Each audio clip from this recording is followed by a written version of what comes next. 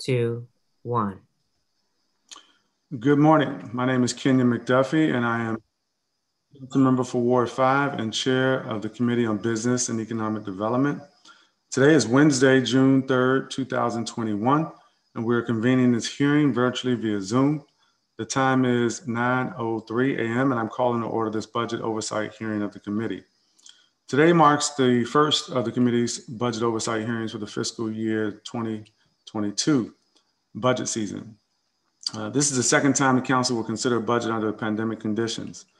We convened last year's budget process in the shadow of a global pandemic that ravaged our nation and upended the lives of residents across the District of Columbia.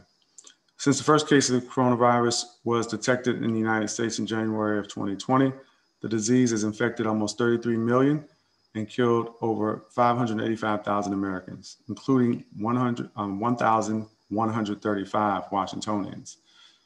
In addition to the costs in life and health that we've suffered, COVID 19 also impacted our local economy. Economic disruptions, business closures, and unprecedented levels of unemployment have caused many individuals to turn to unemployment and businesses to experience serious financial instability or permanent closure. Unsurprisingly, systemic racism and economic insecurity, which predate this public health emergency, put low income individuals and communities of color at greater risk of exposure to both the harmful physical and mental health consequences, as well as the adverse economic consequences of the coronavirus. Low income and communities of color have not only faced higher rates of infection, hospitalization, and death, but also higher rates of unemployment and lack of access to necessities like food, housing, and healthcare. We are in a different place this year as we begin to consider the fiscal year 2022 budget. The effects of COVID 19 continue to be felt throughout the district, to be sure. We're also beginning to find our way out from the shadow of this pandemic.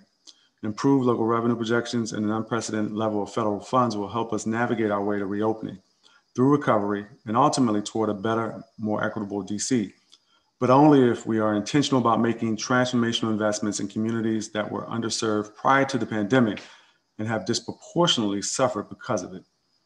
The fiscal year 2022 proposed budget is $17.5 billion, which is a 3.9% increase over the current budget. The local portion of the budget is $9.1 billion, an increase of 4.9% over current levels, with most of that growth coming from federal funds that must be spent over the next four years. We cannot squander this opportunity. We must ensure that the fiscal year 2022 budget makes smart, targeted investments to make our residents better, our community stronger, and to ensure that the future economic growth of our city is more inclusive. So I welcome your insights on how this committee and the council at large can best serve you, the residents and businesses that call the district home. How can we ensure this budget provides meaningful assistance that will enable you, your families, and your businesses to navigate the recovery? What investments can we make to support our workers and businesses hardest hit by this pandemic? What resources are needed to build an inclusive economy that ensures that we do not simply return to normal? I'm looking forward to discussing this with you all, how we can use this budget process to chip away at the district's racial wealth gap and build a stronger, more economically inclusive city for all of us. Thank you for being here today. And for today's budget oversight hearing, we're going to hear testimony uh, only from public witnesses on the following agencies. Events DC, the Office of the Deputy Mayor for Planning and Economic Development, DC Lottery and Charitable Games, the Office of the Chief Financial Officer, the Department of Insurance, Securities and Banking, the Department of Small and Local Business Development, the Public Service Commission, the Office of the People's Counsel, and the Alcoholic Beverage Regulation Administration. As a reminder, this hearing is reserved only for public witnesses. Public witnesses will all have three minutes to testify. Council members will have three minutes for opening statements and five minutes for uh, questioning to public witnesses. I ask that all participants please mute their microphones when they are not speaking. First, we're going to hear testimony about Events DC. Events DC is the official convention and sports authority and the premier host of conventions, sports, entertainment, and culture events in the District of Columbia. Uh, events DC owns and manages some of the most visited venues in the city, including the Walter E. Washington Convention Center, the Fields, Festival Grounds, and Skate Park at RFK Campus, Nationals Park, and others. The agency works to drive investment and growth in the district's hospitality and tourism industry, which has been significantly impacted by the COVID 19 pandemic. With that, I'm going to call up our first panel of public witnesses. And again, I ask that participants please mute their microphones when you are not speaking. Uh, first witness uh, we're going to hear from is Kathy Hollinger, who's the president and CEO of the Restaurant Association of Metropolitan Washington. Elizabeth Falcon, Executive Director, DC Jobs with Justice. Angela Franco, President and CEO of the DC Chamber of Commerce. And uh, Donnie Crawford, I also see, who's a Senior Policy Analyst with the DC Fiscal Policy Institute. Uh, let's start with let's start with those four, and I'll, I'll just call witnesses as staff uh, add them into the panel.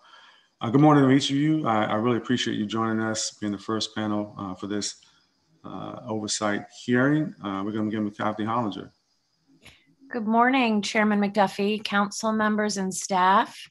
My name is Kathy Hollinger. I'm the president and CEO of the Restaurant Association Metropolitan Washington. I am here today in support of Events DC, which, under the leadership of its CEO, Greg O'Dell, is a key anchor in the district's hospitality community as they build, create, and host premier events and experiences that enhance the lives and jobs across all wards. RAMW and Events DC have been key marketing partners for nearly eight years fostering a mutually beneficial cross promotional partnership where both, both organizations align locally and regionally in positioning Washington, D.C. as a premier dining and hospitality destination. We also create customized programming and activations throughout the year designed to push diners, stakeholders, and influencers to our local small business community of restaurants. This symbiotic partnership is truly full circle as the local marketing that is part of our collaboration drives traffic to the restaurants, bolsters tax dollars to the district, and directly impacts the success of both Events DC as an organization and RAMW. More specifically, this past year, when both the restaurant industry and the events industry faced uh, government mandate shutdowns and devastation, revenue challenges, Events DC further demonstrated its commitment as an industry ally and supporter in critical ways. Greg and his team worked through COVID in the same way that our industry did, shifting gears and areas of focus over and over again, and remaining open while reinventing critical functions to support real time needs. Mr. O'Dell and the Events DC board recognized immediately that the devastation would be monumental for our industry and for hospitality overall in our city. The authority helped ensure that operators had access to vital and immediate funding so the district's unique restaurants many of whom are small, independently owned and operated, survived a devastating year. So, together, our organizations created the Restaurant Operator Relief Fund as a way to extend the DC Small Business Recovery Microgrants program. Program, thank you to you, Chairman McDuffie, um, which was eventually housed in the Office of the Deputy Mayor for Planning and Economic Development. This critical funding assisted more than 1,000 restaurant operators putting north of $4,000 in each operator's hands at the most critical time while we were waiting for federal relief and funding through PPP to come down the pike. DC's restaurants prior to the pandemic brought in over $4.4 billion in revenues, collected over $400 million in sales tax, and employed over 65,000 people. We hope to return to and exceed those numbers once we have proceeded through reopening and recovery, Events DC support is significant to our industry every year, but this year uh, it was paramount. A portion of the tax dollars which support Events DC became a direct investment back into the industry in the form of business support, as well as industry wide marketing recovery efforts that generated businesses uh, that generated business for restaurants struggling to stay afloat. Ms. Hollinger, I'm going to have to uh, ask you to summarize. I know a lot of folks are used to getting five minutes. I always run out of time with you. I'm so sorry. Uh, the authority is also an important supporter of charitable and community programming that we do as an organization. We have a job fair coming up in two weeks that we're hosting with them. I appreciate your willingness to hear my testimony today and thank you for your time and consideration. Thank you for your testimony. Elizabeth Falcon, good morning. Good morning, Chairman McDuffie and members of the council. Thanks for the ability to testify today. Um, my name is Elizabeth Falcon, and I'm the Executive Director of DC Jobs with Justice. I'm testifying today regarding the DC CARES program administered by Events DC. I'm intimately involved with the advocacy and implementation of the DC CARES program, working with all partners and members of the Excluded Worker Coalition, and am a member of the Excluded Worker Coalition leadership team. DC CARES has been administered by Events DC since April 2020. Events DC has been a strong steward of these funds appropriated by the council last year, and I am confident they will continue to do so. We are glad to see that they are the recipient of funds to continue the program in the proposed budget by Mayor Bowser. I'm here to talk about the great value of the program as it is designed and also to encourage the council to increase funding. The goal of the DC CARES program is to provide cash assistance to DC residents who've been prevented from accessing federal assistance throughout the pandemic. This includes undocumented residents, returning citizens, and workers in the cash economy. Virtually all recipients are people of color. These funds are some of the only cash assistance available to these communities. Every eligible person has been locked out of unemployment benefits, including supplemental unemployment, and most have been prevented from receiving stimulus checks. The $9 million allocated in last year's budget will serve 8,100 DC residents. To date, 6,600 of those recipients have been identified and notified, and we expect all funds to be committed by the end of the month. At that point, the DC CARES program will have identified 13,000 unique individuals in need of cash assistance. The greatest needs that the excluded worker community have identified for more assistance is for to is more assistance to the, those people who have already received funds. Nearly half of the first round of DC CARES funding uh, recipients applied again in the second round, but due to the need to serve a wide range of new applicants, were ineligible. The $15 million allocated in the proposed budget would allow us to provide another $1,000 to current recipients and serve virtually no new people. The level of assistance does not come close to bringing the resources the US citizens and others who are eligible for unemployment received. The Excluded Worker Coalition is asking for $200 million for this program because it would allow all current recipients and about almost 2,000 new recipients to access $12,000 in assistance per person. This is only about a third of what people who could access unemployment were able to receive, but it comes much closer to making residents whole. We're also disappointed that this funding came from the DC Paid Family Leave Fund. DC Jobs with Justice has long advocated for a robust paid family leave program where additional funds from the very modest tax could be used to improve benefits to our working families. I encourage the council to look closely at the federal funds that were not committed in FY21 and 22 budgets as opportunities to meet pressing needs for our residents now. I want to thank Events DC for their thoughtful leadership on the program and the council for the opportunity to testify. I've included a lot more information about the DC CARES program in my written testimony, and I'm happy to answer any questions. Thank you uh, for your testimony. We do appreciate uh, you providing that. Uh, we're going to turn next to Angela Franco.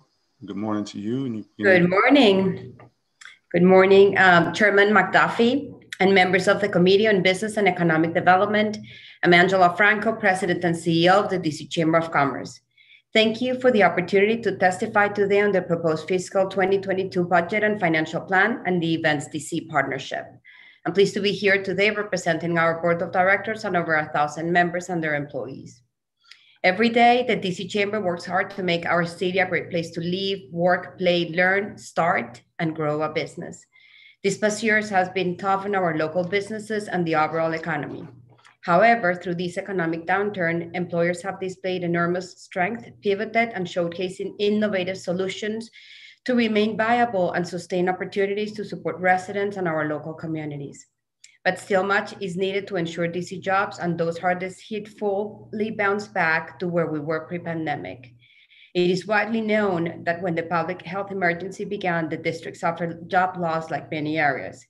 Most of these jobs losses were felt in the leisure, retail, and hospitality sectors, but it was the local and federal support programs that provided much needed cash infusions for struggling businesses and workers in need of support.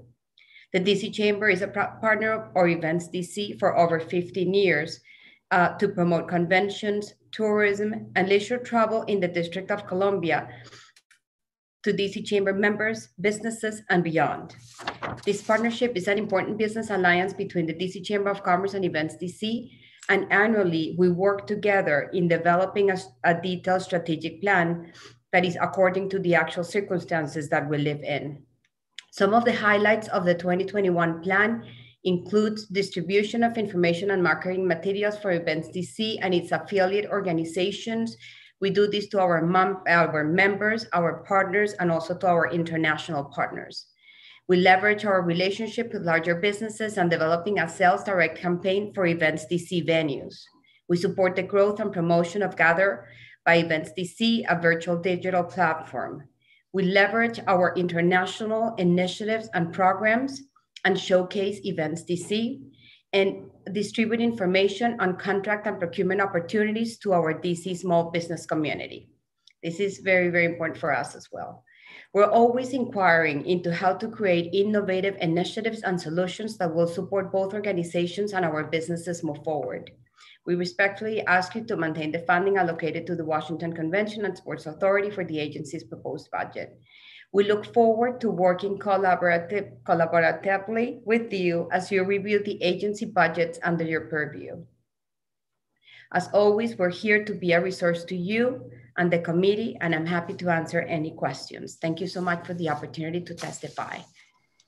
And I need eight seconds. well, I appreciate that, and thank you for that. a lot of witnesses behind you who I'm sure are thankful for that as well. I timed it before. Perfect, perfectly, thanks. Uh, next is Donnie Crawford, and, and, good morning, and you begin your testimony whenever you're ready. Good morning. Good morning, Chairperson McDuffie and members of the committee. Thank you for the opportunity to testify today. My name is Donnie Crawford, and I'm a Senior Policy Analyst at the DC Fiscal Policy Institute and a member and supporter of the Fair Budget Coalition. DCFPI supports Events DC's ongoing efforts to provide assistance to DC workers who have been excluded from unemployment benefits through the establishment of the DC CARES program and applauds the Council's supplemental investment in the program for a combined total of $14 million. While we are happy to see that the mayor proposes support for excluded workers in her supplemental budget, the 15 million allocated is simply not enough to meet the needs of workers who have only received a one-time payment of $1,000 over the past year. We join a campaign led by excluded workers and supported by over 50 organizations in calling on the DC Council to invest a total of 200 million in cash assistance to support excluded workers and also provide support for program outreach and administration and to also follow other states in devoting federal relief to excluded workers and providing cash assistance that is on par with unemployment insurance. In this pivotal moment, DC policymakers must spend federal rescue funds in a timely way with a laser focus on addressing the racial inequities that have excluded Black and Brown communities from economic gains and left them more vulnerable to COVID 19. Within DC's hardest hit industry of leisure and hospitality, employment is still down by 48%, or nearly 40,000 jobs, and occupational segregation within that industry has exposed Black and Brown workers to the worst job losses. These workers, many of whom are excluded from federal assistance, faced elevated levels of unemployment and lacked high paying job opportunities before the pandemic due to a long history of structural racism, discrimination, and economic exploitation. A coalition of DC's excluded workers have called upon the DC Council to provide a total investment of 200 million in cash assistance for them to support their ability to pay for basic needs. This direct call is supported by research which has shown that having flexible cash assistance is crucial to provide stability for individuals and children, reduce stress, and avert extreme hardship. And new research from the Economic Security Project in the context of guaranteed income programs demonstrates that unrestricted cash is care for Black women and mothers. Cash enables them to provide safety, security, and choice for themselves and their families. And providing that assistance helps reject the way that society prescribes a strong Black woman trope on them, demanding strength, caregiving, and resiliency from Black women without positioning them as needing the same. The Treasury Department encourages states to use the American Rescue Plan to serve the hardest hit communities and families. The district should follow the lead of other states such as Washington, Oregon, and Colorado that have used federal or a combination of federal and local dollars to fund cash assistance for excluded workers. Additionally, New York recently was the first state to provide cash assistance to undocumented workers that is on rough par with unemployment insurance. DC should learn from these state models and leverage the one-time federal relief dollars to fulfill the demand of 200 million in cash assistance from our excluded worker community. Thank you for the opportunity to testify and I'm happy to answer any questions.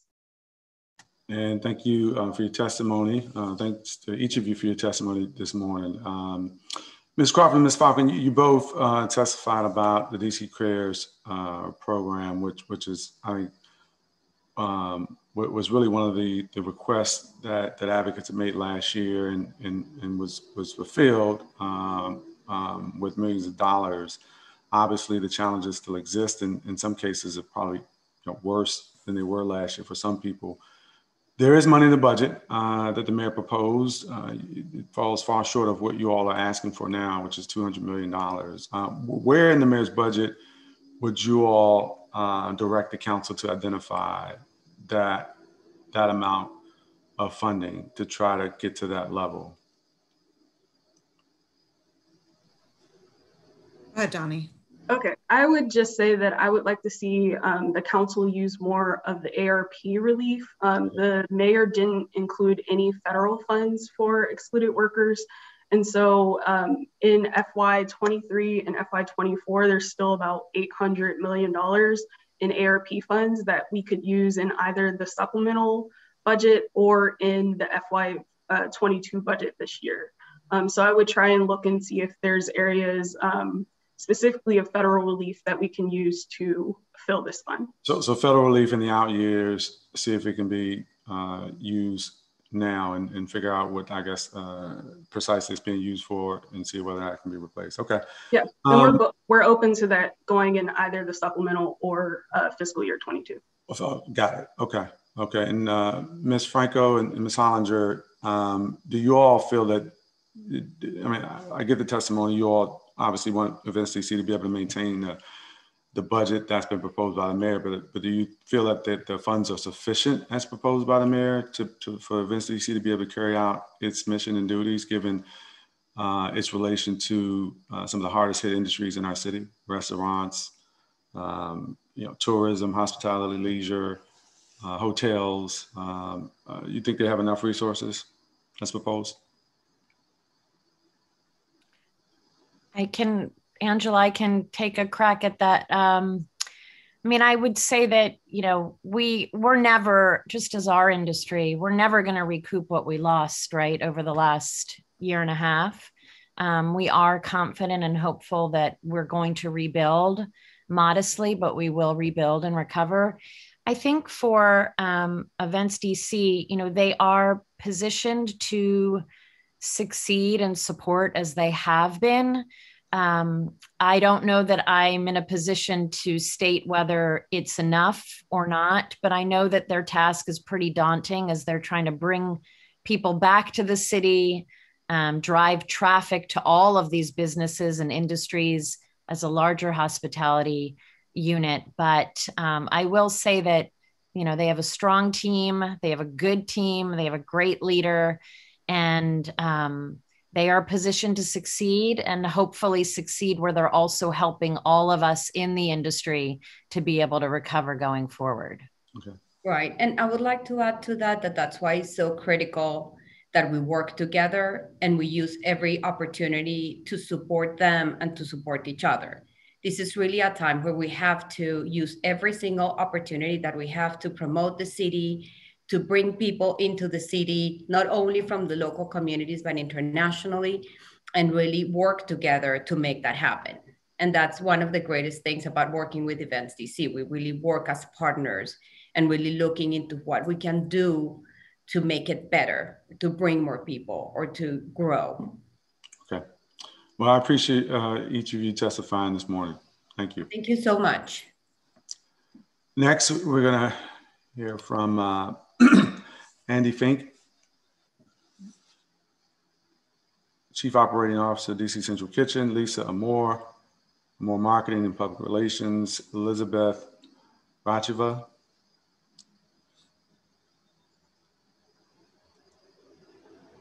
Wait for staff to transition some folks in. Uh, Steve Schulman,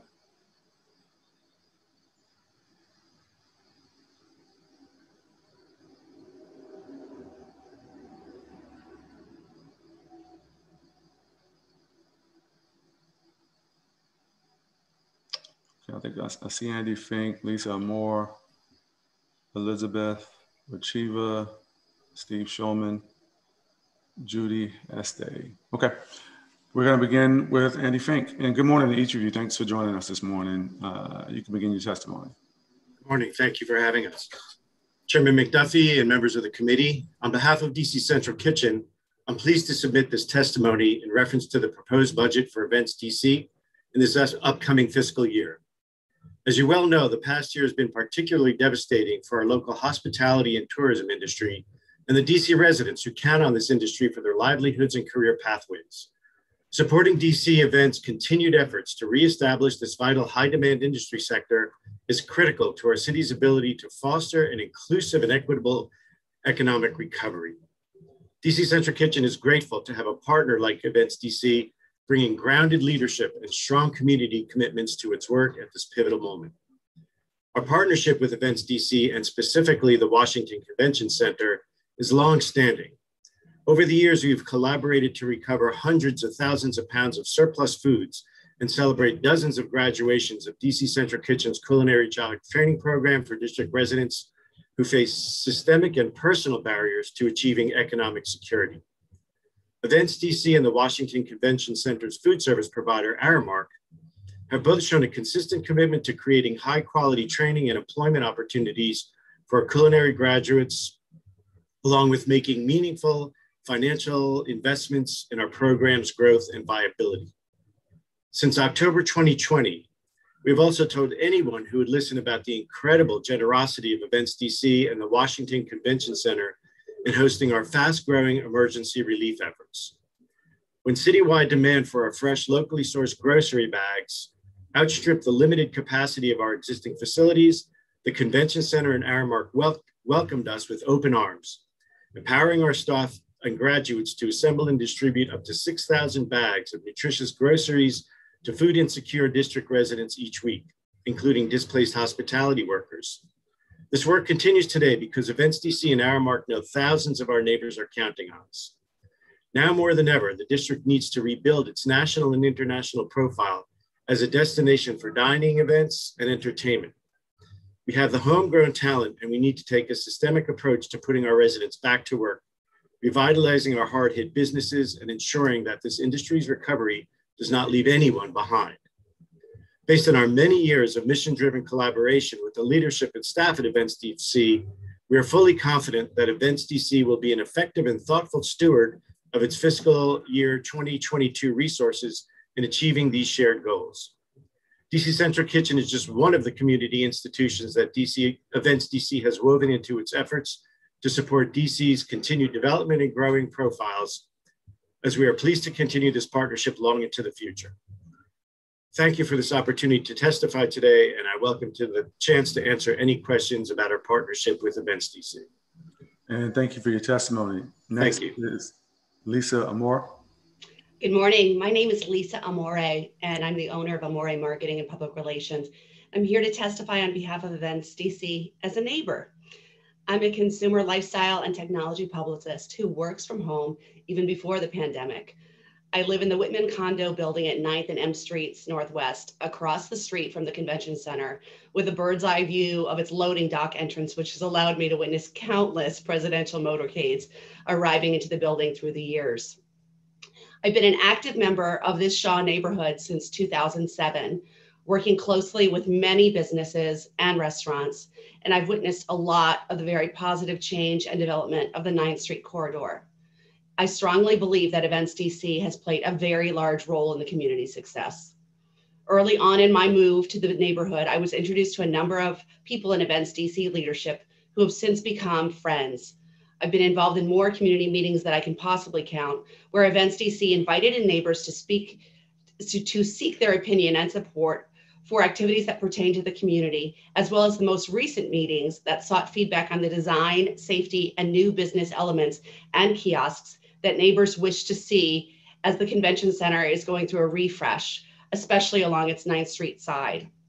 We're thrilled to see that Events DC truly cares about our opinions and has indeed incorporated many of the community's designs and safety ideas into the new aesthetics, which are being constructed as I speak. From new brighter lighting in the M Street tunnel that also illuminates the pedestrian sidewalk which leads to the metro, to beautiful mini shop fronts that will house new businesses in the convention center facade along 9th Street, to a new roof deck on N Street for the neighborhood to enjoy all of these elements will do so much to enhance the community thanks to Events DC. However, in addition to the physical aspects that Events DC does to enhance our Shaw neighborhood, I want to speak about some things that are perhaps even more significant. Events DC's commitment to give back to the community through a number of great programs and events. I've personally witnessed, participated in, and even volunteered to help alongside Events DC in the following support for local restaurants, encouraging convention goers to patronize the businesses in walking distances. A number of my clients have been the beneficiary of the Events DC signage and maps for convention goers to go out and explore the neighborhood for a great meal and walking around in walking distance to, the, to their own meetings. Events DC's Thanksgiving Day Feast of Sharing, providing a warm meal and a lively celebration for more than 5,000 people who otherwise might not have had a turkey dinner though this obviously had to be adjusted this past year due to the pandemic. In years past, I've proudly volunteered with Events DC staff to help with this incredible event that truly puts smiles on, the, on many people's faces, as well as filling their bellies with a warm meal.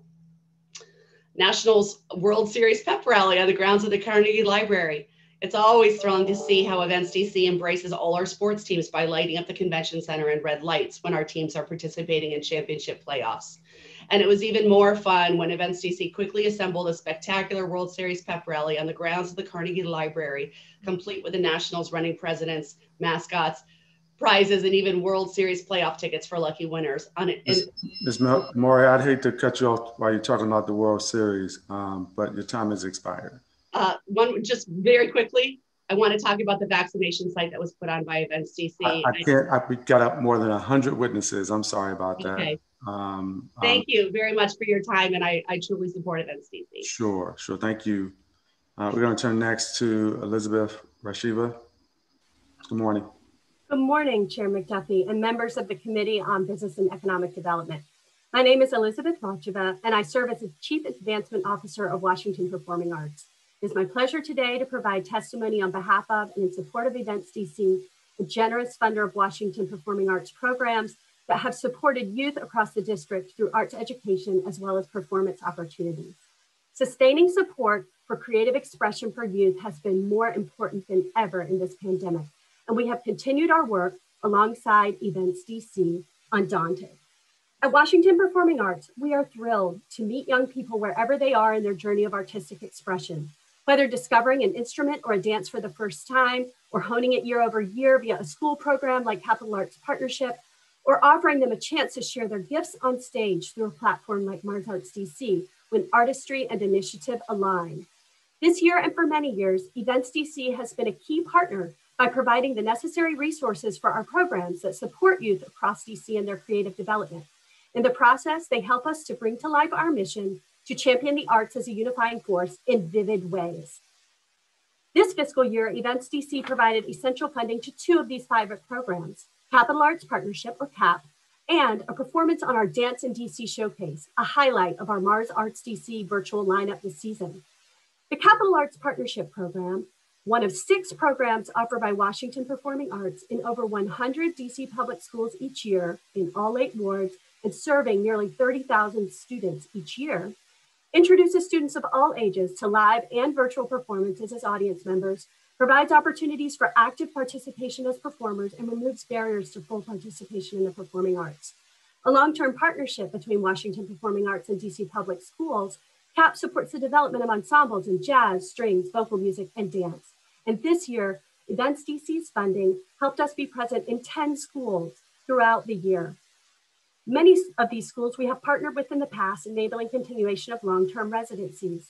From Langley Elementary School in Ward 5, with special education and general music students in fifth grade, Bruce Monroe Elementary in Ward 1, Capital Strings with fourth graders, Murch Elementary in Ward 3, where elementary school students experience dance and creative movement, and middle schoolers at Stuart Hobson Middle School in Ward 6. We focused on team building and growing creative expression. DC's grant also provided critical support for an arresting performance by Matthew Crittenden, a student at Duke Ellington School for the Performing Arts, through a free online showcase. He had a platform to share his artistry and also to advocate for bullying against boys in dance. His voice was compelling and true, and we were thrilled to introduce him to a local, national, and international audience. His performance has been viewed more than 1,000 times. We are so grateful for Events DC's generous support and we urge you to continue to fund their work for these programs that impact so many children and youth through transformative work in the arts and athletics. Thank you for allowing me to share my testimony. I encourage you to read more detail in my written testimony. And I will do that. Thank you for your testimony. Next is Steve Shulman. Good morning. Good morning. Thank you, Chairman McDuffie and council members for letting me testify today. My name is Steve Shulman. I'm the Executive Director of Cultural Tourism DC.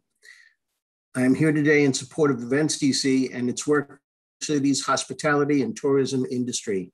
As one of its longstanding marketing partners, Cultural Tourism DC is grateful to have Events DC as its primary funder and presenting sponsor of two signature events, Passport DC and Walking Town DC. We are a 501c3 organization founded in 1999 to celebrate and support the multi-ethnic character, cultural diversity, and neighborhood vibrancy of the District of Columbia. We engage in the local, national, and international parts of what makes Washington, D.C. unique. Our major programs, Passport DC, Around the World Embassy Tour, Walking Town DC, and Porch Fest are inclusive, enjoyable, and appeal to multiple generations as they enlighten and empower people to explore, understand, and appreciate the District of Columbia. Cultural Tourism DC is like the tiny engine that could. With the financial support of Events DC, as well as a cadre of sponsors, the efforts of hundreds of volunteers each year, and donors who make modest contributions when we ask, we can, could, we can collaborate with others to offer an impactful schedule of programs as well as publicize the good work of other nonprofits in the arts and humanities. We were fortunate during the past 15 months when Events DC needed to withdraw $50,000 from our annual agreement to meet other needs.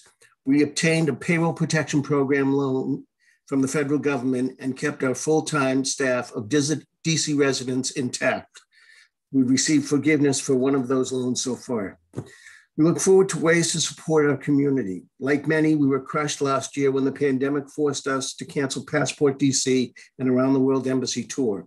This year, we produced Passport DC at Home, which offered unique online learning experiences and served as a bridge to our future programs that feature Washington's diplomatic corps. When we saw greater activity at local restaurants, we encourage people to savor the flavors of Passport DC by visiting restaurants and entering a contest to win gift cards to participating restaurants. Embassy staff members recommended many of those dining establishments. Last year, we presented Virtual Walking Town DC via the Zoom webinar format with guides from the Guild of Professional Tour Guides of Washington, DC. We tapped into our Passport DC following and drew 1,450 registrants from 11 countries, including the United States. Participants came from 16 states and the District of Columbia. And from our surveys, we found that 35% learned about a new neighborhood and just about 50% plan to visit and dine in neighborhoods that they toured. There's a lot more I can tell you, but the impact of um, the big takeaway is that Cultural Tourism DC could not bring people to the district's neighborhoods, discoveries to their minds, and smiles to their faces without the year after year financial support of Events DC and the promotional support of Destination DC. Thank you for your testimony, uh, Mrs. Shulman. I'm going to move next to Judith. I don't want to uh, butcher your last name. Is it Estee? Judy Esty, but close. Got it. Thanks so much. So, good morning. My name is Judy Esty. I'm here representing the Platform of Hope, which is a nonprofit initiative based in Ward 1 that engages with cohorts of economically vulnerable families of color to define and pursue their goals across the spectrum of housing, health, education, finances, and employment. Our goal, along with our strategic alliance partners, Mary Center, Jubilee Housing, Jubilee Jumpstart, and Sitar Arts Center, is to center the voices of families so that we can build an equitable neighborhood and eventually a equitable DC. Thank you for allowing me to testify for Events DC. I'm here to testify for the Events DC DC Cares funding, which has been providing cash assistance to excluded workers. This funding is essential, but it has been insufficient to meet the full needs of DC's hardest working residents. The Coalition of Excluded Workers, which includes those in the cash economy, those who are undocumented, and returning citizens, all of whom have been excluded from public support throughout the pandemic, such as the federal stimulus and unemployment insurance, has asked for $200 million from DC Cares to truly match the need of the past 14 months. The DC Cares funding, which to date has provided $1,000 to over 13,000 excluded workers, is the only public support we have offered to some of DC's most vulnerable citizens. To be clear, these are people who are actively participating in our society and our economy. We rely on them for hospitality and childcare, among other jobs, and they pay taxes. Imagine you had lost your ability to work in the pandemic but couldn't access any unemployment insurance. Imagine you lost your job and your kids were home for school all day and you had to stay home and you didn't receive a dollar of the federal stimulus. And then imagine that while you received nothing, most people around you did. It's not just that folks have received almost no public support to acknowledge the public health crisis and trauma we've all experienced, it's that the rest of us have. These folks have watched as neighbors and friends, and quite frankly, more privileged people have received up to $42,000 in unemployment insurance and the federal stimulus, while they've received a one time payment of $1,000 from Events DC. What message does that send? And let's be real, how far do you think $1,000 stretches in DC over 14 months of unemployment and economic instability? With the families we worked with last year, 58% of the families had been excluded from public support. 69% had lost their job or were working less. 85% had lost some or all of their income. 36% lacked access to household internet, and 51% of households needed another computer or tablet to connect to the digital world. I've heard that one of the reasons that officials have for rejecting the excluded workers' direct ask for what they need after 14 months of the pandemic with minimal, minimal support is that they have rental assistance they can apply for. How many of you here today can honestly tell me you don't have any other significant household expenses for over a year other than rent? Are we really pretending that folks who live here don't have to pay for food, childcare, transportation, health, etc.? And how many people here could operate on a budget of zero dollars for all of those things for over a year? And yet, because these are excluded workers, somehow they're not supposed to have these needs. They've asked for $1,000 per month of the pandemic, $12,000 per household, hence the 200 million. And so the idea that the mayor's 15 million is in any way close to responding to that need is insulting. And then to pretend we don't have the money, I want to offer the comparison of New York, which recently approved 2.1 billion for excluded workers, including recurring monthly payments. Now I know that choosing Events DC as the home for these funds might be confusing, but honestly, it makes a lot of sense to me. Excluded workers are serving us at restaurants. Excluded workers are watching people's kids so we can go Ms. Jesse, I'm gonna I'm gonna have to interject. I apologize that I All right. Well, excluded workers deserve to be included in this recovery. And they deserve what they ask for. Thank you. I appreciate uh, your testimony as well as all the other witnesses, and I'm going to apologize. I, I don't. It, it is good to see you, Judy. Uh, I butchered your last name, and I'm so sorry about that. You know me as Miss Judy. It's all good. I, am Miss Judy. I'm usually used to seeing your name and then followed by Dance Place. I know it's been a while, but but it's good to see you. And thank each of you for your for your testimony here uh, this morning. Next, uh, we're going to go to Diana Mayhew, President, CEO, National Cherry Blossom Festival. Trupti Patel, Commissioner, 2A03. Nicole Preston, President, CEO, Special Olympics District of Columbia. And the final witness for Events DC I have is Alana Eichner, lead organizer, DC chapter of the National Domestic Workers Alliance.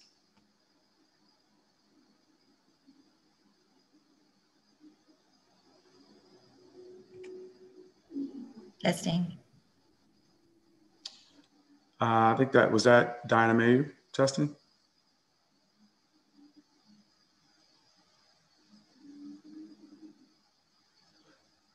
I think we've got all the witnesses on the panel. We're going to start with Diana Mayhew. And if you, I'm not sure if you intend to the camera on or not, but we, we definitely can hear you. Okay, I don't know why the camera's not on, sorry. Um, uh, good morning, Chairperson McDuffie and members of the committee. My name is Diana Mayhew, President of the National Cherry Blossom Festival. Thank you for the opportunity to testify in support of Events DC, an important organization that supports so many city functions. The National Cherry Blossom Festival is among the DC organizations they support annually, not only through financial investment, but also leadership involvement and service on the NCBF Board of Directors. The Events DC marketing team provides guidance and collaboration to the festival's marketing efforts and brand experiences. The past two unusual springs and unprecedented challenges demonstrated the importance of Events DC's support as well as the council's support. Although the festival has been different and large gatherings were not possible, NCBF was committed to carrying out this iconic DC tradition. The festival's creativity and adaptability led to an exciting lineup of virtual and in-person experiences while prioritizing public health protocols. The festival ignited community pride and participation more than ever from all eight wards of the city, while also engaging national and international audiences. Events DC provided the strong foundation for the festival to introduce reimagined programs, including the NCBF Celebration Show, a nationally syndicated entertainment program showcasing the highlights of the 2021 festival and the vibrancy of springtime in the district. The show is also available on demand on Gather by Events DC, reaching an even broader audience. The festival engaged an audience of hundreds of thousands and garnered nearly 3 billion impressions through earned media and other communications efforts, spotlighting the district at a time where we needed it the most. Bringing the blossoms to the living room and mobile devices, the Bloom Cam received more than 1 million visits from more than 150 countries. As Events DC took the lead in the district's economic recovery, NCBF worked closely with them and other organizations to play a role. The festival incorporated programs encouraging residents to support DC restaurants and businesses, with the support of Events DC and others, the festival generated more than 1,000 dinners from local restaurants through the reimagined Pink Tie Party, as well as special hosted dinners for senior villages in Ward 7 and 8. We branded the city in pink and blossom decor and brought the celebration to the homes and lives of the residents and delivered the ability to engage anyone from anywhere. Events DC's and the council's investments help support greater exposure and awareness of the district as the springtime destination. NCBF is a DC organization that uses the festival to showcase the district to the world for the benefit of our local economy. The district benefits annually from its investments in the festival. It is through this support that the festival is able to continue its reach into Ward 5 and all eight wards. We greatly appreciate the support from Events DC, the council, and the mayor. Thank you. And thank you for your testimony. Next is Trupti Patel, Commissioner. Good morning, Chairperson McDuffie. My name is Trupti Patel, and I am DC's first Indian American woman ANC Commissioner. I represent the historic Foggy Bottom, and I am testifying in regards to the plight of many excluded workers who have kept the city running literally on their backs, but who have been treated as expendable. I weigh that great responsibility of trying to be eloquent, articulate, and succinct on experiences that are intensely emotional and deeply personal for myself and others. Until March of 2020, I was a tipped worker. Like 65,000 hospitality workers, I lost my job. However, unlike many of them, I did qualify for unemployment insurance, stimulus checks, and programs such as Medicaid and SNAP. Excluded workers should feel the same sense of dignity, security in having their needs met. Everyone wants to survive with dignity, and is why I stood in solidarity a year ago and fought for $30 million a year ago for the DC CARES Fund. We were awarded $9 million from the DC Council and 5 million from Events DC for a total of 14 million. This amount only allowed for recipients to see, receive a one-time payment of $1,000 for the last 15 months is woefully inadequate. Excluded workers will need frequent frequent and systemic support, which is why I'm amplifying the ask for 200 million. This amount assumes $12,000 per person, which is $1,000 a month for a year, up to a 10% overhead, which is 20 million, 157 million in checks to applicants who are currently approved in the program, which is 13,000 people, and 23 million for new applicants, which could be 1,900 more people. This pandemic has decimated not only businesses, but workers as well economically. It will be a long road to recovery and one that is filled with setbacks tax. Millions of our tax-paying dollars have been poured into businesses so they can recover and they will receive it for quite a few years. Yet our excluded residents are not discussed, we are we're not discussing them in the same way. There's no point in dumping millions to save businesses if the people who are now without homes and food can't afford to buy the products. The reality is we needn't we needn't have this discussion if the city invested in its residents and we prioritize their needs over businesses. It's simple. Make sure this is a safe, safe and just economic recovery for all in service and solidarity. Thank you. Thank you for your testimony, Commissioner, and for sharing that, that personal story. Uh, next is Nicole Preston. Good morning. Good morning, um, Chairman McDuffie and members of the committee. Thank you for the opportunity to testify in support of the Events DC grant program.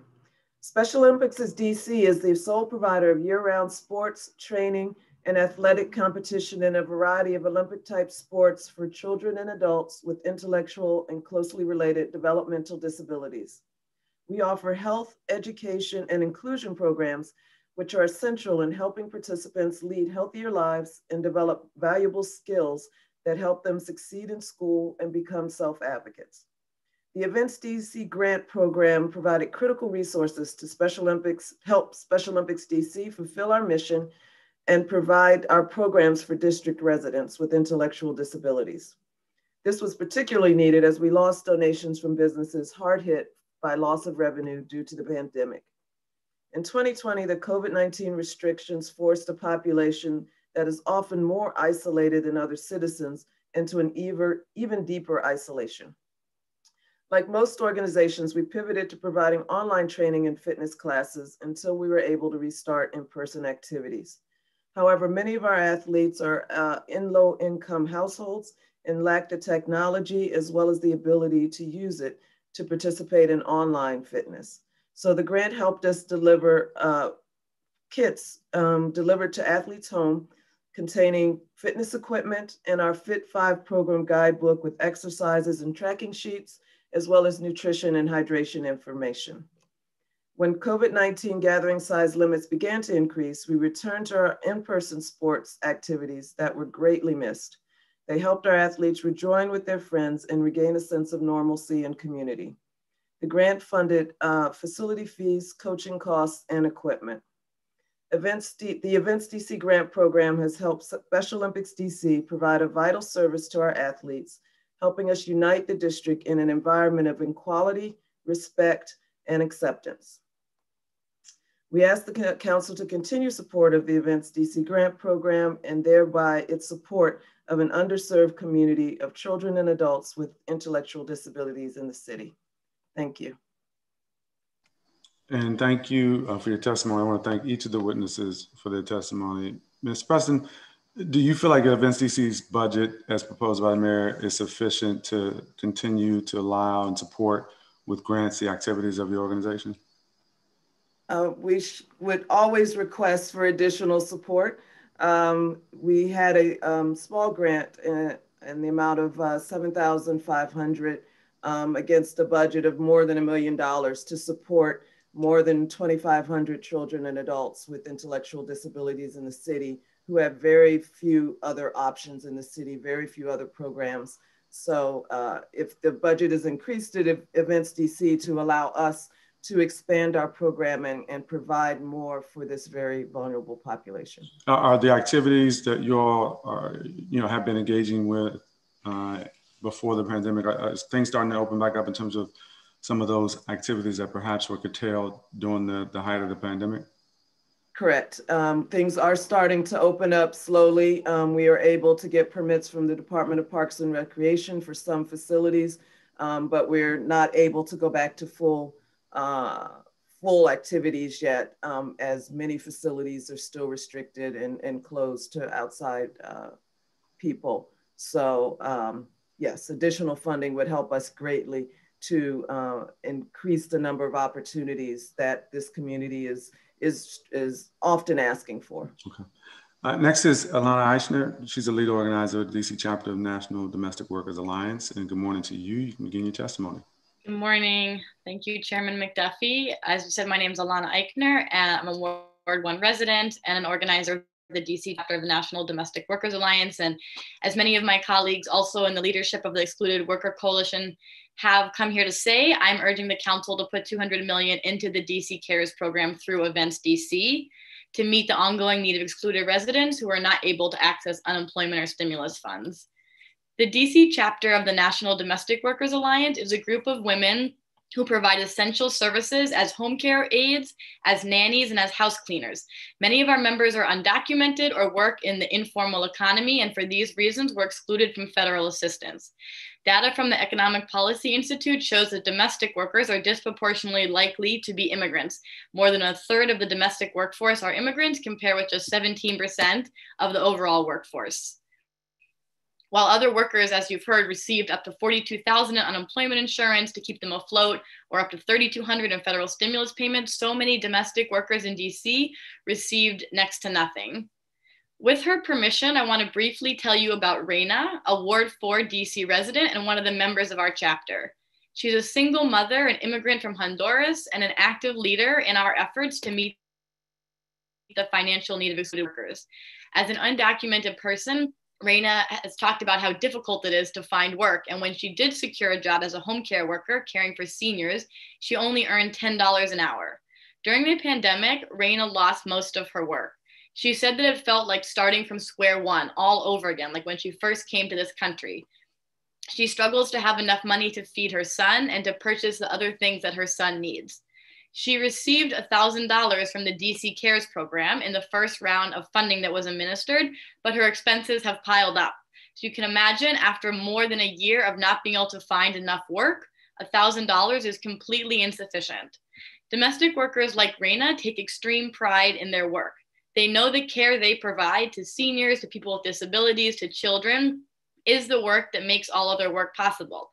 As Reina has told me, through no fault of her own, this pandemic has taken this dignified work away from her.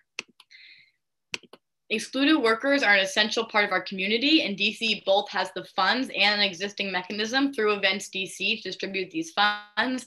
I agree with what Donnie shared about where these funds can come from. Would also add that we can allocate money for excluded workers by raising taxes on DC's wealthiest residents, who by and large have not been economically harmed during this pandemic, and many of whom have actually increased their wealth during this time period. Domestic workers in the district are really counting on the council to step up where the federal government has cruelly excluded these members of our community and to start to ease some of the deep financial need born out of the last 15 months of the COVID 19 pandemic. Thank you so much for the opportunity to testify. And thank you for your testimony as well as the other witnesses. Uh, just quickly to Commissioner Patel and, and Ms. Eichner, any concerns uh, about the administration of DC CARES program, uh, or has everything to your knowledge uh, after any initial uh, perhaps rollout uh, been going okay for last year's uh, administration? Go ahead, Alana. Go no, go ahead, Tiffany. Go ahead. so, Chairperson McDuffie, from what I've heard from recipients, is that, you know, one of the biggest challenges was that it took a long time for DC Cares to actually, you know, get the funds and begin implementing it out to recipients. I believe that many of the recipients, when the money was awarded from the time that they actually received it in their hand, was about five to six months. I don't think most people got the money until the beginning of this year. And so they spent the worst part of the pandemic really suffering. And so by the time they got their direly needed funds, which was woefully inadequate, which was $1,000, it was already gone. Got it. Got it. So that was the biggest challenge for me that I saw as an outsider. I didn't work, I didn't have the ability to work with any of the organizations, but I heard that feedback from recipients, sir. I'll just add very briefly that uh, my understanding from talking to folks who have been part of the administration of the program, like Elizabeth Falcon, is that there was a lot of work to identify duplicate recipients who had already applied in the first round and were not eligible for the second round. And so that took a lot of legwork to straighten out. I think that really demonstrates the need that so many folks applied again because they needed more funding. Mm-hmm. But because if additional funding was allocated, um, we already have now this database of folks who we could easily give the money to. Again, there's a successful existing mechanism, and we know who many of these folks are now. And so it would make it easy to facilitate additional funds. Got it. Thank you each for your testimony this morning. Next, uh, we have the Office of the Deputy Mayor for Planning and Economic Development, or DMPED. Uh, DMPED supports the mayor in developing and executing the district's economic development vision by setting development priorities and policies, coordinating how the district markets itself to job creators, and leading district development, attraction, and retention efforts. DMPED will play a crucial role in helping steer the district through the economic recovery. Uh, with that, I'm going to call our, our next panel of uh, public witnesses and again, I ask, uh, just as a reminder, that participants mute their microphones when they aren't speaking.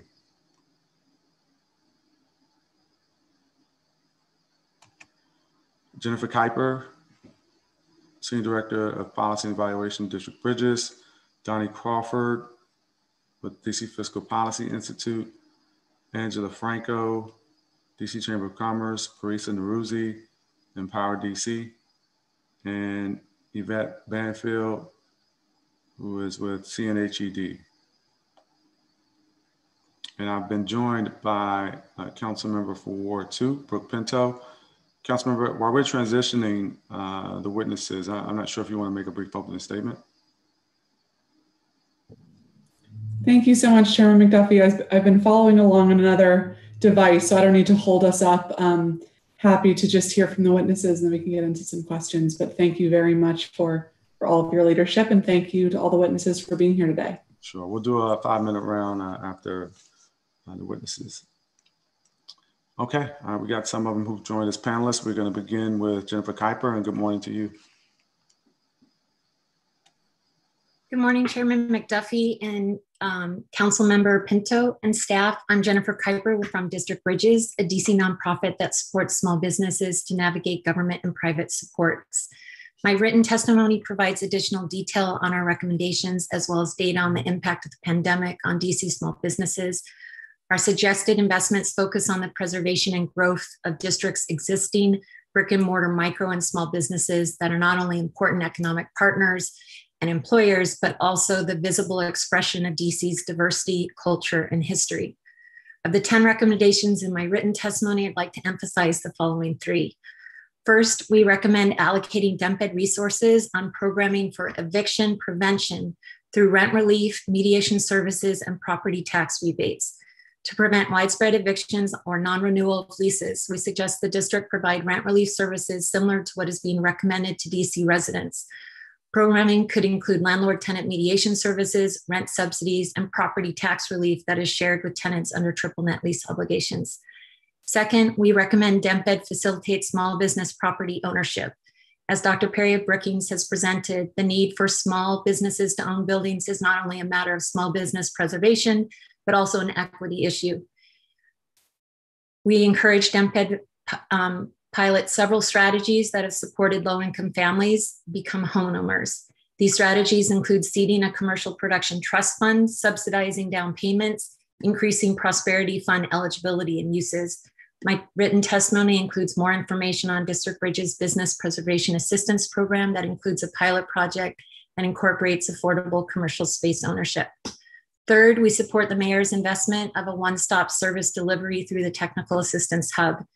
In developing the design and implementation of this much needed initiative, we encourage the district to partner with community-based organizations that have high intensity and high trust relationships with DC small business owners.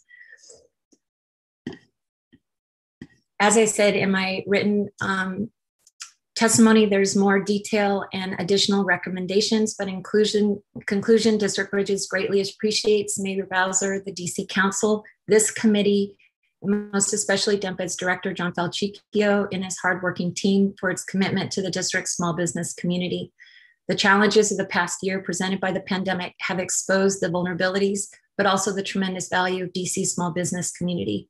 We believe these budget investments are consistent with this committee's dedication to strengthening an equitable and thriving economy for all. Thank you.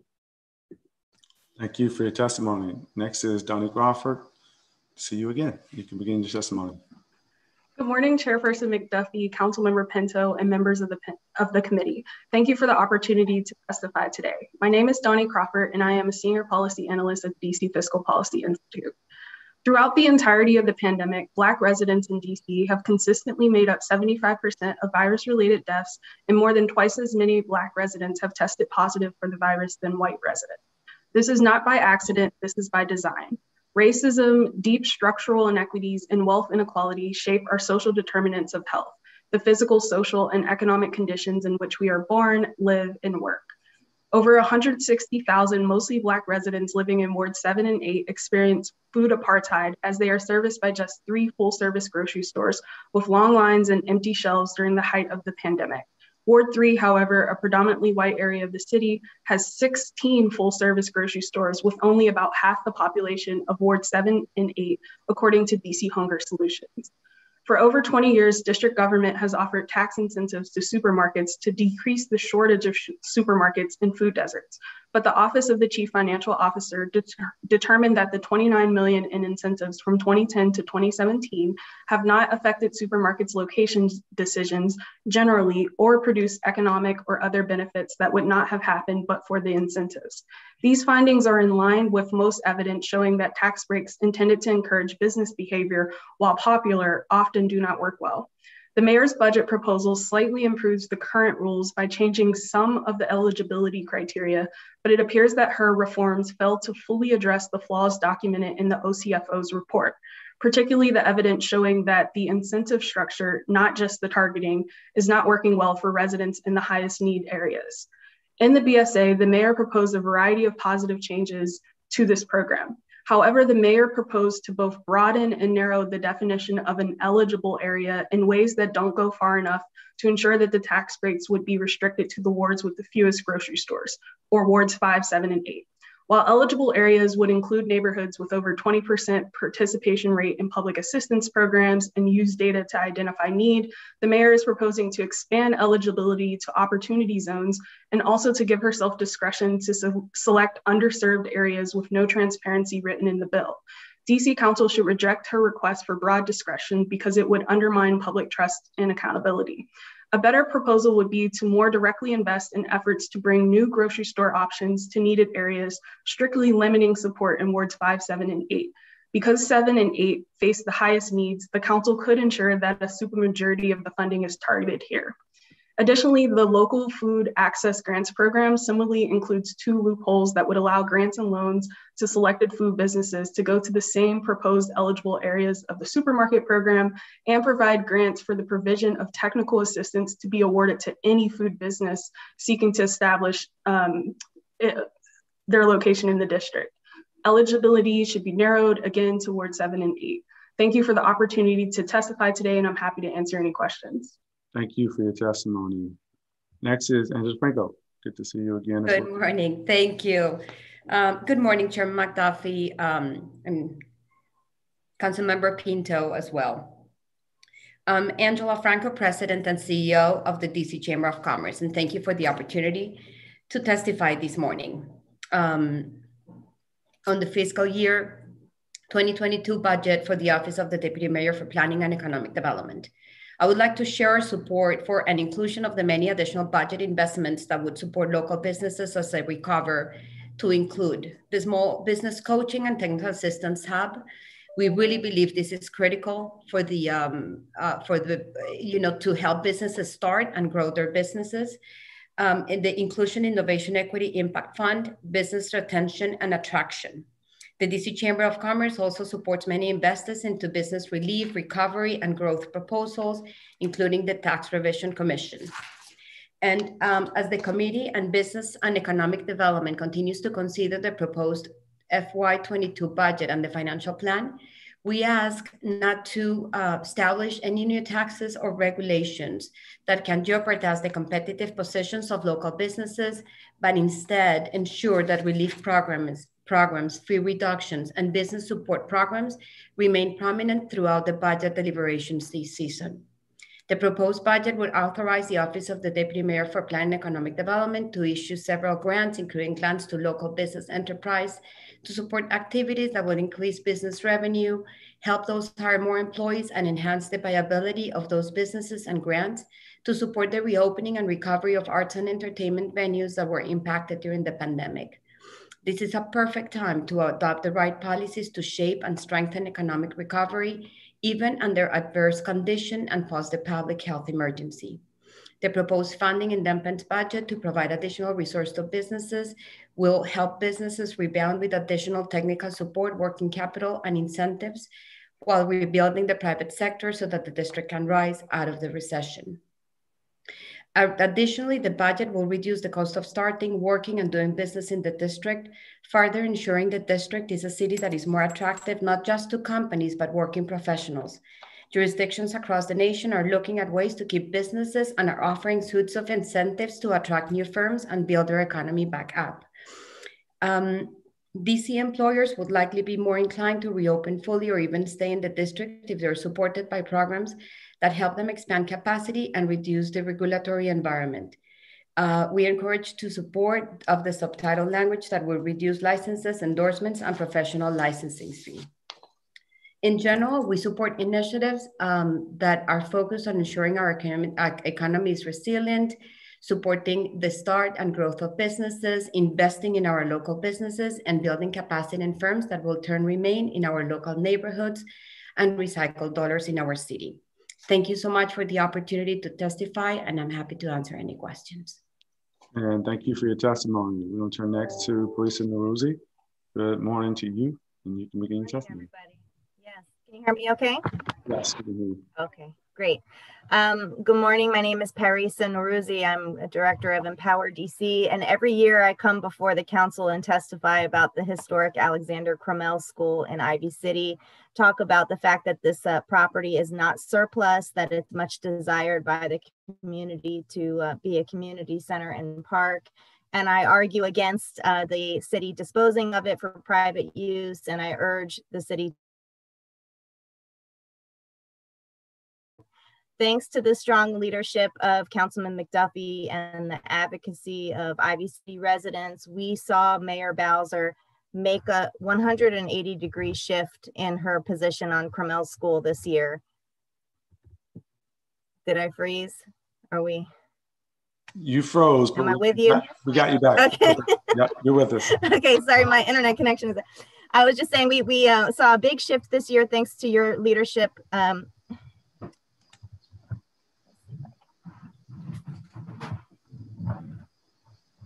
I with you now? Yeah, you've been with us. You've been with us. Okay. I'm gonna try to plug my. Anyway, I was just saying that we saw a big shift this year thanks to your leadership and the, the ongoing advocacy of Ivy City residents. We're really thrilled that the mayor has abandoned that harmful development deal that she had selected in 2016. Um, and instead, uh, we'll move forward with the renovation of Crummell School as a community center and park. Um, of course, uh, Councilman McDuffie, we we recognize that your strong stance on this really helped make that happen, and, and we really appreciate that. Um, over the last several months, with your help through the comprehensive plan as well, we've uh, managed to put changes in motion that prioritize the community members first. Uh, the plan now requires that community planning take place prior to uh, major new development and of course that the Crummell School be retained for, for public uses. So we're asking for your partnership um, to ensure that the funding for You may want to try to maybe just turn off your video, Ms. Norouzi. To ensure that the funding that the mayor allocated for Crummell School in fiscal year 22 and 23 is secure. And of course, that, no funny business with that funding and it gets out the door and is used. And of course, full transparency and inclusion of the Ivy City community in every step of the planning and implementation for Crummell School and the small area plan. And just very, very briefly, I want to also flag for you our concerns about the New Communities Initiative um, led by DMPED. This is a, um, a program that has really failed over the last almost 20 years in providing better quality housing for public housing residents. It's largely led to the displacement of hundreds of public housing residents. And we really question how that money that the mayor has allocated 70 million in this upcoming budget budget will be used Public housing redevelopment is a great opportunity for us to advance racial equity through resident ownership and equity in these properties. Um, but instead, we've really used it to continue the displacement and harmful development patterns of our city. So we'd love to talk with you and work with you more uh, for oversight around the use of the NCI funds. Thank you so much. And thank you for your testimony. Next, we got Yvette Banfield. Good morning. You can begin your testimony.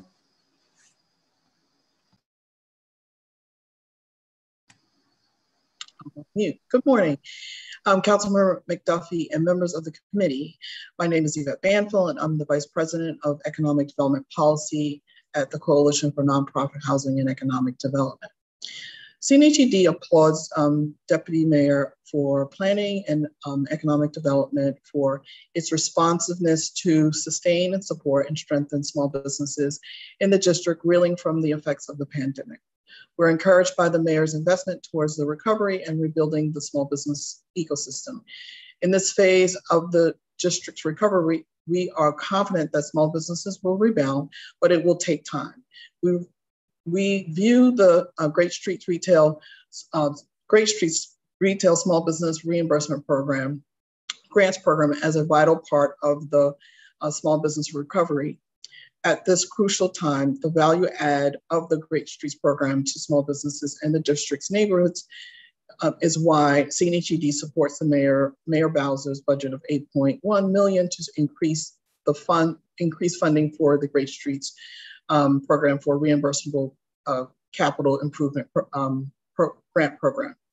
Um, so I just would like to kind of draw specific attention um, in my testimony to what we hope that the Great Streets will be able to do moving forward. Um, one of the things that we've learned is lessons through the pandemic is that eliminating barriers to um, small businesses to take advantage of grant opportunities and funding um, made available through the district. So a lesson learned resulting from the extended public health emergency shutdown is that recovery isn't always equitable. Additional efforts such as outreach and technical assistance are needed to help viable small businesses unable to meet the qualifications for the Great Streets program lacking clean hands, for example, lacking a clean hand certification. The recently introduced Clean Hand Equity Amendment Act of 2021 has the potential to open the Great Streets program to countless uh, numbers of small businesses that opted not to apply or were denied a great um, a grant due to issues with their clean hand certifications. Um, extend Great Streets to main streets outside of the program boundaries. CNHED recognizes the value of the capital improvement grants and the potential for the grant Great Streets um, to spur, uh, excuse me, to spur commercial vibrancy in areas of the district that could benefit from additional sources, uh, resources and support. In FY 2022, CNHED requests that council consider extending the designated geographical geographic areas to main streets adjacent to or fall outside of the Great Streets um, geographic footprint. Um, lastly, continued support for DCAP, for the DC Community Anchor Partnership. In FY 2021, Council allocated 200,000 to support the DC Community Anchor Partnership, DCAP, a collaborative of anchor institutions advancing inclusive contracting and procurement with minority-owned businesses. Ms. Becca, your, your time has expired, um, and because we got so many witnesses, I'm going to stop you short there. And obviously, we want everybody to, to make sure they submit their written testimony if they haven't already. I know you're great with submitting your written testimony. Uh, I'm going to go to a staff, staff, a quick uh, staff five minute rounds. Um, and I will give you, uh, in my five minutes, Ms. Banfield, just an opportunity to, to summarize the, the, the final part of your statement. It's, the anchor program is such an important program and, and the committee has been supportive of it uh, over the years. And so uh, I think it's worth getting that on the record. Thank you. You go ahead. So my last, actually my last sentence was that we asked council to make a second year reoccurring allocation of $200,000 to continue the support for the DCAP program. Okay, uh, but but the, the program should, we, I thought we funded it for a couple of years uh, in a row last year, no? So uh, the first round was 2021, yes, for the reoccurring. And so there was a second allocation for 20, uh, 200,000 um, for uh, FY 2020, 22. Yeah, okay. I, I, just wanted to be certain. I know we wanted to make sure that there was a little bit more in terms of recurring the last year. And so we're able to work with the committee members to do that. And we appreciate the committee support on that. In your yes, and if you're able to extend that beyond the two years, that would be excellent. Okay. Uh, Ms. Copper, you, you mentioned something that's important uh, to me. And in fact, it was one of the things that, that I uh, requested uh, in my letter to the mayor uh, is funds uh, to allow businesses, legacy businesses in particular, to purchase their physical establishments. Um, you mentioned that in your testimony. I want to hear a little bit more about your thoughts on that. Yeah, thank you very much. And I also appreciate your leadership prior to the pandemic, really looking carefully at this issue. Um, we are trying to work with especially legacy businesses who've been in neighborhoods for a long time that are now gentrifying and they're at risk once their lease comes up for renewal of no longer being able to stay in their locations. So this is not um, this is different from trying to attract a new business to an area that is underserved. These oftentimes are in neighborhoods that are actually rapidly gentrifying, so they aren't eligible for many of the support programs because the residents have higher employment rates, higher income rates, but our small businesses that have been there for a long time aren't experiencing the same level of prosperity. And so we really see ownership as a long term solution for those those tenants. So we've been experimenting, working with four minority owned businesses on Georgia Avenue um, in the gentrifying neighborhood of Parkview to move to an ownership model through redevelopment of the space. So it includes six adjacent properties that would move into a multi use development with residential up top taking advantage of the airspace that is currently not being utilized and converting the lower level retail to commercial condos. So this is a um, recommendation under District Bridges Business Preservation Assistance Program or BPAP. Uh, we are finding that, that there is a need for gap financing that the government could um, play a role given the policy priority of establishing ownership opportunities for small. And, and, uh, just before my time wraps up, that would the legacy businesses actually own their businesses and the physical establishments? That that would be the objective through a condo arrangement. So the upper levels residential could be either apartment or condos but the lower level would all be ownership based. And that's working with existing businesses not attracting new businesses to that space. Got it. Okay. Love to hear more. If you could reach out to the to the to our office to talk a little bit more about that. Um, um, i'm gonna actually stop it right there. Uh, i did want to Ms. Crawford, I did not take a note. You had mentioned something in your testimony that I wanted to, to highlight. Um, I thought I made a, a quick note. Oh, you were talking about the need to to focus on um, you know, certain areas, five, seven, and eight. Uh, and I think you said in particular uh, that uh, the supermajority of the funding uh, in, in, in which program are you referring to specifically? I think it was a grocery store program that that's in the mayor's budget under DMPED, uh, that those, some majority of the funding should serve residents in Ward 7 and 8. Correct. And um, for the food access program, I think that should still be narrowed to Ward 7 and 8 and not include 5.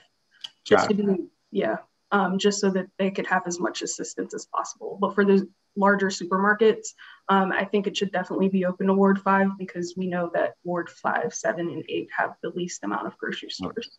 Have you all looked at any of the, the larger, the, the model that, that would need to attract grocers in these areas or food deserts, but, but you know, in, in some cases, the larger supermarkets are, are have a model that, that is not conducive to locating in, in, in areas that don't have the density and, and incomes to support uh, you know, uh, their model, smaller models, co-op models. Um, I'm running out of time, but but if, if you have thoughts on that, I'd love to hear from you all because I know I've worked with uh, Council Members Gray and, and Trayon White and Councilmember Cheh as well, frankly, who's been extremely supportive, uh, both um, in policy, but also with funding from her committee to try to uh, really think through innovative ways to bring healthier food options to, to Ward 7 and 8.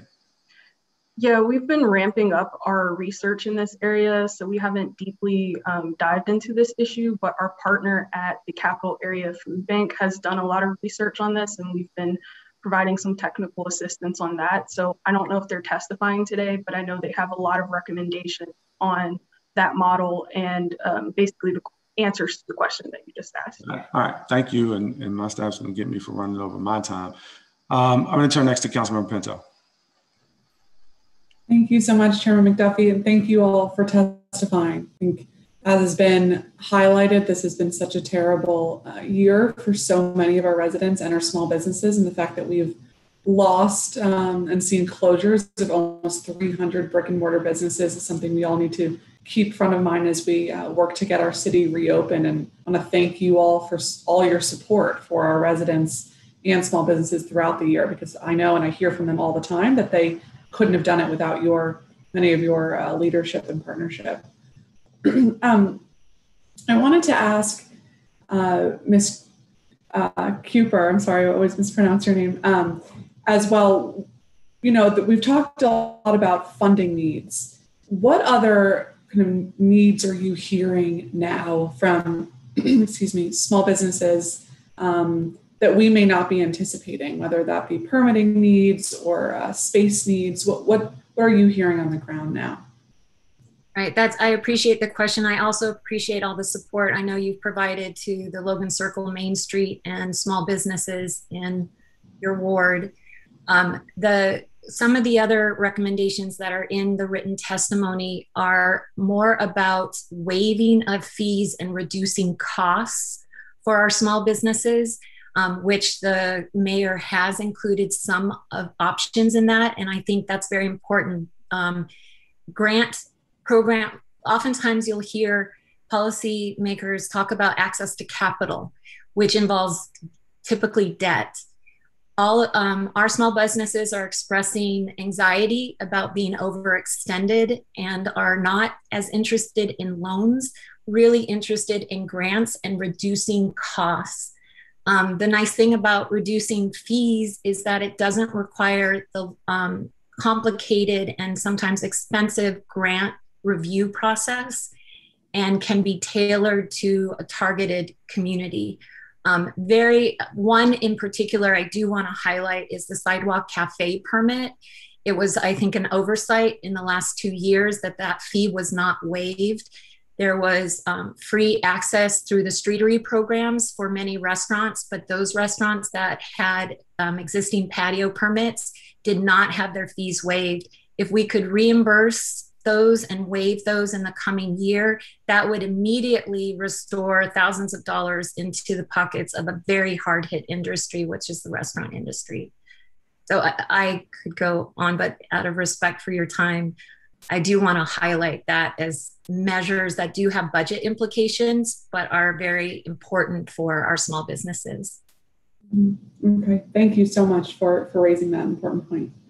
Um, Ms. Crawford, I wanted to ask you around your process by which uh, your data is collected. And I know that this is the DMPED panel, and I um, wasn't able to ask you questions for the Events DC panel, but you know, in the context of the um, healthy foods program that you mentioned, but also the 200 million that you mentioned on the last panel, how do you all collect the data for what the need is? Um, and how are you kind of reaching residents who may not be uh, responding to those types of questions through technology or, or other more traditional means?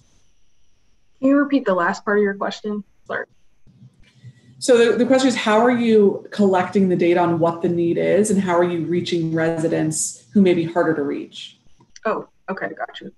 So as far as the data on needs, we do have a brief coming out soon, um, just showing that the actual need for excluded workers is more than 200 million when compared to um, workers who already receive assistance from the federal government from both formal unemployment insurance program as well as the federal stimulus payments. And they're, we're a part of a network of a bunch of state groups. Um, and there are other fiscal institutes that have put out models um, determining the need. um, and looking at the number of excluded workers, of course. And this includes not only undocumented residents, but returning citizens, um, day laborers, um, people who, uh, you know, have just not had access to the formal um, unemployment insurance program. And then just uh, compiling all that data over a year's worth of the pandemic. We looked at the last 12 months, not 14 months um, where we're currently at right now.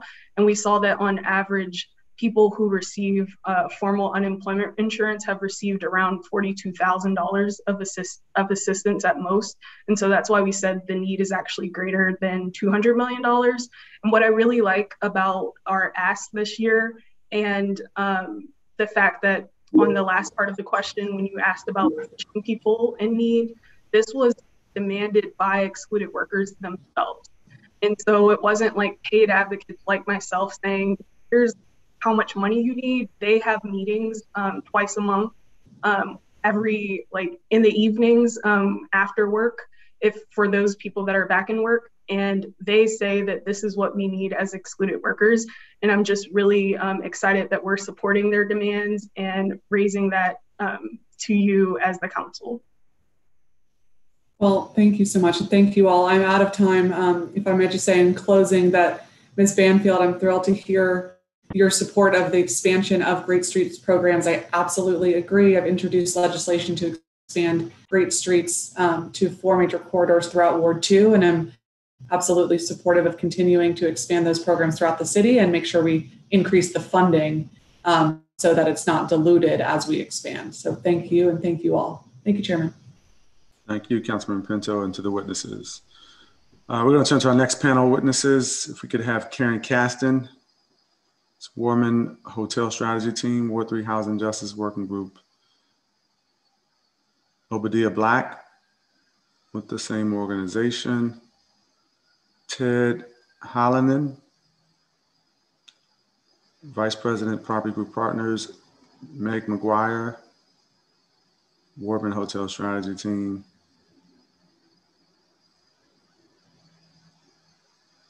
And I'd like to add Nick Deladon to that panel as well if he is available.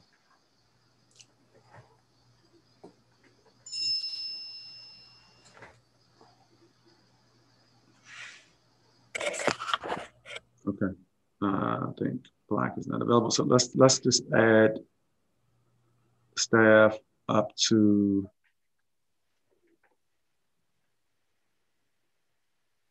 James Shabazz. We could have up to that 12th witness.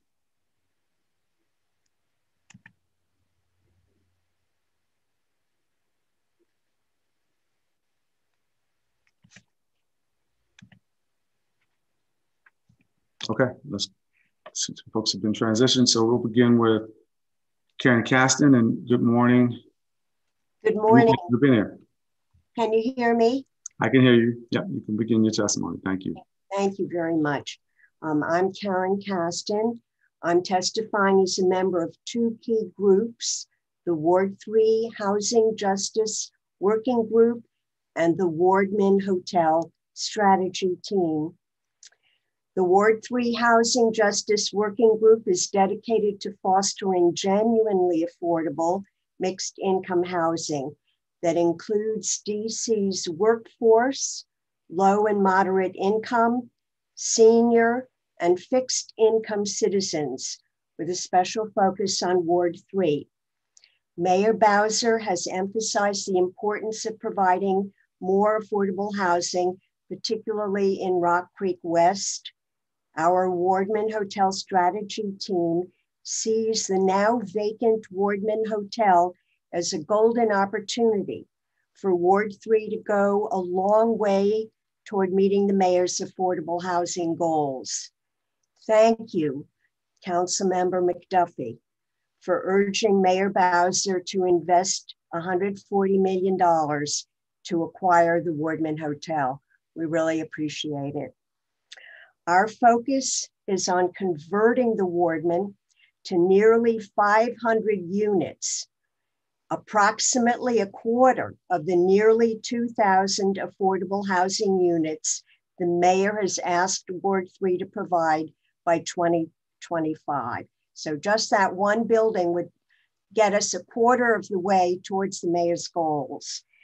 There's no way that goal can be met without bold housing initiatives that are unlike IZ, IZ Plus, and small percentages of affordable housing set asides. We asked Deputy Mayor Falcicchio to please help with this conversion of the Wardman Hotel to affordable housing by orchestrating all the needed sources of funding. Moving in this direction with the Wardman would enhance the value of the Woodley Park neighborhood, which would become a model citywide for far-sighted economic and community development. Some have talked about converting the Wardman into housing for residents with a range of incomes, zero to 80% of median family income. Another housing model to consider for the Wardman conversion is social housing. Social housing is an affordable housing model that's been hugely successful for decades in European cities, including cities with large multi ethnic populations.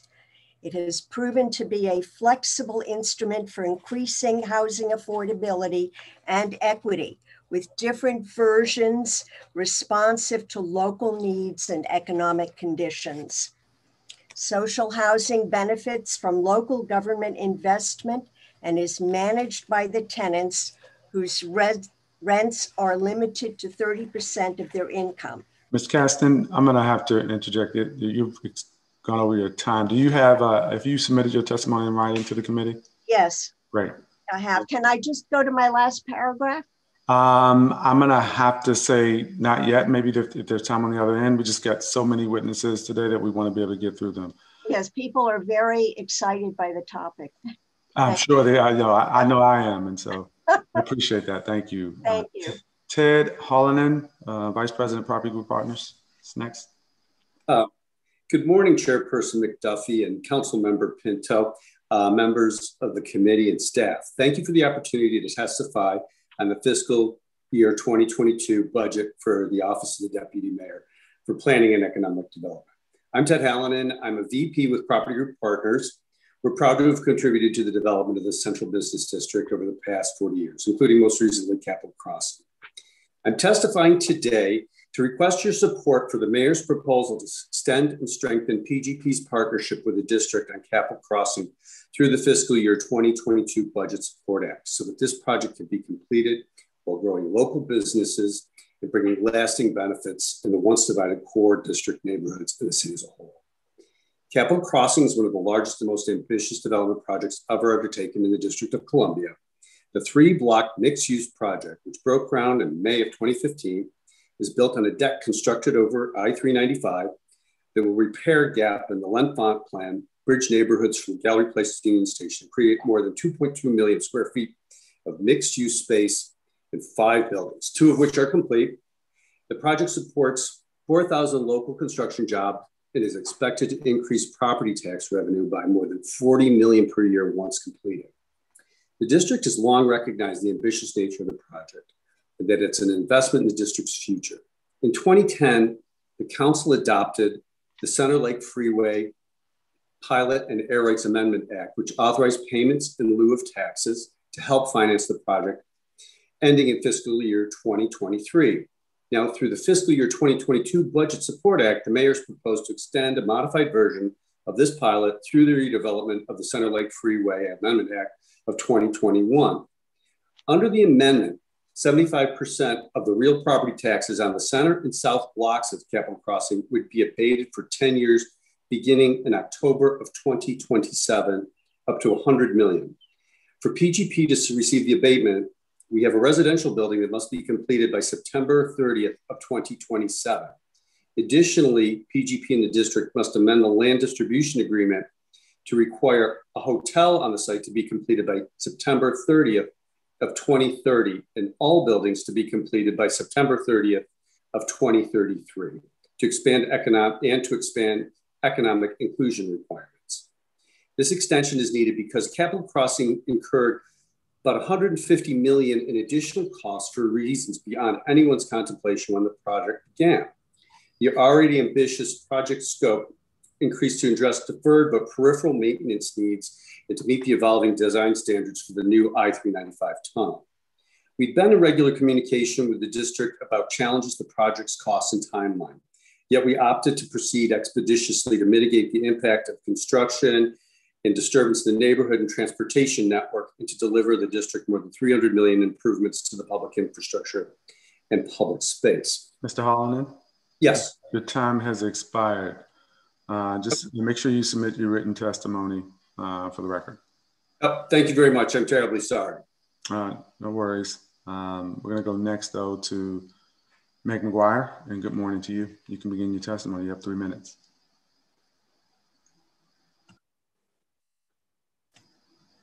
You are. Uh, Council members McDuffie and Pinto. I am Meg McGuire, a resident of Ward 3, testifying on behalf of the Wardman Hotel Strategy Team. Thank you, Councilmember McDuffie, for asking the mayor early in this process to purchase the hotel. You really get it. I'm just going to cut to the chase here. Our architectural advisors have produced concept studies showing the potential to transform this huge eyesore into a handsome, highly sustainable building with housing, a green roof, and revenue production. The large ballrooms, meeting rooms, and kitchens can be transformed into classrooms that serve the overcrowded nearby schools, offices for social services, culinary training facilities, a small business incubator, reduced rate spaces for nonprofit conferences and meetings, and active recreation courses, courts. This is a huge opportunity. It's not to be missed, and we cannot dismiss it based on simplistic and unexamined assumptions that it is too expensive. That would be a grave mistake. So let's run the numbers. We are asking you to work with Deputy Mayor Falcicchio in a rapid response, time limited marathon to estimate both costs and revenues under at least two different scenarios one is social housing, and, and the other is mixed opportunity housing for residents earning 0 to 80% MFI. The city will provide five experts, your best construction cost estimator, to make educated estimates about acquisition, repurposing of existing wings, and construction of two additional wings to nearly double the number of units. Expert number two, a real estate lawyer, to develop a unique ownership structure by dividing the building into tax lots serving different housing and business owners. Uh, some of these tax lots might be owned by a land trust or limited equity co op or the city, others by a business incubator or, uh, or, or even a long term lease to the public schools. Expert number three, a property management consultant to estimate expenses of a well run building. Expert number four, a business consultant to estimate revenues from businesses and rents. And expert number five, a financing expert to recommend funding options, including grants and bonds, city and federal subsidies. Surely, if DC can find a way to finance a ballpark, a soccer stadium, the wharf, and many more projects, we can find a way to fund acquisition of the wharf our team is contacting schedulers in your offices to set up a half hour Zoom presentation and discussion of the visual concept study. Or if you can make it in this busy season, we'd love to have you actually visit and uh, have a, a meeting on site. Time is of the essence. Let's get to work. Thank you. Thank you for your testimony. Just really quickly, have you heard, uh, have you reached out to the deputy mayor's office? And if so, have you heard back? Have you communicated your ideas to the deputy mayor's office? Yes, we have reached out and we are um, hoping to have a, a, a meeting with them. Um, we think that your continued support could elevate the opportunity here. And I think that's very, very important. This has been dismissed too quickly. Let's let's figure out what we can really do with this building and make it a national and international model. Right. No, I appreciate that. It's very intriguing. Uh, I, I think it's uh, innovative and it has not been dismissed by, by, um, by certain members of the council for sure. Uh, so thank you for that. Thank you. Next is Nick Deladon. Good morning.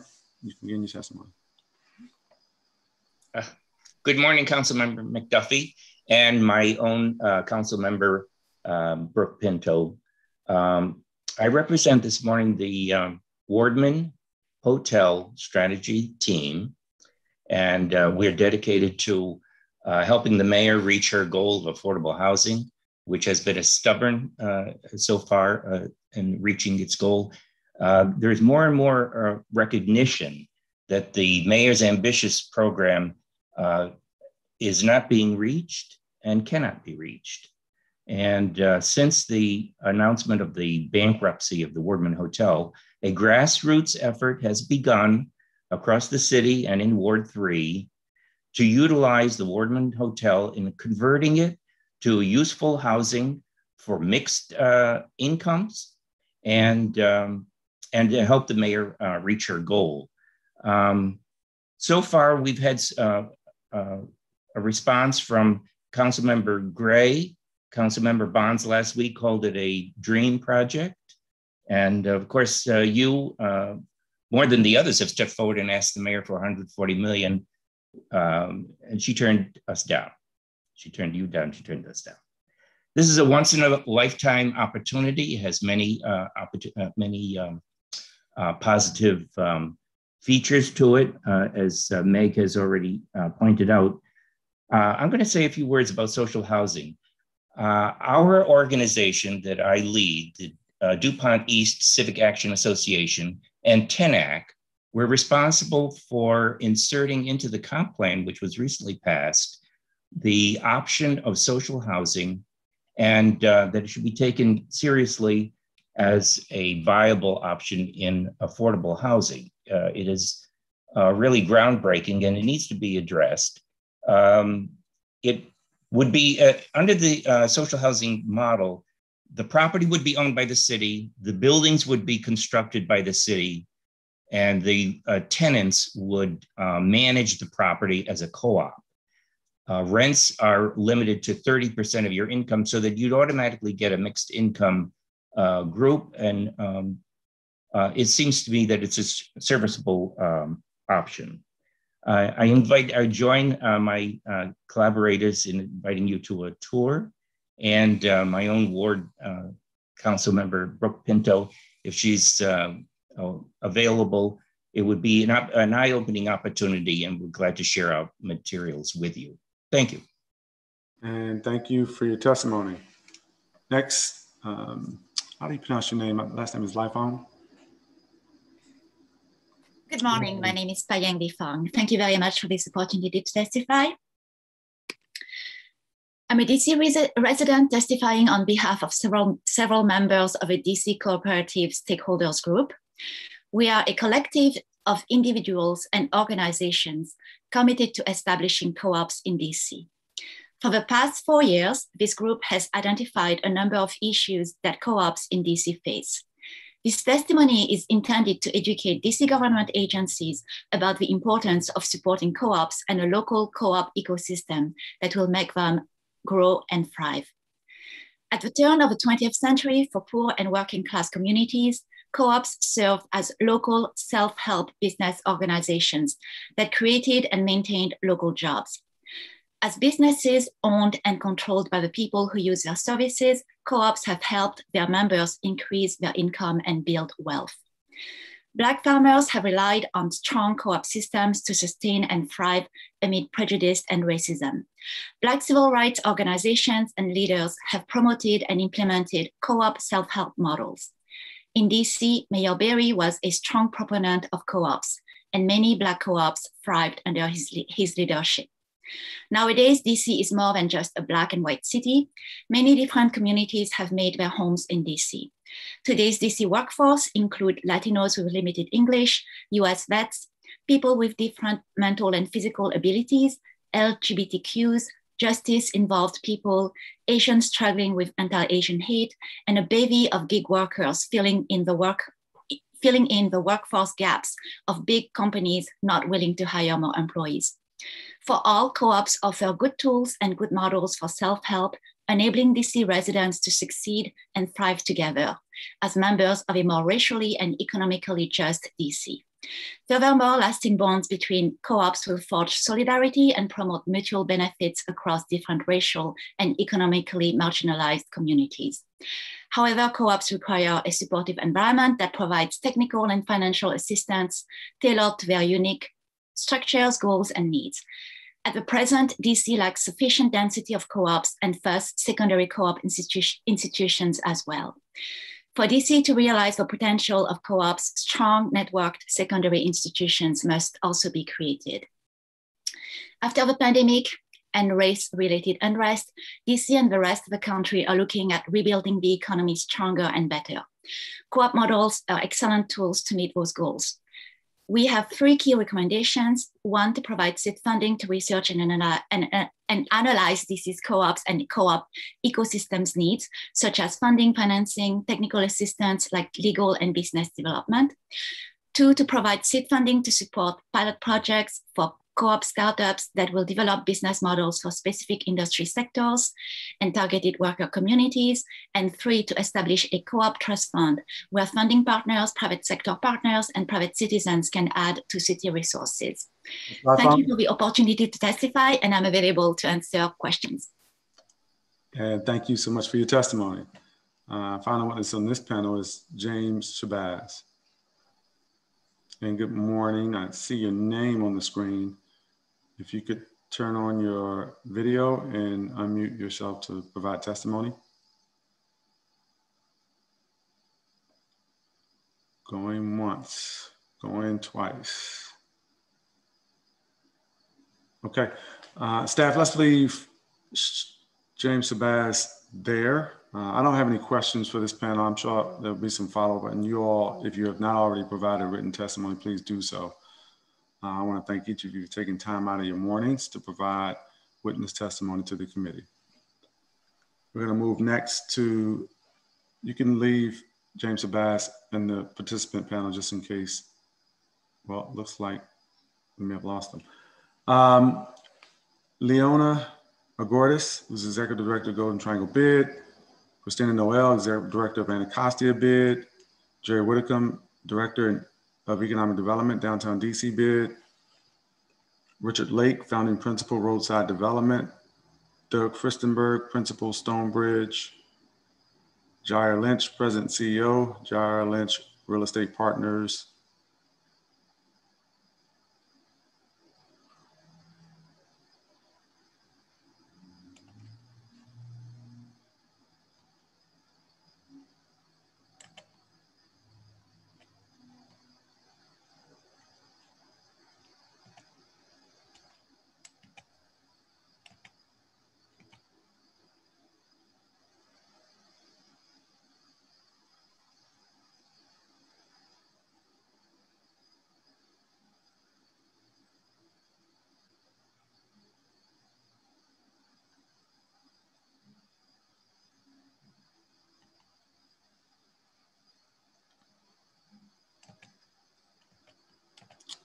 Okay, I think we've got some folks who, who've transitioned in. We're going to go ahead and begin with Leona Agouridis.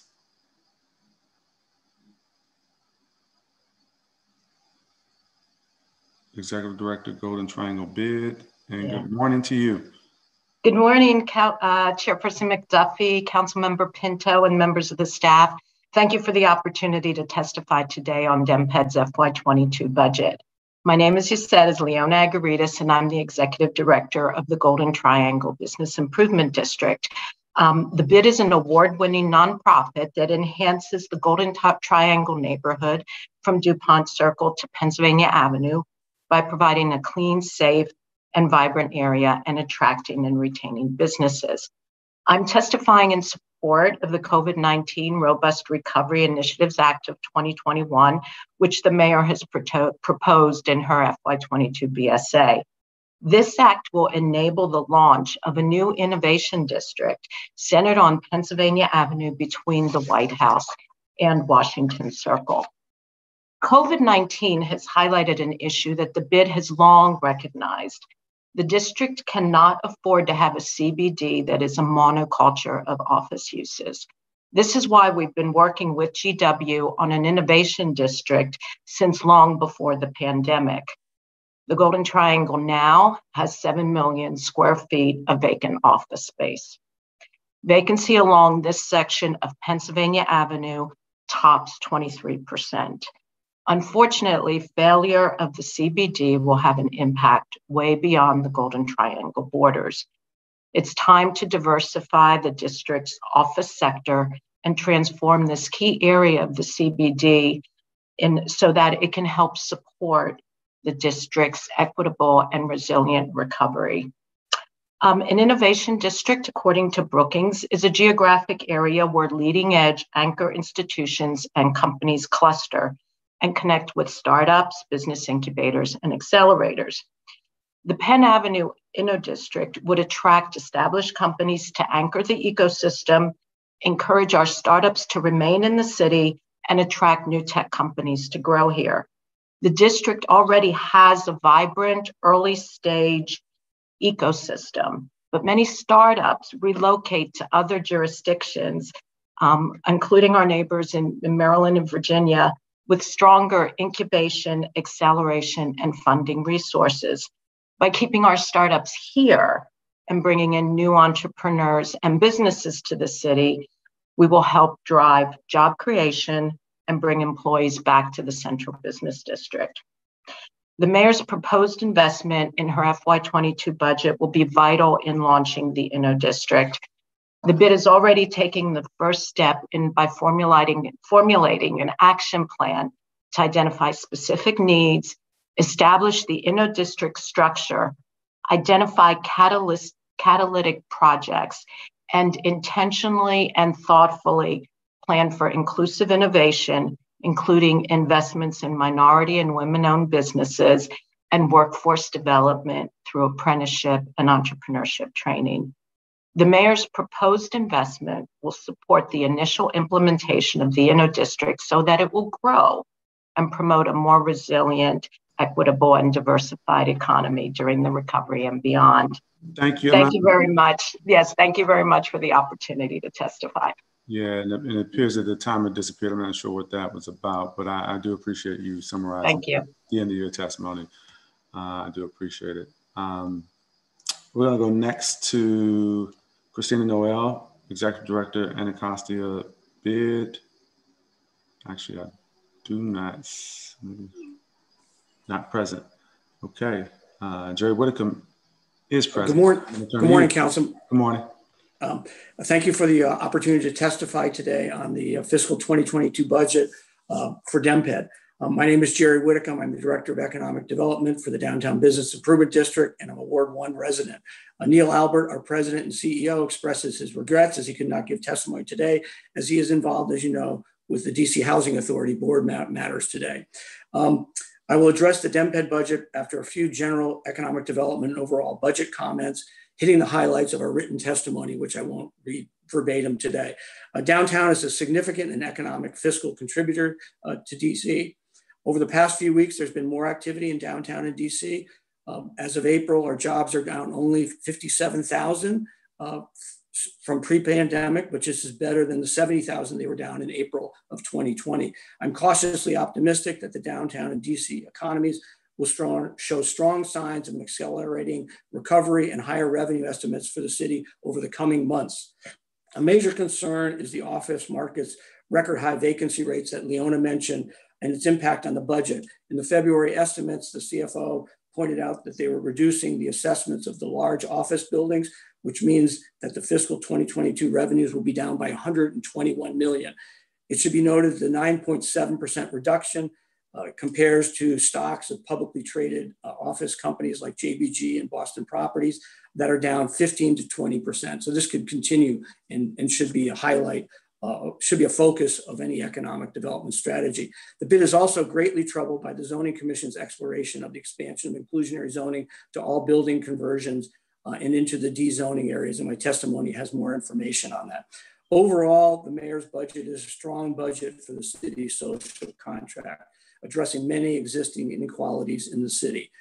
Um, in addition to the DMPED budget, there are significant economic development investments being made in other sections of the mayor's proposed budget. I'll highlight the K Street Transitway and the 67 million to purchase some buildings for permanent supportive housing and other affordable housing needs. Um, now on to DMPED. During the pandemic, DMPED has risen to the occasion. Our testimony lists many things that show their strong performance during that period. I would say strong community engagement has been a highlight of that, whether it's disposition of buildings or property, uh, but also engaging on programs such as their grant program. Now to their 2022 budget, there's a dramatic increase in funding, which is mainly due to one-time investments. And I think our testimony includes a list of those. And um, importantly, the FTEs only increased by one from 90 to 91. So we think that's a reasonable um, FTE request. And the bid supports the mayor's current budget proposal for DMPED. However, the downtown DC bid feels that downtown deserves additional investments in three areas to encourage a return to the office by office workers, to reduce the record high levels of vacancy in the downtown, and to support the hotel industry. Our testimony includes more information on that. But when dealing with the office vacancy rate, there's two ways to deal with it reduce supply and increase demand. And I think we should deal with both of those. Uh, reducing supply would be supporting the conversion of office projects uh, to residential or other uses. And the hotel industry, as you pointed out in your May 2021 letter to Mayor Bowser, uh, needs some uh, additional support. Their revenues continue at about 20% of pre-pandemic levels. Mr. We look forward to working with you, um, the mayor, Ward 2 Councilmember Brooke Pinto, and finding additional funding uh, for these important initiatives and other needs such as the Wardman Park uh, uh, proposals that you've heard about. Uh, thank, thank you very much for the. And thank you for your testimony this morning. Uh, Christina Noel is with us, and so we're going to turn to you next. Good morning. Good morning, Chairman McDuffie. Thank you so much for your patience and council members and staff. Um, I'm Christina Noel. I'm the Executive Director of the Anacostia Business Improvement District. I'm honored to have this opportunity to testify regarding the fiscal year 2022 budget. As we all know, last year was unprecedented in so many ways. Moreover, the coronavirus pandemic and the civic engagement surrounding inequalities and injustice have drawn acute attention to the economic disparities that disproportionately affect primarily communities east of the river. Our businesses and residents in the Anacostia Business Improvement District in Ward 8 have lost significant revenues due to COVID 19, along with the highest unemployment rate before the shutdown. Our communities have been and continue to be the most negatively impacted, whether we are considering the pandemic medical impacts, the pandemic shutdown, economic impacts, or the continued impact of inequalities and, and, and inequities. It is amid the challenge, uh, this challenging landscape that the Anacostia bid has continued to prove itself to be bold by recognizing, defining, and responding to needs of our communities. We continue to work with what we have. However, as the council considers the district fiscal year 22 budget, it is imperative to acknowledge that the east of the river was not strong prior to COVID, and the meaning of recovery is different for us. Returning to a normal state would be more of the same prior to COVID. We require additional investment to become strong. This is a powerful opportunity for the district to facilitate impactful change. We call upon the district at this time to demonstrate its commitment to our communities by committing more investment dollars east of the river, east of the river for fiscal year 2022. The Anacostia bid and and its executive committee implore the council to truly stand with us by providing increased funding in fiscal year 22 to create real opportunity to sustainability and to maintain and enhance the rich fabric of Anacostia and Ward 8. We stand with our East of the River businesses, owners, communities, and our neighbors in, the, in this call to action. We must be intentional Uh, we please know that we're encouraged by the fiscal year 22 budget. To name a few line items, the creation of new technical assistance hub that is urgently needed. And when that is built out, please keep our East of the River businesses in mind. Um, it's it's uh, imperative. The increase in funding for great streets, we're very interested in and applaud. Uh, Bridge Fund for arts rep venues to support their successful reopening is key. The development of action, an action plan to overhaul the licensing, license and permitting system, uh, very important to our businesses to help keep them running and to keep them sustainable.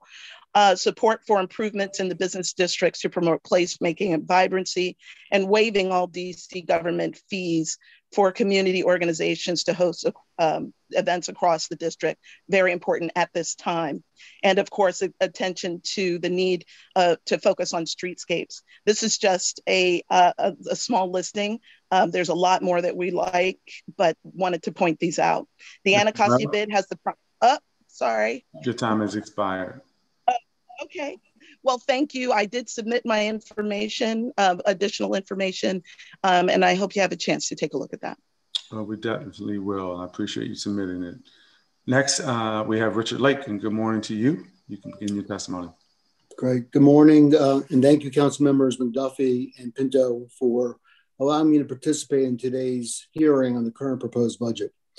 Uh, I have spent the past 25 years of my career working to grow our local economy working to attract national, regional, and local retailers to my native city, recognizing that these businesses not only generated needed revenue for the city's coffers, but provided jobs and future careers to her citizens, elevating the quality of life for the district, attracting billions of dollars of investments to improve our neighborhoods and our offerings. Economic development is quality of life development. At this time, the city is clearing away the rubble from its path as it stands up after the greatest public health challenge in over 100 years. The statistics tell the story that an, an inequitable society leads to inequity in all things, especially in life and death. COVID turned a bright light of the effects of the risk and consequences to inequity, a vastly disproportionate outcome for people of color, not only in Washington, D.C., but throughout our nation. This budget is critical in taking the correct steps to improve the lives of all citizens in the district, to put the city on the correct path, because what we do now in the next six months will determine our economic future and the quality of life we provide for a generation. We lost 47% of our small and local businesses. We have seen the impact of the loss of 38,000 jobs in the hospitality and food industry alone. It will take an enormous effort to restore this treasured engine of our economy to recreate the momentum that was created with 20 years of hard work to train a new generation of entrepreneurs to raise billions of private capital to just reopen to our previous level at 2019 will take all of our efforts. Commercial vacancy rates were rising prior to COVID and now are only exacerbated by this crisis. With only 12 to 15% daily occupancy, the ecosystem of downtown has been gutted. With nearly 20% of the office space vacant, downtown will continue to struggle. We need to rethink our approach on attraction and retention of our employees, employers. Rethink our use of activation of our open space, look at zoning regulations that make it difficult to adapt to a rapidly changing marketplace, infrastructure investment that makes access to downtown easier. Without a vibrant downtown, the city will lose tremendous percentage of its annual budget and a vital tool in attracting bond financing for its ever growing capital needs. Residential development is poised to stall. The cranes you see today are the product of projects that began the process years ago. The inventory of new units will slow, putting more pressure on market rents. The city must help the residential sector by first doing no harm. No more regulations that challenge the economics of housing production this ecosystem is fragile, especially on the heels of a health emergency and the draconian approach and restrictions that negatively impacts market rate housing. Without the work of so many in improving the economic footprint of the city, we would not be discussing a budget of this magnitude.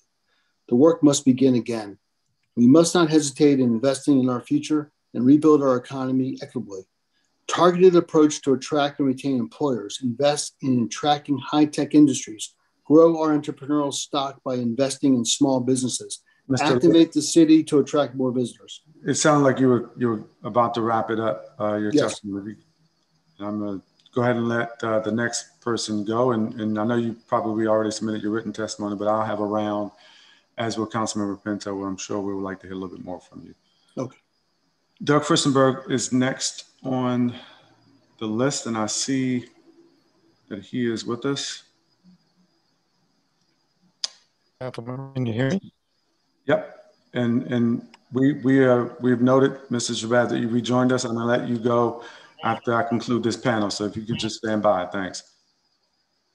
Doug Firstenberg, good morning. Good morning, Councilmember Duffy and Councilmember Pinto. Thank you for your time and appreciate the opportunity to testify. Uh, your opening comments, uh, Councilmember Duffy, made me think back to uh, my experience with this pandemic, which was really honed when my wife uh, installed the flags in front of RFK uh, this fall when, and she planted up to up to 267,000 flags when she ran out of room. And while I'm here to uh, support uh, DMPED's budget request, I didn't want to mention how wonderful Events DC was and, in helping Suzanne uh, make that installation happen so we can honor the uh, victims of uh, this terrible tragedy. Um, but we're, we're trying to move forward. And I think we're, uh, you know, at a great place here. Uh, the district is poised uh, to uh, address recovery, equity, fairness, and hopefully achieve long-term success and build a great foundation for the future. Um, it's very important as we look at the pillars of the plan and realize how important they are. As Richard just talked about, we got to be very smart about housing. Um, a big push in affordable housing is a moment in time and a generational opportunity, and great to see that happen. Uh, in particular, though, we want to point out that the HANTA program approved last year, we're hoping we can get that program indexed so we can create more um, middle income housing to go with affordable housing. Uh, and that's something we would like to talk about specifically this year's budget support. Um, also, as we talked about, hardest hit small business, hospitality. Um, really have great tools at Destination DC, Events DC, and bids to leverage up our investments and to get push the uh, recoveries of change and helpfulness there. Um, I do think the equity food access is a long talked about issue. It's one I've struggled with. How do we get more of that, in particular, grocery stores east of the river? It's a big challenge. It's going to take a lot of money and smart programs. So I think revisiting that is a key element. And, and last, uh, uh, not least, is you know downtown the vibrancy uh, and the growth and getting people back downtown is going to be critical. But also, we need to grow jobs, and I think the conversation about jobs uh, being part of this future is great. Um, was thrilled not to see any new regulations, taxes in this budget. I think that's extremely important. Um, and the competitiveness is something we have to constantly keep an eye on. So I think having that added to the discussion here as we recover and we look forward is critical. And uh, uh, Councilmember Pinto, you don't know this as much about me, but Councilmember McDuffie does. I would be loath not to bring up my favorite uh, UDC institution and hope as part of the recovery efforts, we look at great strategic programs that we may be able to do. Council member like the AWS uh, partnership and to create something that really does allow DC to further its mission to help the pathways to the middle class, because that's the fundamental long-term opportunity we have here. I look forward to working with you to do that. And I will finish because I'm seven seconds over time. And thank you uh, for summarizing. I'm going to turn next to Jair Lynch. And good morning. You can begin your session. Good morning, uh, Councilmember McDuffie and Councilmember Pinto. It's good to see you. Um, uh, I'd like to um, summarize my written testimony to make sure I'm within the three minutes. Uh, but first of all, my name is Jair Lynch. I'm president, CEO of Jair Lynch Real Estate Partners. We are, are a DC-based, locally owned real estate investment and development company with more than two decades of experience creating extraordinary places, including neighborhood assets uh, such as the Martin Luther King Library, schools, primary care facilities, as well as office, retail, and housing across the income spectrum around the city.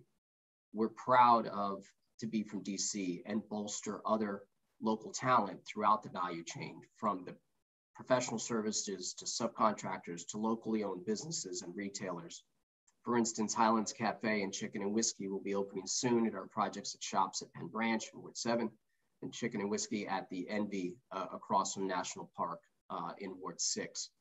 I'm joining you today to thank you uh, and all the elected officials and the administration for their incredible and invaluable work through this pandemic and express my opinion for the need for laser focus on the entire ecosystem that will set the course for an equitable and competitive, competitive city going forward. Quickly to summarize background, um, our population growth is waning. In the early 2000s, we had over a thousand people moving a month uh, to the district, topping 15,000 people per year in 2013. But now with the emergence of walkable urban places in Maryland and especially in Virginia, our population has been less than 5,000 per year in both 2019 and 2020. In addition, our production of new housing has been subpar.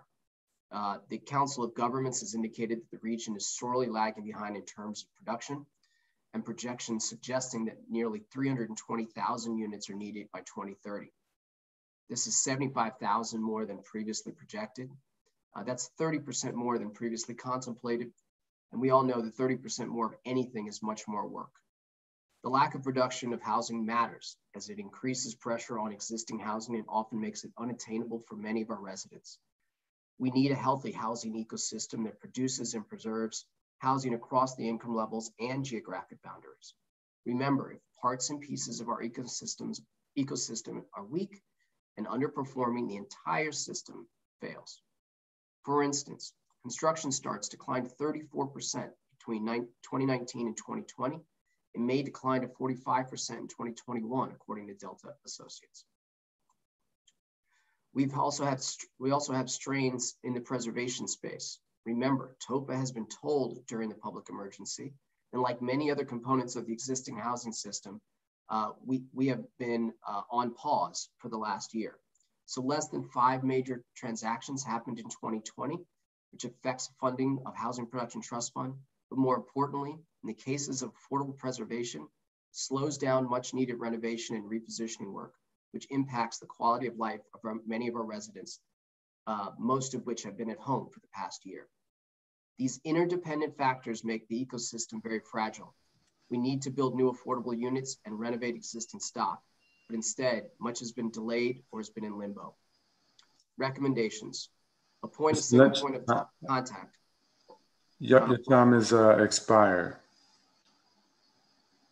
So I'm happy I, to answer questions and get through the recommendations uh, via the panel. Yeah, I'll use uh, some of my time to, to hear a little bit more about your recommendations uh, on the round that we do after this. But I have one witness who, um, uh, for te technological reasons, uh, was dropped earlier and, and he's rejoined us.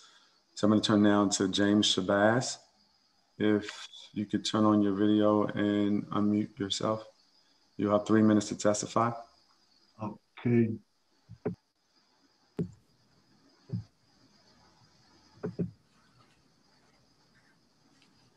Okay. Start now? Yes, you can begin. Thanks. Okay. Uh, I am James Shabazz, spokesman for OVEC, Organized Vendors for Economic Cooperation, and team member of the Wardman Hotel uh, Development Committee. We want to talk briefly about the vision of the Wardman Project and why we have petitioned the DC government to provide tax dollars to purchase the property and help fund uh, our projects. Our vision is to help create racial equity for Black DC by using the Wardman property as a vehicle for cooperative ownership of homes and businesses at the site. Racial equity is derived through home ownership and entrepreneurship and by transferring wealth to the next generation. This cooperative model would not only create homes and businesses opportunities uh, for homeless and formerly homeless persons, but those who earn under $40,000 per year.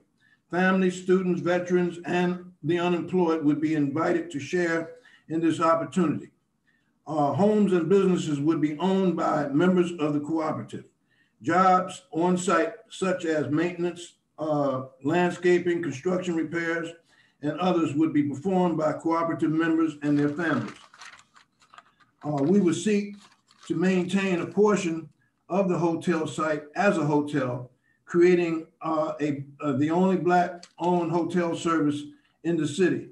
establishing jobs and contracting opportunities for those who seek racial equity by doing for self. We would also establish a cooperatively owned credit union, allowing us to harness and collectively leverage the credit union assets. This vision is rooted in the economic self-sufficiency models of the Booker T. Washington post-slavery uh, Tuskegee projects 100 years ago and the contemporary development model of the United House of Prayer for All People right here in Washington, D.C. Thank you. And thank you for your patience and, and sticking around. I'm glad we were able to get you back on to, to hear your testimony. Yes, sir. Staff are going to do uh, a couple of uh, around for, for Councilman Pinto and myself. I'm going to use the, uh, and I want to thank each of you for your testimony here this morning. I'm going to use uh, about a minute, minute and a half. Mr. Lynch, if you want to uh, speak to your recommendations.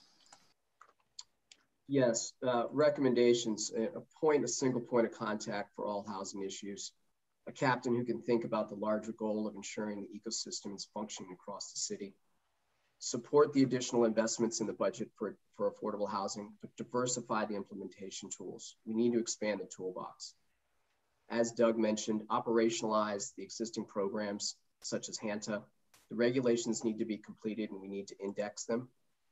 Continue the investment in key infrastructure projects that ignite future development. This is essential to meet the mayor's ambitious goal of 36,000 units. And then finally, support the mayor's expansion of the local rent support, uh, rental su supplemental program. This is an important step to adding the number of tools to tackle affordable housing.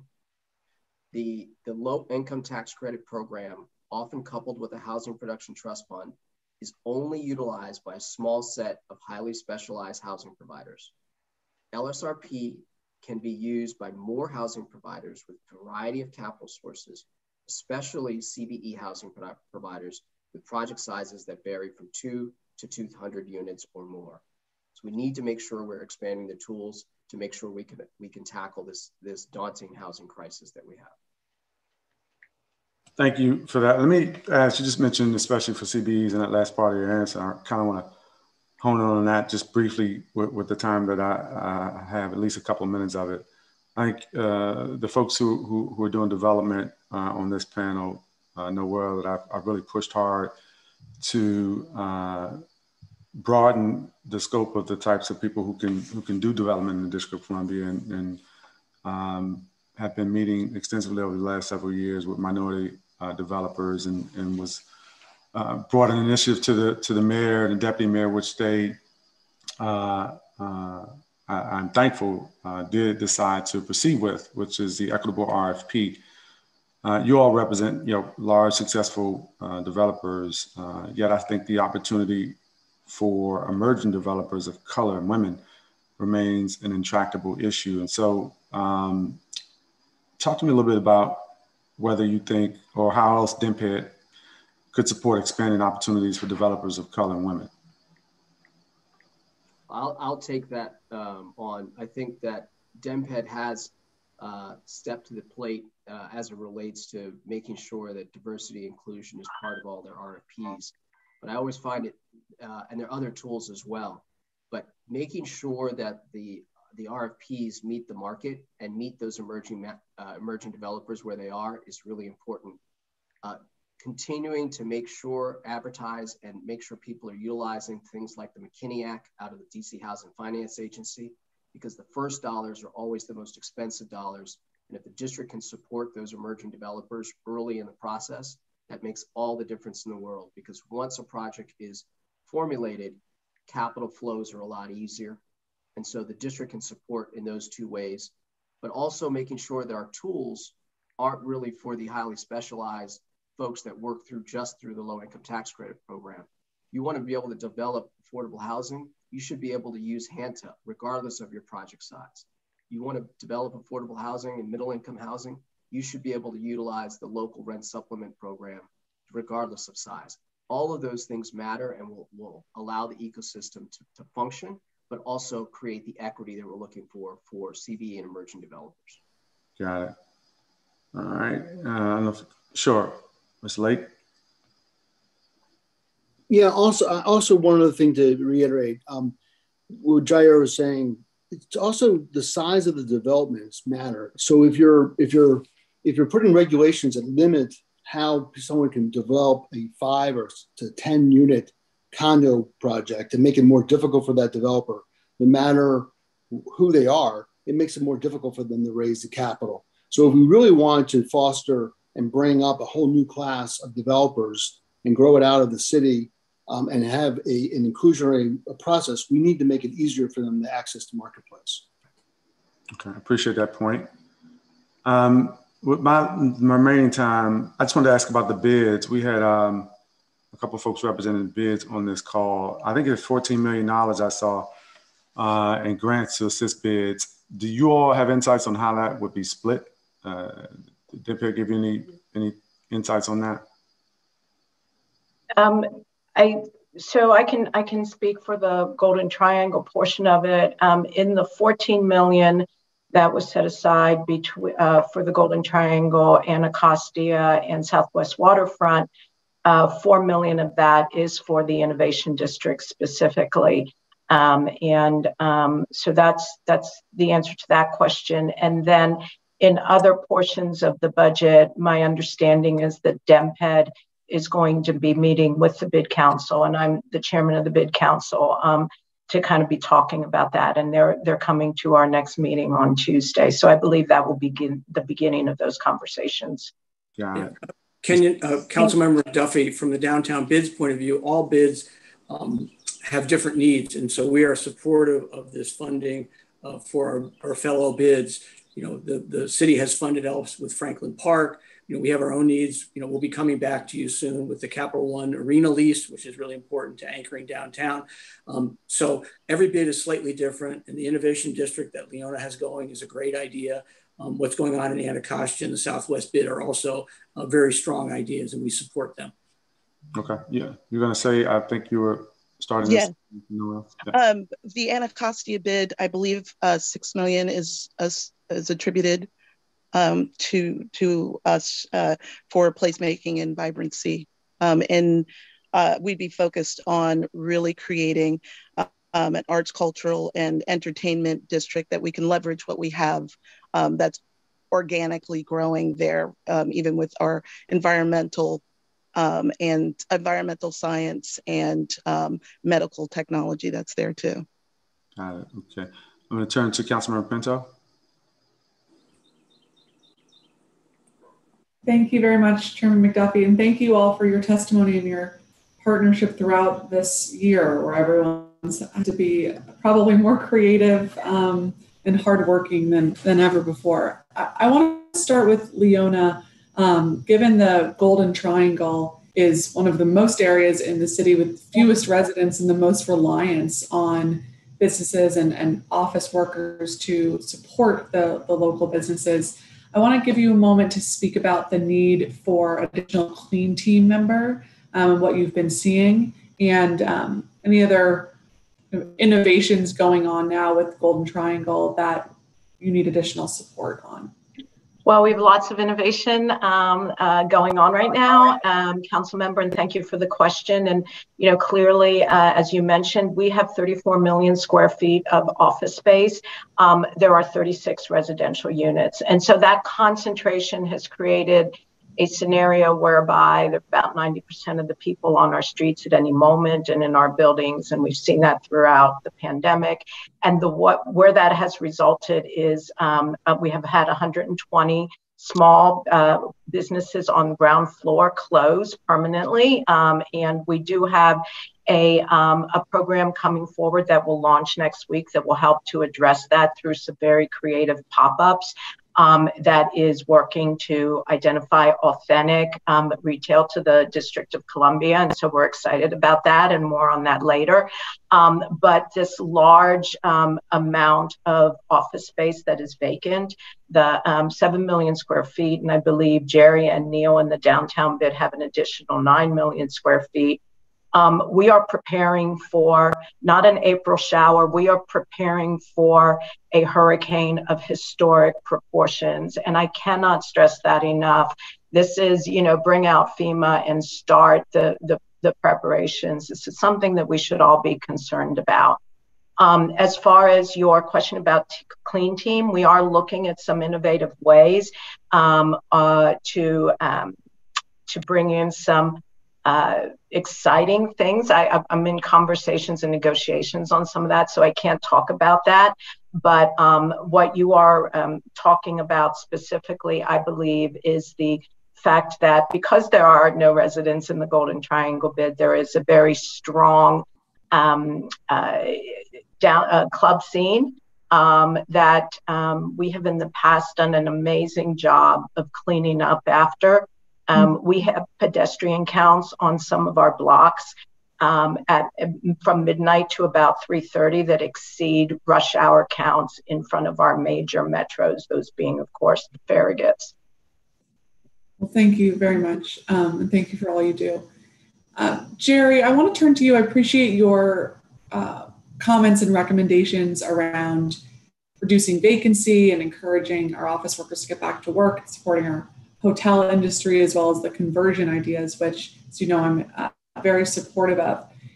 In terms of supports for our hotel industry, there's been some proposals suggested of additional specific grants per room key. You know, we still see some of our properties experiencing only 10 to 20% occupancy rates. And as we think long term to encouraging uh, destination DC and tourism and travelers back, which is wonderful, we, we still need to address the immediate needs um, of some of our hotels that are, are really struggling right now. Um, is that a proposal that you all support? What, what have you been hearing from our um, hotel partners that, that they need, particularly downtown? Well, um, thank you. Thank you for the question. The, the hotels are, are struggling, and we, and we look at our hotels specifically, but across the district, you know, the revenues are 15 to 20% of pre-pandemic.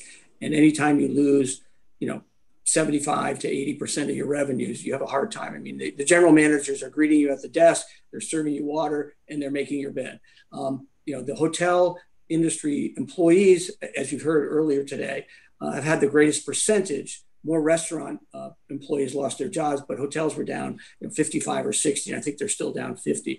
Um, and then they have their mortgage payments, um, you know, there there are other fees to go, and so there's there needs to be a dialogue with them. You know, the deputy mayor did a very good job with the bridge fund, and they initially uh, uh, proposed 30 million for the hotels in a per key amount. Some of the international hotels decided not to participate, and so this needs probably to be focused more on the locally owned. When you see a hotel that says Hilton, it's actually not owned by Hilton. It's owned by someone else who then has a management agreement under the flag. And so I think there needs to be a conversation. You know, Thomas Penny from Donohoe, uh, Jeff Griffiths, they've been leading the charge on this. And I think it's getting together with them and creating a second bridge fund of an appropriate amount uh, to understand where they are today and then to say, how can we help you get to a, a point in the future? If the hotel demand came back tomorrow, that's a different number than if it comes back in December. Um, and so we are supportive. We'd be happy to help with the exact number, but I think it has to have a conversation uh, with them and probably involving, you know, Greg and Elliot uh, from Events DC and Destination DC to get the best minds working on this. Mm-hmm. Well, thanks so much, Gerry. And that's certainly something that I would like to work with you and, and Chairman McDuffie on in the coming months. Um, I'm sorry I'm out of time. I, I had other questions for uh, Jair and, and, and, Richard and Doug. Um, but thank you for, for everything, and we'll continue to work together on some of what was highlighted around the the need to not interject too much in the natural marketplace, particularly for our smaller operators. Um, and Jair will follow up with you to learn more about how the uh, pilot programs for the workforce housing have have worked in the last year. So thank you all. Thanks Thank you. Thank you all for your testimony. Next, we're going to hear from Kevin Clinton with the Federal City Council, Katie Wycheck with Hines, Peter Cole, Madison Marquette, Jason Cross with Red Brick,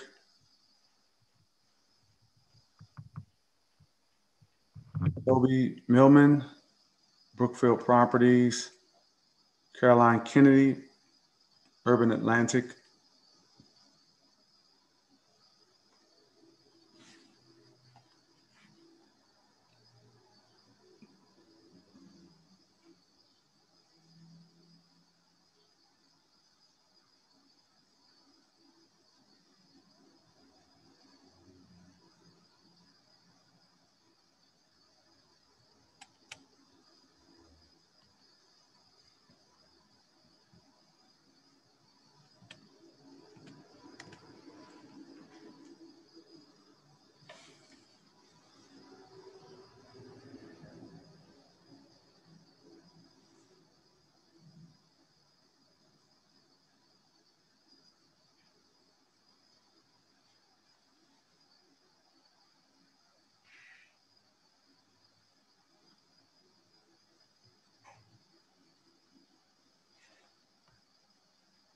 I see that Kevin Clinton has joined us. Uh, we're going to begin with you and good morning. You can begin your testimony. Thanks. Uh, thank you, Council Member. Uh, good morning. My name is Kevin Clinton. I'm here on behalf of the Federal City Council. It's a pleasure to testify today on DMPED's budget for 2022. Um, before speaking specifically to DMPED, I would like to share that at the Federal City Council, we believe that DC notes both a strong and equitable recovery. None of us will have succeeded if a recovered DC looks the same as the DC that existed before the pandemic. And the mayor's budgetary investments in areas like the digital divide, childcare, K-12 education, career pathways, work-based learning, multimodal transportation, affordable housing, all of these investments will be essential to ensuring an equitable recovery.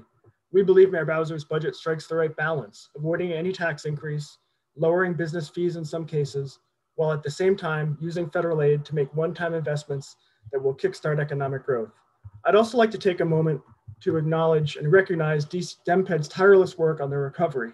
During a difficult year, it has worked closely with employers, particularly those most, most vulnerable to the effects of the pandemic, to understand their needs and to design recovery programs to avoid the worst possible outcomes. And I would say the same for you, council member, and your team. You are receiving this budget at an uncertain time, we don't precisely know how downtown will look next year or the year that follows. We don't know how often federal and other DC workers will telework, and we don't know how all of these trends will impact DC jobs and tax revenue. Now more than ever, we need to be investing in the future growth engines of the economy while we ensure that the proceeds from that growth are more equitably shared. That is why we are pleased to see three new investments in the mayor's proposed budget.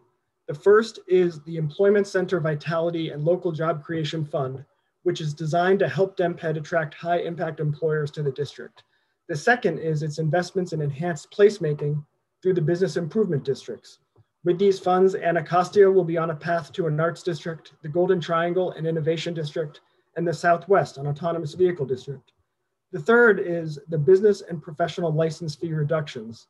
These will lower the barriers to entry for startups and low income residents and lower the cost of business for everyone. The regional and national competition for employers and talents is fierce. DC has a great product to sell with wonderful neighborhoods, a highly educated workforce, an improving education system, and great leadership. But we lack the tools that other jurisdictions have. Virginia provides more incentives for employers to relocate there. DC has higher commercial taxes and more expensive commercial real estate, making it a tougher sell for employers. On top of that, we've all learned how easy it is to telework. We need to give employers more carrots to come back to commercial corridors, to exciting arts, transportation, and innovation districts. We need corridors that will attract attention, buzz, and capital, which will then lead to business activity, tax revenue, and I would emphasize most importantly, it will lead to jobs and wealth building opportunities for DC residents. And finally, we need to give DC's flourishing entrepreneurs a better bridge to transition from startup to sustainable, and lower fees will help.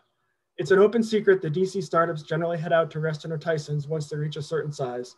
These investments will help DC be more innovative and keep more businesses here, leveling the playing field with our partners in the suburbs. Thank you for the opportunity to testify today. And thank you for your testimony. Next is Katie Wysek.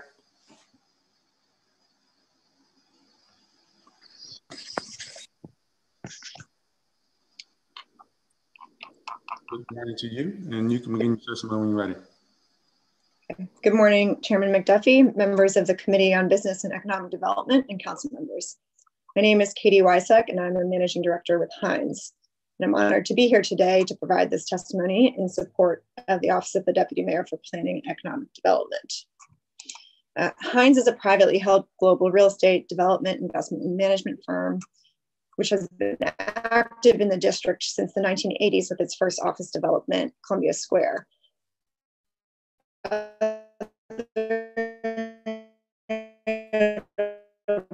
Hines projects include Franklin Square, 1219 Walter Reed. Um, Hines and my current uh, project focus in partnership with DMPED is the Parks at Walter Reed, a premier 66 acre redevelopment of the former historic Walter Reed Army Medical Center campus that will ultimately contain about 3.1 million square feet of living, retail, office, and educational uses. The redevelopment of the campus will integrate the formerly closed campus with the city so that it becomes a cohesive part of the surrounding district fabric and an asset to the neighborhood. At the parks, DMPED played a critical role in engaging the community I'm gonna check with staff. I'm, I am losing Ms. Wysek. I'm not for the sure if you community prior to the procurement process to select agreement that we negotiated with them. Uh-oh. Anyone else? You may want to turn off her video. Yeah, maybe try turning off your video. Uh, we lost you for a bit. I'm having, yeah, bad connection problems today, unfortunately. Let's try that. And is the audio any better? It is. Thanks. Okay. Um, sorry about that. Um, uh, DMPED has played a critical role in um, developing a, a, plan for the site and negotiating the land disposition agreement that we um, have with them that establishes important objectives for the district. Uh, for example, the project will include over 450% and 80% of AMI, a new Whole Foods market, ample recreation space, senior housing, and all the developments will achieve LEED silver minimum.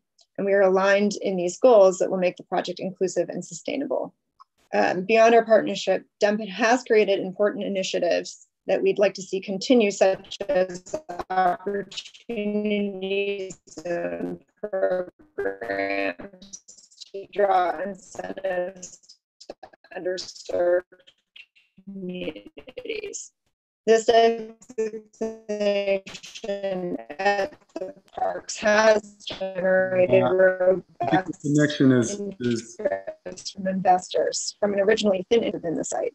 As a member of the business community, okay, I'm so sorry. I, um, do you have, if we need to move on, am I still bad here? Just so long as we have your written testimony, I, yeah, I'm not sure if Councilman Pinto still here has questions, but um, it, we lost you uh, for a bit uh, on your audio. Okay.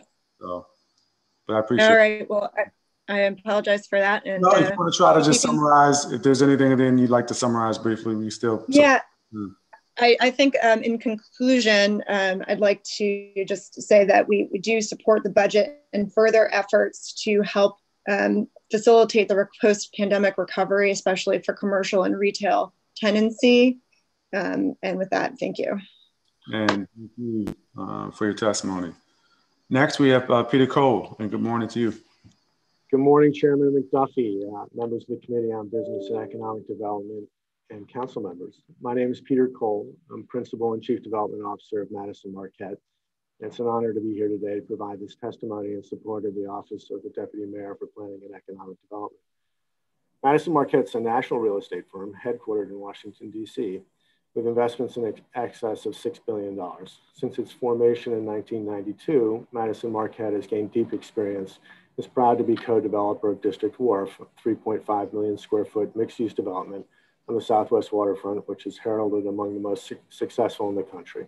From Washington, we run offices in 13 cities coast to coast. Madison Marquette is proud to have partnered with DMPED on the development of many projects, including District Wharf, where the city's partnership was unwavering and critical to the project's success. Our partnership with DMPED now carries forward in the development of the Armed Forces Retirement Home, an extraordinary opportunity to create a community on 80 acres of land in the heart of the city that promises to create a dynamic mixed-use urban oasis intended to stitch the surrounding neighborhoods and the institutions of Petworth, Brooklyn, and Parkview together on the grounds of the home.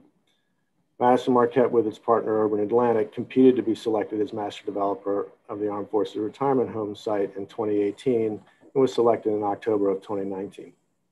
Since then, we've engaged in significant pre-development activity necessarily to develop, deliver approximately 4.5 million square feet of residential, commercial, hospitality, and retail, all while preserving 25% of the site's open space including the rolling meadows of this historic fight, site for the community at large. We're really excited to be working with DMPED and the city on another development that will deliver the city's residents a vital component of the community and city's continued growth. Our experience with the Deputy Mayor's Office has been exceptional. In fact, we often cite the professionalism and effectiveness of this relationship in Washington as an example of best practices in other cities in the country where we operate. As evidenced by all the testimony you're hearing today, DMPED's work is a key factor in Washington's enjoyment of sustainably favorable conditions in which we all live and conduct business. It's evident that DMPED's efforts are instrumental to the city's continued growth and vitality across this diverse population. We've seen the effect of many programs and pursuits which bring economic infusions to the vulnerable pockets of the city, which therefore become less vulnerable. Besides developing thousands of units of affordable housing, DMPED is concentrated on relocating DC government agencies from more stable neighborhoods to neighborhoods that should be thriving. DMPED has also worked with you, Mr. McDuffie, to induce and pass legislation to recruit, recruit employers and economic development to communities of color. These are just a few of the many initiatives which are emblematic of the importance of DMPED's work in support of the communities and businesses which make this city flourish. However, the pandemic has had devastating impact on the district's business community and tenancy, it's critical to bolster the growth, growth as every 1% increase in occupancy represents 5,000 new jobs and 40 million in annual in taxes. Along with the rest of the business community, we viewed the council as our partner and support the same goals of equity, inclusivity, affordable housing, and opportunity, especially now as, as we face the challenges brought on by the pandemic. Mr. Cole, your time has expired. Thank you for the opportunity then to present this testimony. And on behalf of Madison Marquette, we're excited to continue the, our work with you. And thank you for your testimony. Thank you. Jason Cross, next. It's good to see you and good morning. Great to see you, uh, Chairman McDuffie, and good morning to you. Good morning, Councilmember Pinto and members of the Committee on Business and Economic Development uh, and council members. My name is Jason Cross, Vice President, Managing Director with Red Brick LMD. Uh, and as a DMPED alum, it's uh, truly an honor uh, to be able to provide this testimony in support of the Office of the Deputy Mayors for Planning and Economic Development. Uh, Red Brick LMD, we're a diversified real estate investment, management, and development firm headquartered right here in the district. Uh, we specialize in large scale mixed use uh, development that ultimately builds people, places, and community, and doing it in a sustainable way and with a focus on health and wellness, and doubly so just given the last year that we've been in. Uh, since 2014, Red Brick has had the pleasure of partnering with DMPED on uh, the redevelopment of St. Elizabeth's East. Uh, with our partners, we're thrilled to have delivered over 252 units of new apartment homes at St. Elizabeth's, 200 of which were affordable, uh, which contributed 10% of the new uh, affordable housing stock for 2019. We're very proud of that. Also proud to break ground with DMPED and our partners on uh, 88 affordable townhomes for sale market rate townhomes as well as affordable uh, at St. Elizabeth's uh, in March of this year, next month. Uh, we look forward to breaking ground on Whitman Walker's new healthcare facility, bringing jobs, business opportunities, services, and healthy food options uh, to Congress Heights.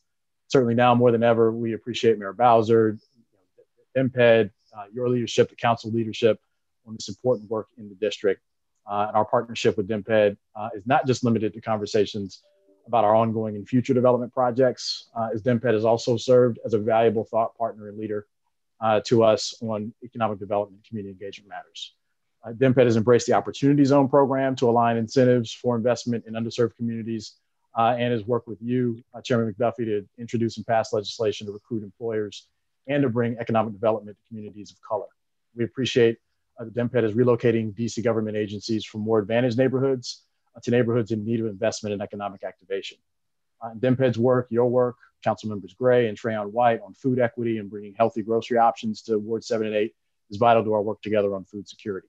Under Deputy Mayor Falcicchio and his head of real estate, Sarosh Olpadwala, uh, they understand the needs of balancing the city's needs as well as the needs of the private sector.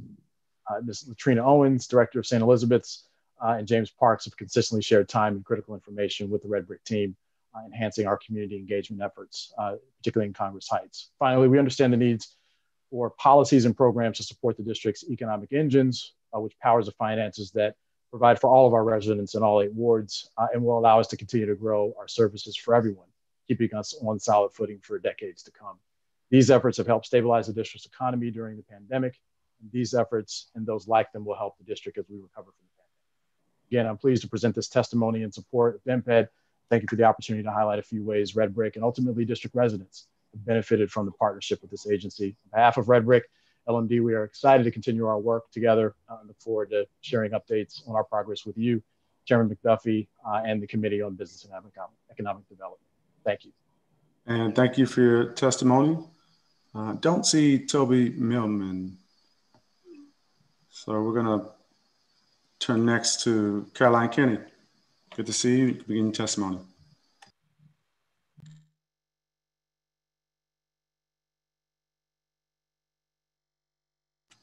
You're muted. How's that? That's better. How's that? All right, great. Uh, good to see you. Um, good afternoon, Chairman McDuffie, members of the Committee on Business and Economic Development, and council members. My name is Caroline Kenny. I'm the Managing Director of Public-Private Ventures for Urban Atlantic, and it's a real honor to be here today to provide this testimony in support of the Office of the Deputy Mayor for Planning and Economic Development. Our company develops and invests in commercial real estate projects that serve as catalysts for vibrant, inclusive neighborhood development. Much of our work is located in the district. We have enjoyed a strong working relationship with many district agencies through public-private partnerships for over two decades. Most recently, we are proud to have partnered with DMPED on the redevelopment of 66 acres of the former Walter Reed Army Medical Center. Located in Ward 4, the Parks at Walter Reed is one of the largest mixed income, mixed use communities in the district. At full build out, it will include over 2,200 new homes, 440 of them affordable, over 500,000 commercial square feet, and over 20 acres of open space. Urban Atlantic, alongside our partners Hines and Trident Development Group, began our parks partnership with the district in 2013 when we were selected as the master developer through a competitive RFP process. Together, DMPED and our joint venture negotiated terms for a project that will deliver tremendous economic development benefits for district residents a process that also included negotiating a fair price to purchase the property from the Army. The park's ground lease was executed in late 2016, and in just over four years, 40% of planned residential units are complete or under construction. 70% of retail is under construction, including Whole Foods Market. Over 100 million in CBE contracting has been completed. More than 20 annual community events are held at the site, and hundreds of community engagement meetings have been held. At full build out, the parks is projected to generate over $35 million in new annual tax revenues to the district. We look forward to continuing to work with DMPED on the parks and projects like it in the future, including our newest opportunity, as Peter mentioned a moment ago, in partnership with Madison Marquette, the development, a redevelopment of 80 acres within the Armed Forces Retirement Home in Ward 5. The Deputy, Mayor, the Deputy Mayor's office has been a very strong partner to us. They hold us accountable to our commitments and work collaboratively with us to achieve them. They've also led the charge to develop an economy that serves all city residents, something for which I'm particularly grateful as a district resident myself. A few of their initiatives that I would like to highlight include one of the country's most aggressive commitments and the programs to back it up to develop tens of thousands of affordable housing units. Strategic relocations of DC government agencies to neighborhoods where their economic development impact is significant, leveraging the Opportunity Zone program to attract investment to underserved communities, partnering with you, Mr. McDuffie, to introduce and pass legislation to recruit employers and bring economic development to communities of color, and working on a national platform and international in some cases to attract small and large businesses to the district to continue contributing to our economic engine. I respectfully encourage the committee to support the mayor's proposed fiscal year 2022 budget our city has enjoyed great prosperity over the past decade, and this administration and council have worked hard to responsibly and equitably spread the wealth. Now, a moment when we are hopefully coming out of the pandemic is not the time to put the brakes on the business community, one of our city's most foundational economic engines. Ms. In Kenny, FY28, are we done? Thank Yes, you so much for the opportunity.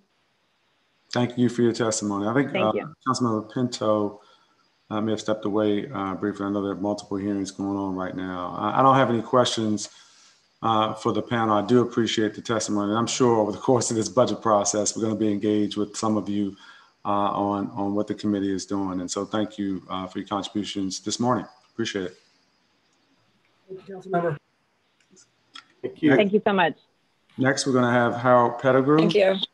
Thank you.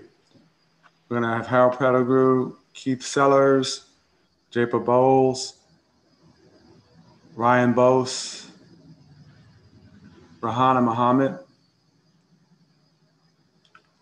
Beth Wagner, and Alejandra Jolodowski.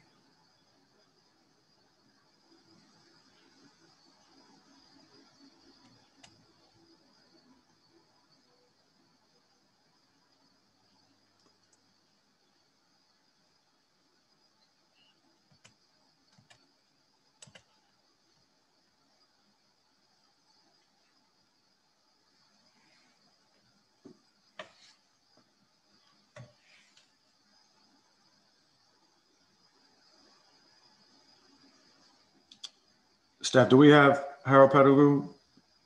Yes, sir. Okay, I'd like to go ahead and proceed.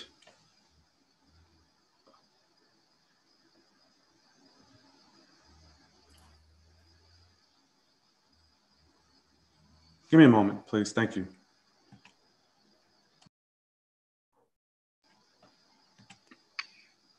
Mr. Pettigrew, you can go ahead and proceed. Good morning to you. Thank you. Good morning, Chair McDuffie. Uh, and good morning to members of the Committee on Business and Economic Development. I am Harold Pettigrew, and I serve as CEO of the Washington Area Community Investment Fund. WACIF is a nonprofit community development organization whose mission uh, is to promote equity and economic opportunity in underserved neighborhoods uh, in the Washington, D.C. metropolitan area and fulfills its mission by providing small business advisory services and capital to underrepresented entrepreneurs. Supporting resiliency and economic recovery is central to WACIF's mission and reflective of our work to support small businesses. As a leading CDFI, in 2020, WACIF served nearly 1,900 clients through technical assistance and capital deployed with over $11 million in grants, loans, and debt relief to support small businesses. These activities represented WACIF's ability to deliver high impact technical assistance and deploy needed capital to small businesses through the development of dynamic corporate, philanthropic, and public partnerships, including our partnerships with DMPED.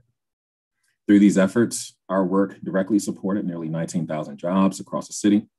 In 2021, WACIF is on track to deploy nearly $20 million through grants, loans, PPP, and debt relief to support continued efforts for small business recovery and resilience. And as a CDFI, WACIF has deployed new small business technical assistance approaches in 2021, including the launch of a new business center focused on women entrepreneurs of color, and will be launching in the coming months new centers focused on employee ownership and support of worker-owned cooperatives and, and small business resilience to help small businesses to thrive through the normalcy of disruption. In, see, in speaking in support of the ambitious FY 2022 proposed budget for DMPED, there are key highlights illustrated uh, and WACIF's impact narrative to elevate. To execute on capital deployment, DMPED partnered with CDFIs like WACIF to efficiently and at scale deploy capital to small businesses across the city and provide trusted technical assistance to help build the capacity of entrepreneurs to navigate the environment. In reviewing the budget, I was pleased to see proposed investments to help small businesses to recover with specific focus on new strategies to support small business recovery and growth, food access, and place based investments. Now is a time where the city must be ambitious in its investments and central uh, to the ability for all of those efforts to be successful is partnership with CDFIs and a focus on capacity building for small businesses through technical assistance initiatives like the Small Business Technical Assistance Hub, which are critical to economic recovery. I would like to thank you for your leadership, Mr. Chair, uh, as a champion for small businesses and the small business ecosystem. Your support for small businesses contribute directly to WACIF's success uh, in meeting its mission and our ability to invest in small businesses that anchor our communities. We applaud the committee's commitment and I welcome any questions you may have. Thank you. And thank you for your testimony, Mr. Pettigrew. We're going to turn next to Keith Sellers. Good morning to you, Mr. Sellers. You're beginning your testimony. Actually, we're in the afternoon now. Good afternoon. You can begin. Yes, good afternoon, Chairman McDuffie. Um, Council Member Pinto, members of the Council of the District of Columbia Committee on Business and Economic Development, and attending council members and staff. Um, on behalf of the Washington, D.C. Economic Partnership, I want to thank you all for your many years of support and leadership. I'm Keith Sellers, President and CEO, and it's an honor to support the mayor's budget for economic development for fiscal year 2022. Um, the partnership's primary mission is to foster business attraction and retention in Washington, D.C. As a 501c3 nonprofit, we're un uniquely positioned for this role. Over the last 20 years, we've strived and succeeded in attracting new businesses and growing our economy. Economic intelligence, data research and analysis, a comprehensive business resource library, and marketing am amplifications are just a few of the tools we've deployed to help entrepreneurs make the best decisions for their businesses. Over the past year, as most of the world has, we have been focused on making it through the pandemic, but this challenge only inspired us to double down on our economic development efforts. We've been working harder than ever. Working with DMPED, we've engaged with over 175 different companies across sectors. We've created COVID hubs on our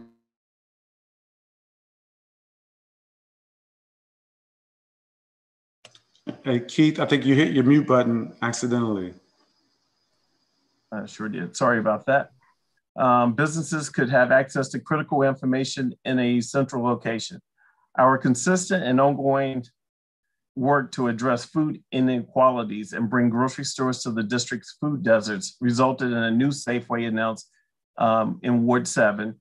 we we held DC Biz BizChats designed to help business adapt to the ever-changing business climate, and our annual retail summit drew over 700 people.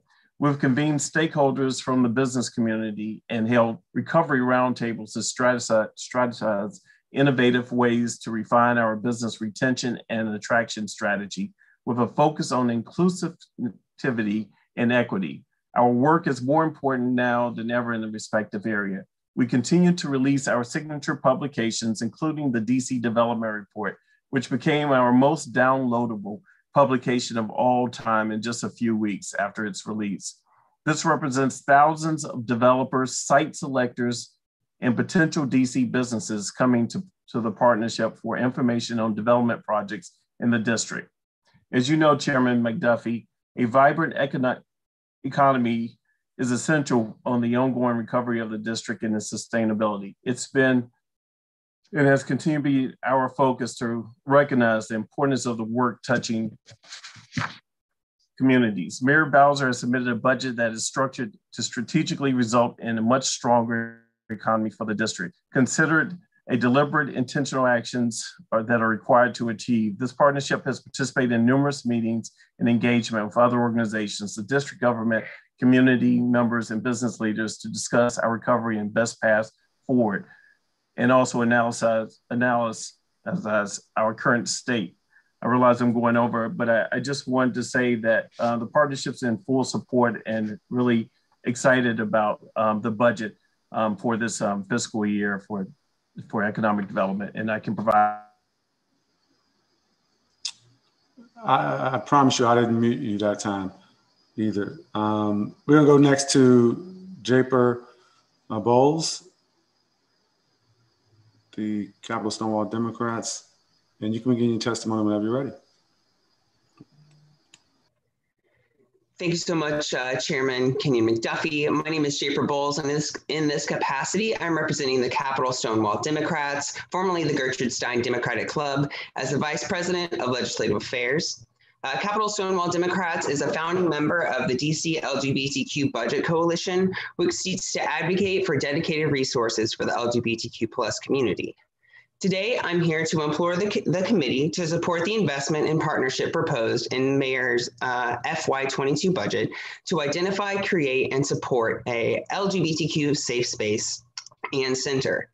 As the committee is well aware, DC has the highest per capita LGBTQ population of any state, with roughly 10% of the population identifying as LGBTQ. The DMV is also the largest metro region in the country, or the sixth largest metro region in the country.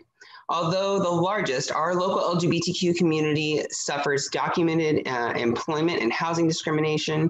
Our youth experience homelessness at much higher rates, and our seniors face social isolation and depression more than the straight community. Other agencies have supported and continue to support numerous LGBTQ dedicated uh, and led organizations that provide vital resources and services to the community. However, a joint space would offer a single location for the community uh, to access these organizations' services and allow these organizations to redirect funds that's currently going towards overhead and administration costs towards real services. Unfortunately, this problem is exacerbated by the sale of the Reeve Center, where the DC Center of LGBTQ Community and the Capital Pride Alliance are currently located. Last budget cycle, the council heard from our community and uh, and acted and provided the these organizations with rent relief, but a long-term solution is required. Our community sees this as an opportunity. At present, four 501c3s have committed to relocating their entire operations uh, into a shared space. And in, in, addition to services being provided by these organizations, these spaces would also give the numerous support groups, food delivery, counseling, events, emergency housing, and many other possibilities for some of the most vulnerable members of our community. Additionally, comparable cities have massive spaces, which are the beating hearts of their community, uh, offering support groups, counseling, theaters, sports leagues, 24 7 drop hours, drop off centers, and emergency housing. These spaces were established by a partnership between the local LGBTQ community and the municipalities that they're located, as well as some federal funds and a capital campaign as an organization that doesn't provide a service, but instead is used to uplift the voices of LGBTQ plus Democrats, we hope to work with your community and DMPED to see this, seize on this unique opportunity to better serve our community and unite multiple LGBTQ organizations under one roof. We believe that our organizations and community will be better served by this space, and we hope the district agrees. We welcome the opportunity to discuss this project with you further and are happy to answer any questions. Thank you. And thank you for your testimony. Next, we have Ryan Bos. And good afternoon to you. You begin your testimony. Thank you very much. I appreciate um, everyone giving us this opportunity. Um, and uh, I'll introduce myself. I am Ryan Bos, the Executive Director of the Capital Pride Alliance. Um, go by he, him. I'm also a resident of Ward 6. Um, and um, I am here today specifically as a member of the DC Queer Space Task Force and the executive director of the Capital Pride Alliance. Um, um as Japer just mentioned, um, I don't want to reiterate every single word he said because they are right on point. Um, we in the community have had this opportunity to uh, to find new ways to collaborate and to um, the opportunity to have adequate space um, to share resources um, will help us to better serve um, our local community here in Washington, D.C. Um, it provides unique unique ways um, to to um, to utilize resources um, that actually uh, um, represent obviously a very intersectional community here in DC. Um, we deserve an adequate space. Our community needs to be able to have pride in the space uh, that we provide for our local LGBTQ citizens. So very much support the council supporting uh, the mayor's budget of 1 million and definitely um, would love to promote and encourage um, the city to support even more as we strive to have adequate space. in addition, I'm here to also support uh, the um, the three million um, to waive city municipal fees for um, um public events um, here in the district. Uh, the district is a vibrant place, um, one where people want to live, also want to visit. Uh, but if we don't have these events, that will not be as successful with the Pride Parade and Festival, one of the largest um, annual events here in the district, um, the risk of us to be able to actually continue to put on this event um, is drastically at risk um, because of the increasing fees. Um, just over the last five, six years, fees grew from approximately 105 $1,000 um, to nearly $300,000 annually. Um, and this is um, fees being spent by nonprofit organizations who are providing direct service to the community. Um, so in essence, these funds that we are paying the city would be better used to support these services that we're trying to provide for our residents. And it's also important to note, um, we just um, received a preliminary economic impact study of the Pride celebration itself. Um, and it is estimated now that nearly $370 million in tax revenue um, is earned by the, the DMV annually by this event alone. So as you can see, this is an event that is of value to the city. It generates revenue. Um, so being able to waive those city fees will only benefit the entire community as a whole. So um, I'll just end. Um, this is Pride Month. Uh, next week, we will be celebrating Pride, though differently. Um, and we hope um, we can see um, um, everyone show their pride and their support for the LGBTQ plus community this month and beyond. Thank you for your testimony. Next is Rahana Mohammed. Good afternoon to you. Good afternoon. Uh, thank you so much, Chairperson McDuffie and members of the committee for the opportunity to testify today. My name is Rahana Mohammed and I'm chair of the DC Center Board of Directors. Um, and the DC Center helps to support the LGBTQ community in the district through direct services, support groups, and community events. We also partner with new and existing LGBTQ organizations across the city and execute grants on behalf of multiple DC government agencies, departments, and offices. Um, like uh, my two colleagues who just went before me, the DC Center is a founding member of the DC LGBTQ plus budget coalition, which seeks to advocate for dedicated resources to the community. And I'm also testifying as a part of the DC Queer Space Task Force, along with um, my two colleagues who just spoke, uh, which is a coalition of eight local LGBTQ plus organizations advocating for this joint space for the community. I'm especially excited to be here discussing this issue on the third day of Pride Month, as was mentioned. Um, and I'm here also to implore the committee to support the investments and partnership proposed in the mayor's FY22 budget to identify, create, and support this new LGBTQ community space. Um, in short, because again, you've just heard from two of uh, my fellow task force members, uh, DC deserves a sufficient, accessible, inclusive LGBTQ plus space. We have the highest percentage of LGBTQ plus individuals in the country, higher than California, higher than New York, and we're a very large metro region. Um, while we have different organizational spaces for our individual orgs, uh, none of them are really sufficient based on the needs of our community. And this task force has joined together to change that. Um, as Japer mentioned, four 501c3s would fully move into this new space, but um, other members of our task force plan to co-locate um, in our um, this new headquarters, this new center, and that will allow us to better coordinate and provide services in a one-stop location for the community. We'll be able to easily refer community members based on their needs and ensure that they can receive all the diverse services that they really need to thrive. Um, we can also offer more services at this location by um, by partnering because we have different specialties, um, different services that each organization provides that we can we can leverage in a joint space. And we anticipate offering lockers, phone charging, computer resources, therapists, counselors, case managers, recreation space, co-working space, and also incubation space for new organizations that, um, that are being created by our community members, in addition to STD and HIV testing and an area for community events, training, and education. Um, and so our vision is really a single space where all are welcome and can find community and access the services that they need. We've been working with council members and mayor's offices and other community partners, and we're thrilled with the positive reaction to this project. We're very excited to see that $1 million included in the mayor's budget for this project. and your, your time has expired. Great. Thank you so much for the opportunity to testify. And thank you for providing your testimony.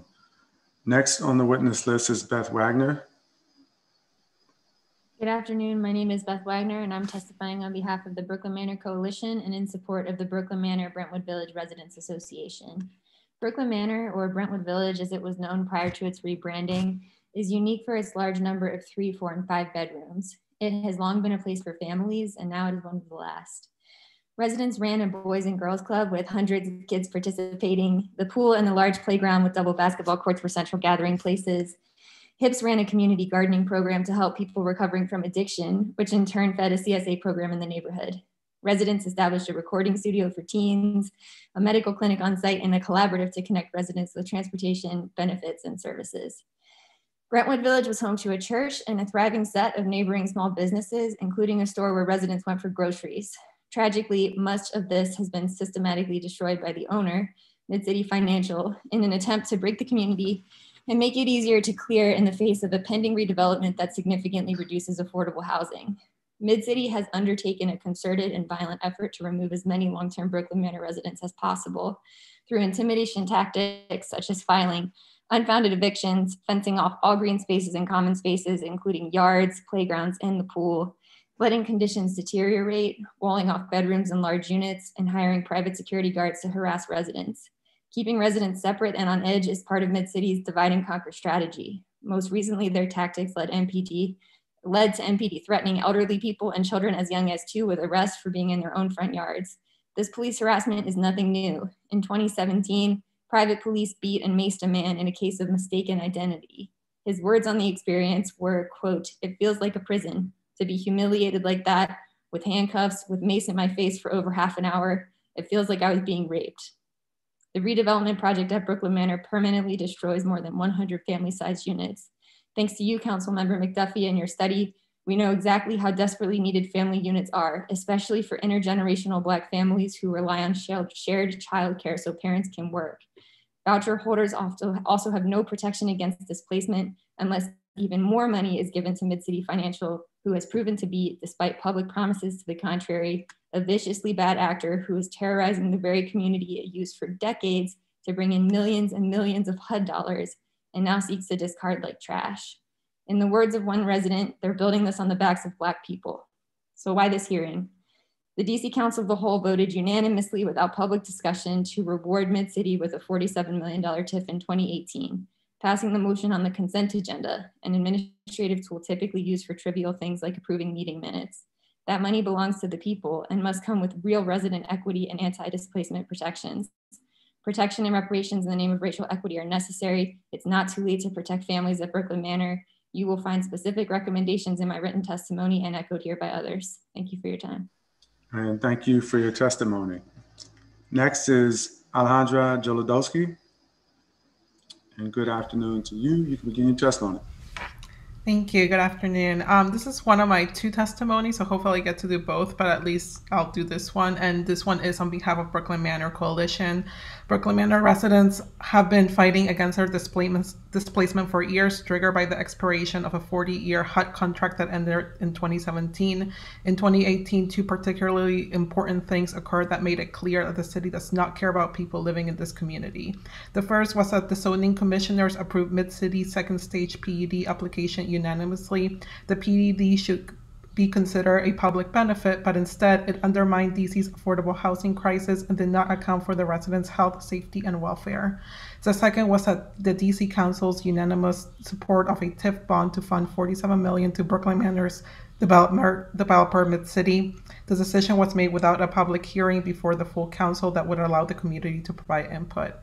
I'll skip over the tactics that Mid City has done to the residents since Beth already talked about that. And I'll just say that the plan that Mid City has will significantly reduce affordability and eliminate more than 100 affordable family units, including all five bedroom and nearly all four bedroom units.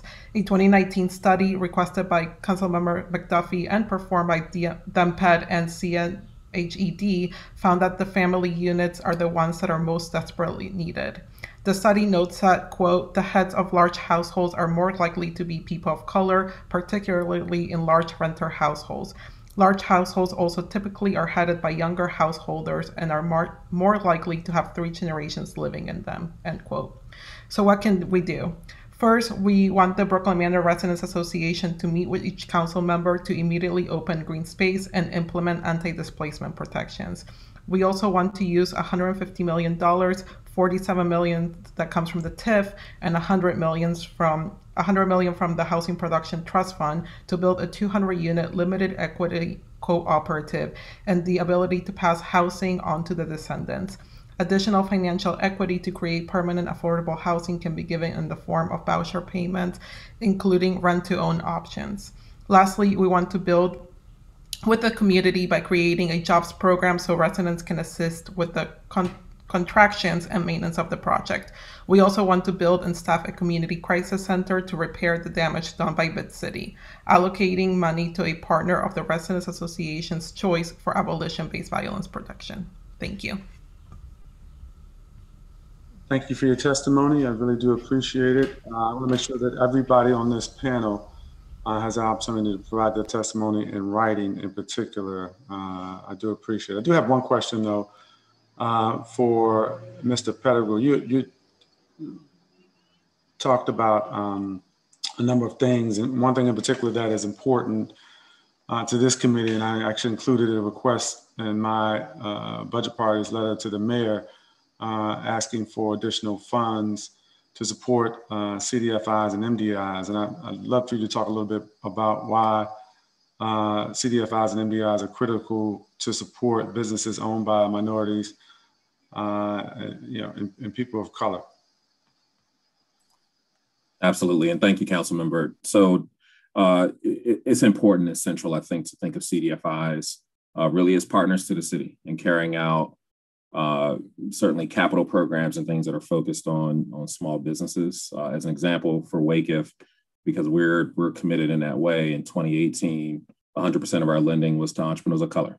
In 2019, 96% was to entrepreneurs of, entrepreneurs of color because of our commitment to the topic, um, but also recognizing some of the, the, the challenges we have as a city with the racial wealth divide. And so it's, it's important, I think, to also think through how do we continue to catalyze that type of impact and make sure that where city dollars can be used uh, to help leverage additional capital coming in so that we can really expand uh, on making sure that we're, we're being very intentional about uh, targeting the racial wealth divide, getting entrepreneurs of color specifically capital that's needed so that they can recover, but also to thrive and, and to grow. Um, and so it's certainly possible with city resources uh, to be positioned in that way where if, if investments are directly targeting CDFIs, not just directly using city resources to deploy, but also for leveraging city dollars to bring in and attract uh, additional capital uh, so that there's there's greater dollars going to entrepreneurs of color. I appreciate that. Um, I don't think we have Councilmember Pinto uh, or any other members of the committee right now. I do appreciate each of you taking the time out of your schedules to provide testimony uh, on this Zoom. And, and again, I'd love to make sure that we have everybody's testimony in writing. Thank you and have a good afternoon. Thank you, Council Member. Next, we're going to turn to William Jordan, uh, Susan Galucci, and Coleman, Maya Stuckey, Sabrina Rhodes, Commissioner, Ward 5, Allison Powers, Capital Impact Partners. One, two, three. That's um, Ed John Boardman.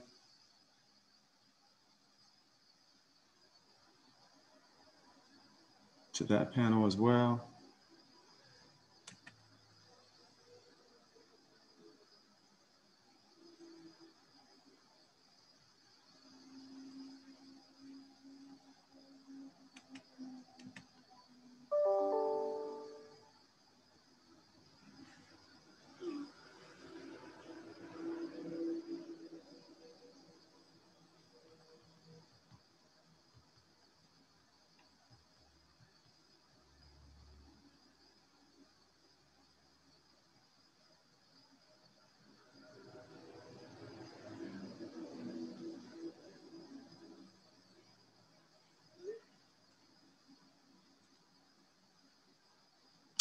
All right.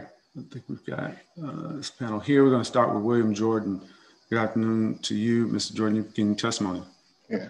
Good afternoon, uh, Chairman McDuffie and Council. Uh, approximately 20 years ago, the city adopted uh, Alice Rivlin's recommendations recommendations from the Brookings Institute to focus its energies on recruiting 100,000 new residents to this city and disinvesting in the Black family. That policy has resulted in, um, according to Andre Perry of the Brookings Institute, who testified a few days ago, the loss of a hundred, a loss of 10,000 Black homeowners, the Black owners, Black home ownership rate in the district falling from 50% to 37%, the white family wealth ballooning to 81 times the Black family wealth. We also know that Black income has stayed um, basically flat at $43,000 per year over the last 20 years. And we've at the same time lost over 40,000 Black people from the district. We need bold, immediate, and powerful action. We need your committee to lead that action. And it has to happen now in this budget period, no more around the, the edges. So I have some recommendations um, that I think will move us to putting the Black family as something to be invested in in the kind of bold action we need from you and DMPED. Uh, one is to fully fund and implement the Park Morton Equity Plan. I say $30 million. to adapt, implement, and fund the Brookland Manor reparations and equity plan immediately, to support the acquisition of the Wardman Hotel and the 600, 600 units and economic mobility that will become from that project. I think these are the three moves. There are probably others that have to happen immediately in this budget. And if we have to rearrange it, then we rearrange it. Uh, also, so that we're guided um, as we move forward, I ask you to have CORE analyze the following projects. 965 Florida Avenue, Hill East Phase One, the Adams Morgan Hotel, the Chemonics tax abatement, and the wharf to see how those projects, which I know has had a negative impact on racial equity and the Black family, to find out what is going wrong so that we can change our LDAs and agreements to make sure that projects moving forward don't follow along those, that pattern. Um, and that racial equity become a requirement for any dispositions moving forward. And then finally, we have to do community-led and community-involved partnerships and that DMPED immediately invest 2, $2 million in particularly in public housing to help specifically the residents have an equity position in the projects and redevelopment. Uh, thank you, Chairman McDuffie. And thank you uh, for your testimony. We're going to turn next to Susan Galucci. And good afternoon to you. Good afternoon. My name is Susan Galucci. I'm a resident of Ward 3 and a social worker working with pregnant women and families throughout the district. I'm also a member of the Ward 3 Housing Justice Working Group. I echo my fellow working group members' testimony and would like to add my own experiences to underscore the need for affordable housing and this tremendous opportunity with the Wardman Hotel. In my work with families, I'm daily made aware of the lack of affordable housing in Washington, D.C. Families are often living in one room or in a one bedroom apartment or hopping place to place because they cannot afford the rent. I spend a great deal of time helping pregnant mothers and families search for affordable housing. We work on their credit, education, and search every program and opportunity to get their names on waiting lists for affordable housing. They participate in inclusionary zoning orientations and then wait years for a unit they can afford.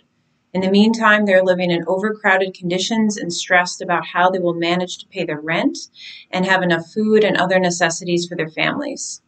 The Wardman Hotel offers an incredibly unique opportunity to provide mixed income affordable housing, including deeply affordable housing. It's a large property which could offer hundreds of units for families.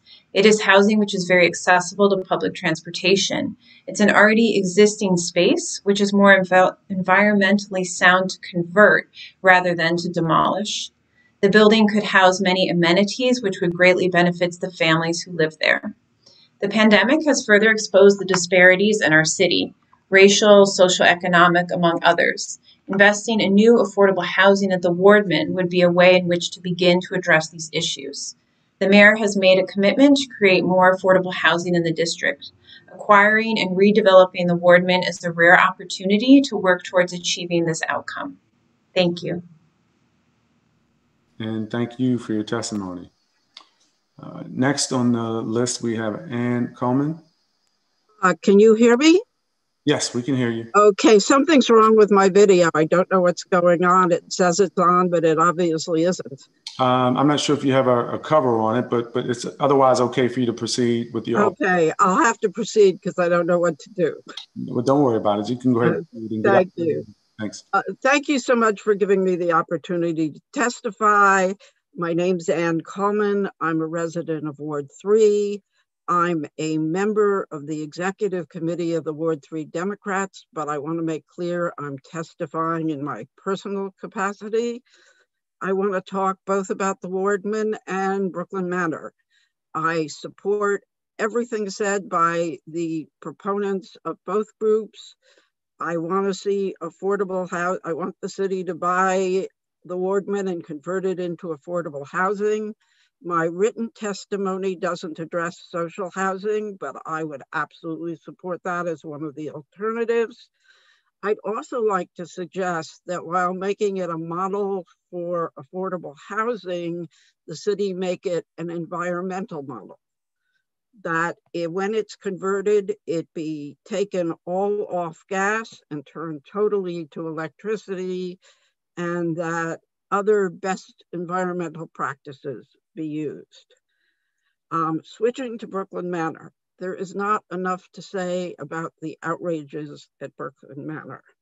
Um, the plans for redevelopment have nothing to do with racial equity and are totally inconsistent with the comprehensive plan amendments. The developer has been harassing the tenants since 2014 and improperly evicting them since at least 2014. The city needs to stop this. I would agree with the plan suggested by proponents before me for TIF money and other money to go to the Residents Association um, for cooperative housing. I also have an alternative suggestion, um, which I feel in general, TIFs should have really tough restrictions put on them. And I suggest if the council and the mayor made clear that the TIFs would only be granted if all harassment stopped and all tenants go into the new rebuilding in proper sized apartments, the harassment and the problems would stop immediately. So I urge you to take one of those two solutions. Thank you very much. And thank you for your testimony. Uh, we have Maya Stuckey, who's next on the list. I believe she's in school at the moment, uh, and so she she submitted a video. We're going to play it at the uh, end of this panel uh, after the final witness for the DMPED panel. And so uh, we're going to move next to uh, Commissioner Rhodes uh, of Ivy City. And good afternoon to you, Commissioner. You can begin your testimony. Hello. Good afternoon. Um, Yes, council member and Chair McDuffie, the deputy mayor and committee. I'm Commissioner Rhodes of 5D01 and a resident of the Ivy City community. Can you all hear me okay? Okay.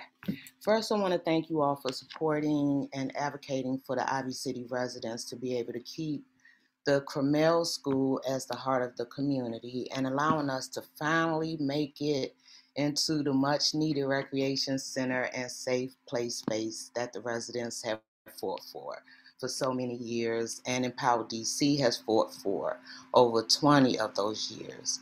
We were able to step foot on the site for the first time on this past Memorial Day. Phase one is not quite complete yet, but we're excited and it felt like Wonderland. It should it should be finished up soon, phase one, and then we'll close the area for construction.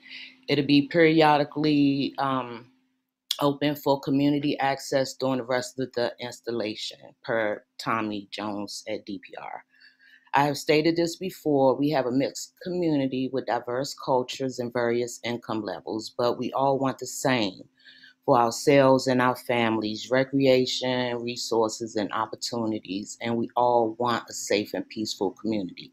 Now that we have the space, the Crummell School, and the two acres that surround it, we as a community, we want to be part of the planning process. There's so much we can do here. We can make this space inviting to residents of all ages.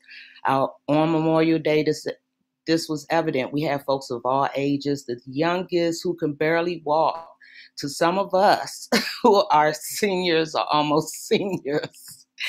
Um, we do we do have a small area plan. We do need a small area plan for the entire community. And please help us secure the 250,000 in the fiscal year 2022 budget so that it can be completed. Also last year, a $50,000 reoccurring grant for youth programs in Ivy City was funded from from our knowledge it hasn't been released yet and do we have any additional information on this uh, Deputy Mayor Falcicchio mentioned in, a, in the email that we will work with the Boys and Girls Club of Greater Washington to ensure that there is programming and events this summer. We are aware that Ready to Play have mobile units that could be part of the summer event at Crummell. We want a full and re- robust schedule this summer to make sure activities are always available, a- at least until the recreation is complete. We're happy and excited about the news that we're finally get a re- getting a recreation center, but we want transparency about all the planning and we want to have seats at the planning table to keep our goal of the center being for the community, ran by the community, and we would much rather work together to address future developments and ensure we address longstanding community needs because the community should be the decision makers. Thank you for allowing me to testify. And again, we are happy and excited, and thank you so much for helping us secure Crummell. Absolutely. Thank you for your testimony, Commissioner. It's great to join you and, and all those residents uh, yeah. intergenerational uh, participation uh, on Monday. So it was uh, it was great to be on that that site and uh, dust off my basketball skills, but the, the folks out there they were having a, a, really enjoyable time. And so yes, we continue to work with you all and, and with DMPED and, and also thankful to, to DPR. Yep. Uh, Director Hunter and, and DGS, Keith Anderson, uh, for their support and assistance. So we'll get more information about the Boys and Girls Club Okay. uh, and what uh, is proposed there with their participation. So thank you for that. Thank We'll turn next to Allison Powers.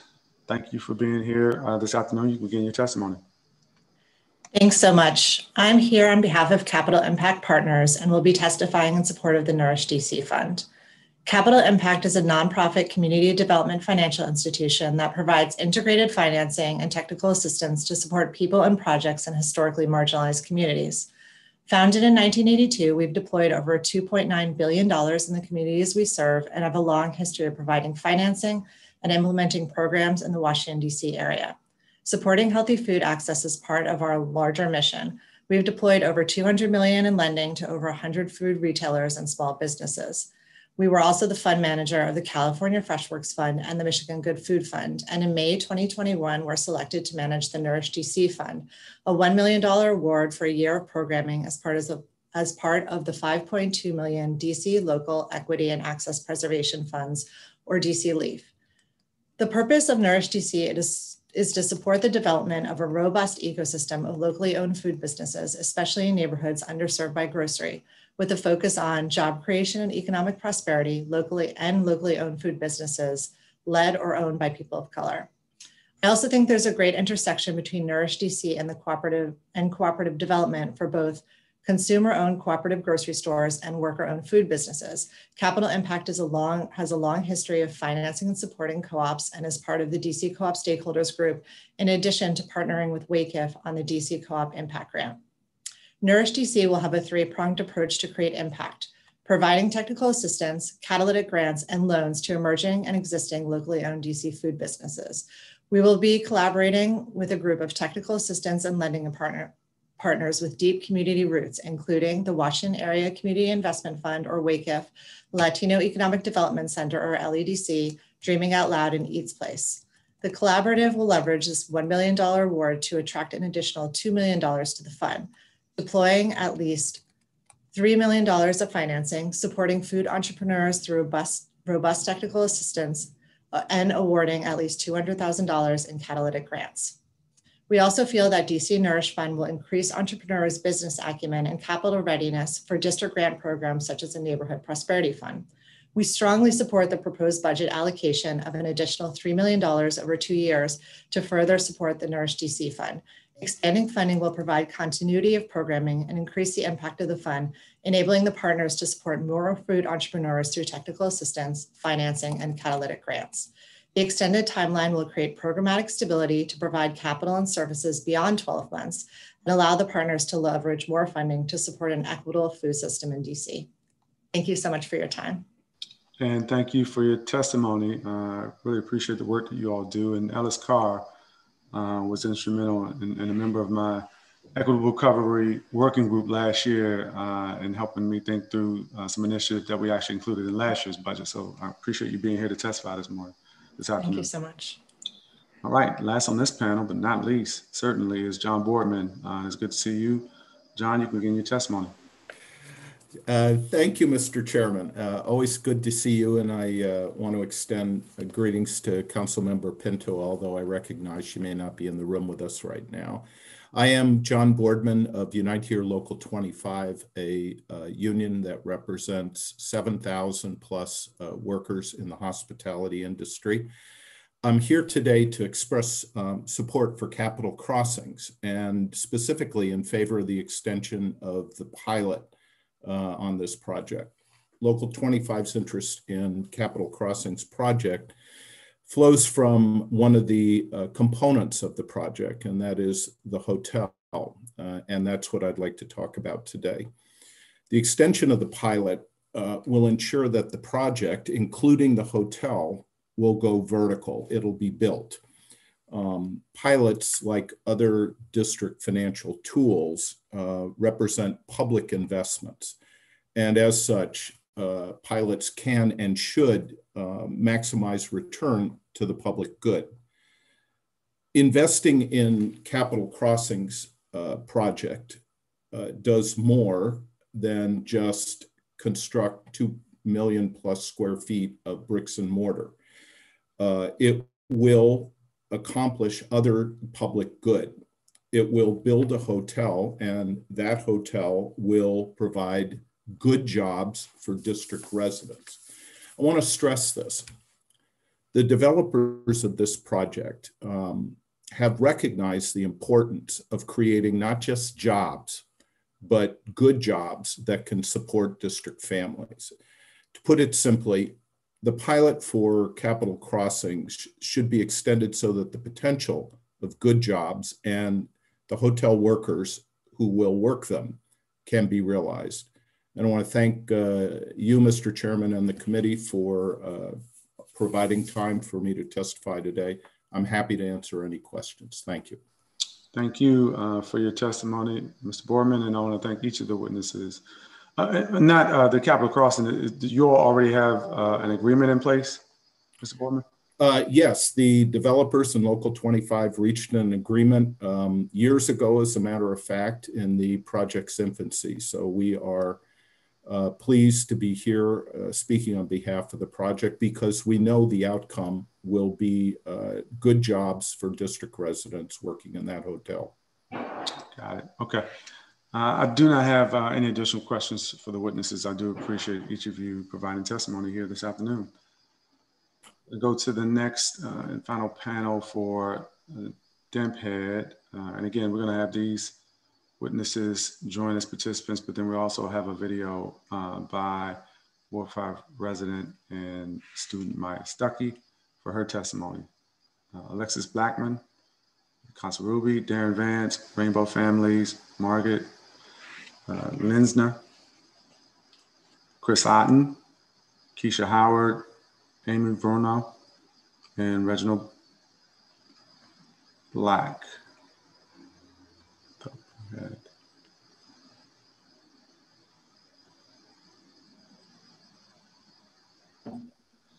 Hello. Yep, we can hear you. Uh, we haven't gotten started just yet. We're waiting for some folks to transition in. Oh, perfect. You want to, we'll, we'll, we'll, get started with you now. Uh, thank you for your patience and good afternoon to you. You can begin your testimony. Good afternoon. Good morning, council members and um, members of the committee. I'm Alexis Blackman, the Director of Government and Public Affairs for Casa Ruby. I'm also a member of the LGBTQ Coalition, Budget Coalition in the district, and I'm here today to urge the di district to fund the Shared Space Initiative the Shared Space Initiative will allow several different human service organizations to that specifically target the LGBTQ population to obtain a large community space within the district. This is an excellent project because it will provide a space where citizens can access multiple um, multiple services in a single location. These services are included but not limited to possible emergency housing, a workforce program, mental health services, shared event space, community um, community center, legal assistance, case management, STD treatment and adherence, veterans, senior, returning citizens, and domestic violence um, assistance. This space is extremely important to our community because the space is where somewhere is will, will be somewhere that our community members will be able to call home. Currently, our city doesn't have a dedicated LGBTQ space, but like my colleagues have stated before, um, before me, uh, LA has a huge space. Um, New York has another space. And with us being, Texas has a large space. With us being one of the largest populations of LGBT people per capita, we think that DC should show the way, fund the initiative, and try to make us try to make us get a bill, try to help us get a building within the city limits as easy as possible. Thank you for allowing me to testify. And thank you for your testimony. I uh, don't see Darren Vance, so we're going to move next to Margaret Lenzner. Good afternoon to you. You can begin your testimony. You are muted. If there. you want. Now I am. Thank you. Um, my name is Margaret Lenzner. I am a longtime homeowner in Ward 3. As a member of the board of the Cleveland Park Citizens Association, I worked with others on a housing committee to try to comprehend the complex realities of affordable housing in our city. We finally concluded that the housing needs of thousands of district residents on waiting lists for subsidized housing will never be met without new, bold, creative policies. Relying on vouchers is inefficient and costly, and inclusionary zoning in new housing built by for profit developers is inadequate. For the past several months, I've engaged with the Ward 3 Housing Justice Working Group, focusing on the idea of city investment in the purchase of the Wardman Hotel property for conversion to housing for individuals and families with a range of low incomes, including 0 to 30% MFI. My main task has been to meet with Woodley Park neighbors to discuss with them this idea and our consulting architects' conceptual plans. I have been very pleased by the uniformly positive responses I've received from Woodley Park neighbors so far. They know that the hotel property will be redeveloped, and they remember the 2016 PUD application for excessive redevelopment that was withdrawn in the face of community opposition.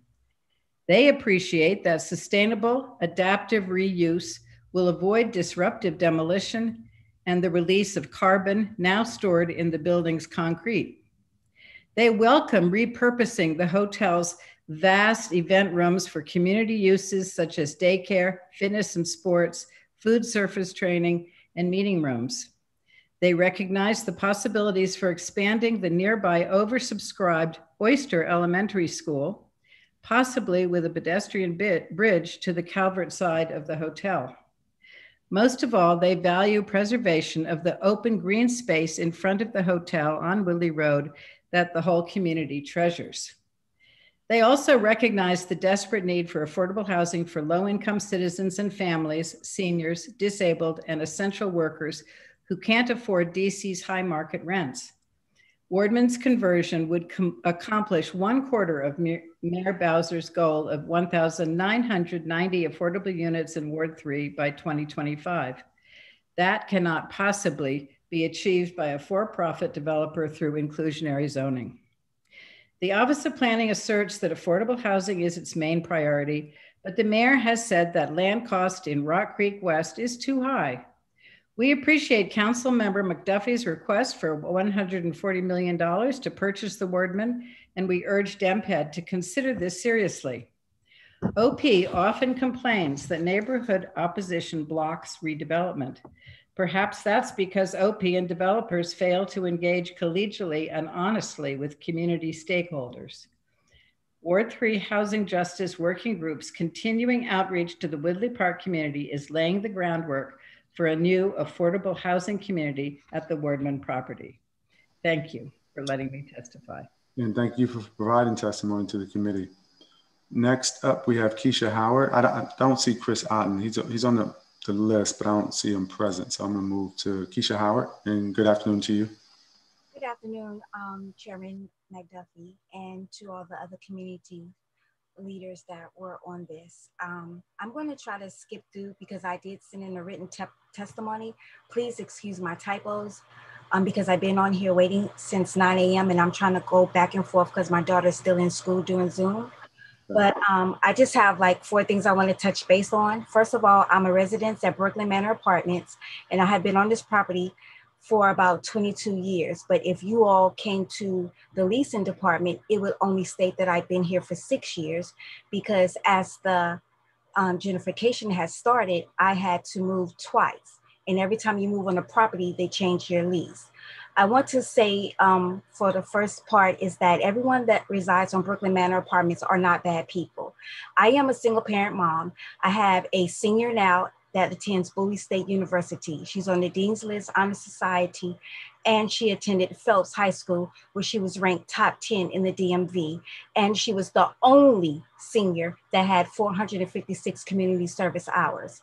I have a second daughter that is 11 years old, and I had to enroll her in the K through 12 program, and she has continued to maintain straight A's, even though having ADHD. Um, the reason the points that I want to point out is that the harassment on Brookland Manor properties is really damaging. Right now, my children cannot take out the trash because I don't want them to get bitten by a rat. We have rat holes everywhere. The rats stay by the dumpsters. We don't really have maintenance people I had a broken toilet for six months and only have one bathroom. I reside in a three bedroom that I had to fight for. I spent 10 years in a one bedroom with both of my daughters until I was finally moved into a three bedroom, which then now I'm down the street because they tore down the side that I used to reside at. Um, I am considered in-house Section 8. I've been on the Section 8 list since 1999 and my name still has not came up. Every time I call, I'm on hold or I get disconnected when I finally get a person. I do understand that you have helped a lot regarding the low income residents. And I do understand that Mid City received $47 million. I don't know for what, but I do know that the if you just take a walk around our property, you will see that we do have unwelcome vests guests that stay on our streets, you will see that we have a lot of things that happen on our streets, but the things that happen on our street are not residents that reside in Brookland Manor apartments. Our kids have nowhere to play, Chairman. They have nowhere to play. The playground that exists is for the rat holes and dirt. Um, when I want to take my daughter outside, I can only be outside for five minutes because of the unwelcome residents that reside that continue to come on our street, but they do not live here. We have 24 hour security that if something happens on the street, they don't help because they said that they're only here to watch. I don't understand that. Um, I'm asking, I agree with the redevelopment because our apartments are very, very old, as you understand, but we also need to keep the one, twos, threes, and four bedrooms because it doesn't matter what color you are. Many of us have families, and many people that stay on this property are not only seniors, but they are also taking care of families. May it be due because of a loved one had passed away, someone is incarcerated, or so forth. Ms. Howard, if you could just summarize just the, the, the end of your testimony, very important testimony. I hate to cut you off, but. Okay, okay, I do understand. The importance that I just want to say right now is that um, with the hardship of the COVID 19, um, we have a giant across the street. It took us so long to get food inside of our stores. When we needed food, we had to travel to 14th Street or 8th Street Giant to get food. We need something now and we need some help now. And if it wasn't for the Brookland Association, who was giving out bread and milk and eggs, I don't think I could have survived. It's plenty of times that I went to bed hungry to make sure that my two kids were able to eat. And I see a lot of people on here that's talking about the hotels and jobs and so forth like that. But we still need a place to stay. We still are paying rent. We was never relieved of not paying rent. And if you don't pay rent, you will get evicted. I'm just asking that if someone, anybody can come to the property now and have real people like myself sit at a table so you can hear the truth and you can also hear what Mid City is so, saying. So I'm going to take you up on that. I was actually there uh, twice last week, uh, once to talk with residents and to walk uh, the area around Brookland Manor, but the second time to meet directly with uh, the folks uh, who manage the property uh, to voice and amplify the concerns that have been raised about security following uh, yet another one of the unfortunate incidents where residents were complaining about being harassed by uh, the private security. I spoke to the management and representative of ownership about that. I made some specific requests based on feedback that I had gotten from the community. Uh, and I do understand the difference between people who live there and people who don't, who come back and visit. Uh, in some cases are the ones that folks have complained about. And so I do, and I'm well aware of the distinction that must be drawn. Let me say, you started out by saying that, you know, all people that live there are not bad people. I know that for a fact. Uh, I know that for a fact because I know plenty of people who have come through and have lived there, including my own family, uh, niece, nephews. Uh, I have a cousin that lives on the property uh, now. Uh, and so, and I, decades ago, used to hang there because I played uh, Boys and Girls Club football. And in the, in the center, the community center on the property was our headquarters. and so I'm well aware of the history and, and, and how important it is to make sure that the things you are saying today are addressed. And I appreciate you taking the time to, to provide that testimony while your, your daughter is home on Zoom. Uh, that's important. Uh, and it helps inform the decisions that we make here at the committee. And I will take you up to meet with you and hear from you directly to be able to share anything that you weren't able to get on the record today. But again, Ms. Howard, I do appreciate you taking the time to do just that. Uh, and I, will have, uh, if you don't mind, uh, we'll make sure that my, my staff, if you could direct message me or send an email, uh, we'll schedule some time where I can come out and chat with you. Thank you so much, and I really appreciate it. And I want to say one more thing. Sure. For the outlet of Dance Place and Models Inc., I don't think that my daughter would be able to take everything that has been thrown at her. Both of my kids have been raised through Dance Place, and my youngest daughter is now with Models Inc., and I'm pretty sure that you guys have heard about them. But the most stressful thing is dealing with mental health and we all have a, a touch of that, is my kids are wondering where they're going to lay their head. So I really hope that you do take me up on sitting down. I'm willing to work with anyone, but I think that you guys need to hear the entire truth of what's really going on in our property. And the first thing is we really need some help with the with the rats. It, it's really it's really it, it's unbearable here.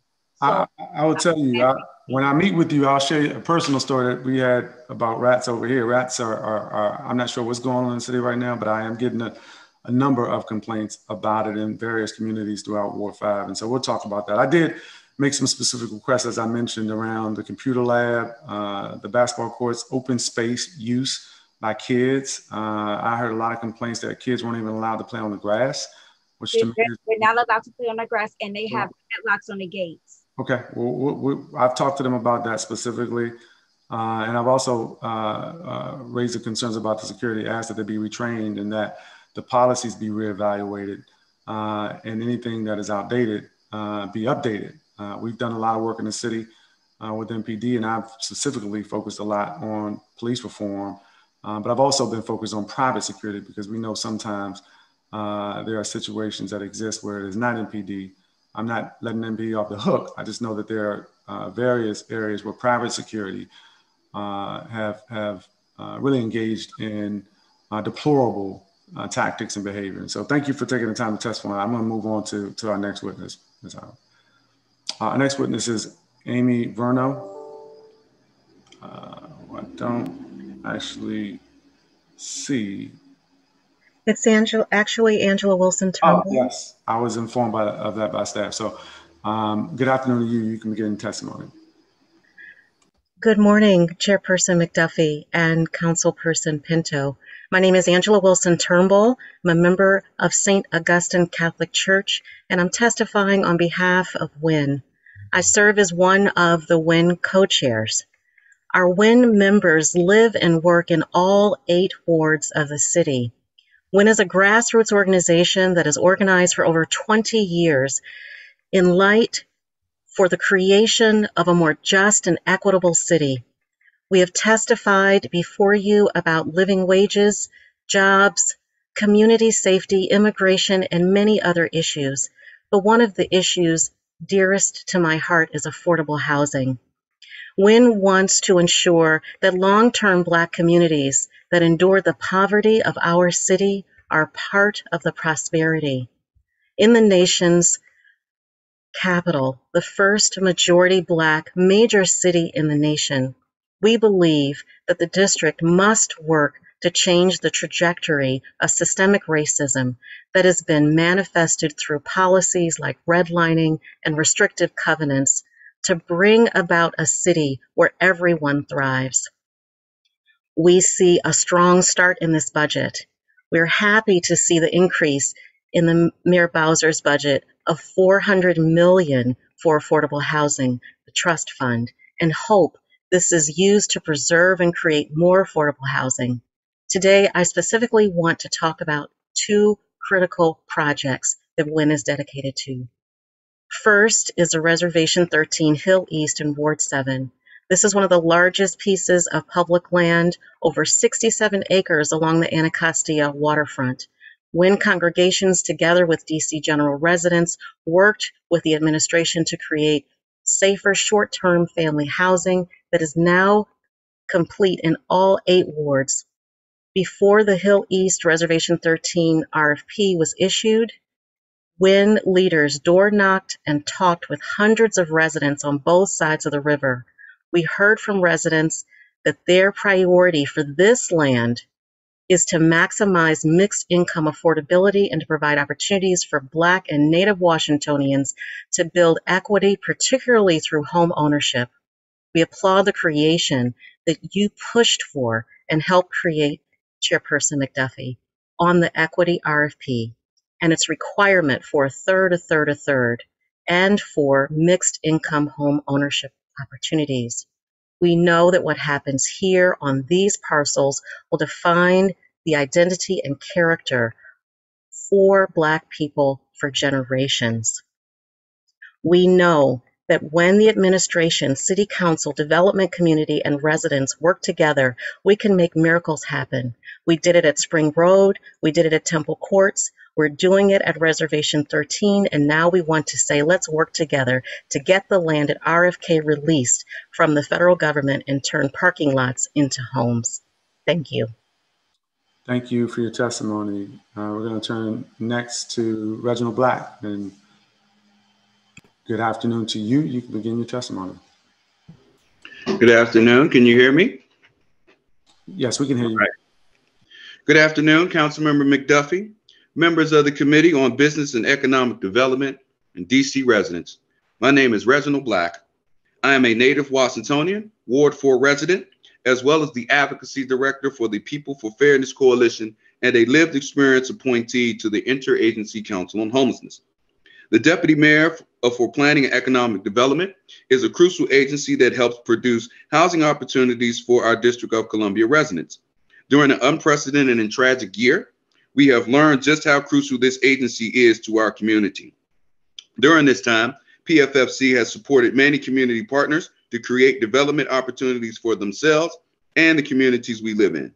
We wholeheartedly believe in housing being a human right and have convened the Universal Right to Housing campaign. It focuses on two main principles Articles 17 and 25 of the United Nations General Assembly Resolution 217A 3 of 10, Declaration of Human Rights. Article 17 says number one, everyone has the right to own property alone as well with others, and no one should be deprived of this property. This is why we support the efforts of community-led development. PFFC is deeply support is committed to supporting communities like Ivy City. This community has come together to spur on their own development for a rec center and city center for the historic Crummell School, which will provide this community with equity if we are committed to both human rights and racial equity, then not only does the Ivy City Small Area Plan need to be funded, but residents should be uh, encouraged and empowered to participate full in the development. Uh, not do, refusing to do so blatantly breaks Article 17, and we should not deprive Ivy City residents uh, of this site or be judged by our actions. PFC also supports the creation, uh, development, and implementation of the Park Morton Equity Plan, which, encased in its intentional set of policies and actions, not only give public housing and vital historic members our community equity, but it provides them with a minimum of 33.3% up to 55% uh, uh, equity, which will again advance Article 17. In addition, the People for Fairness Coalition is encouraging implementation of the Vacant Virus Reduction Plan, as well as the acquisition of the Wardman Park Hotel. Uh, with over 19,000 vacant units with 5,523 being Class A. We can only look to DMPED as a main contributor. PFFC applauds your, your efforts to fund the city's desire to acquire the property, but we also urge you to use eminent domain for Wardman Park and would like to see an audit of how public money and land uh, is being used to give residents the equity that they deserve. 19 over 19,000 vacant units means that our residents are being deprived of poverty, which is not what, what we should strive to be in terms of being a human rights city, nor should we ignore the opportunity to provide ownership and housing opportunities. Article 17 implies we must consider the community when making these budgetary and, legis- and legislative decisions. In that same vein, we support the Brookland Manor, Manor Tenants Association, who are right now being deprived of property. Uh, those residents should have been given that 46 million uh, dollars to support developing a safe, vibrant community. Article 17 of the Universal uh, Human Rights. Um, and we're constantly missing opportunities to advance healing and housing justice. This is why we also want to make sure that the old Engine 22 fire station on Georgia Avenue um, is also a part of this. I would just ask all witnesses to be courteous of all the other folks who've signed up. As I mentioned at the outset, uh, we've had over 100 people sign up to testify, and I know uh, in many cases you want to uh, speak longer than three minutes, um, but we really are trying to make sure that uh, we are fair to everybody who's taken the opportunity to sign up to provide testimony. Uh, so I do appreciate people being courteous of everybody else uh, despite uh, understanding how important it is that you get your testimony the record. I just make sure that folks can provide their testimony in writing. We're going to hear testimony of Maya Stuckey now, who, as I mentioned, is a resident of Ivy City. She's a student, uh, and she provided the committee with a video in lieu of uh, her uh, in-person appearance today.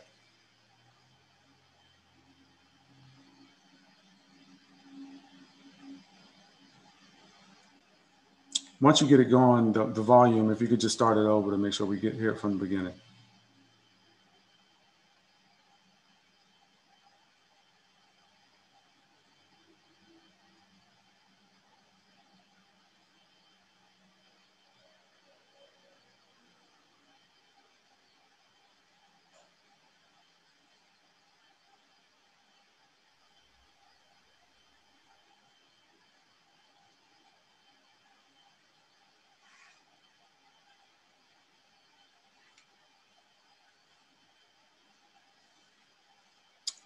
Staff, if y'all can let me know if we're gonna get this going. Or if you're working to fix the volume, otherwise.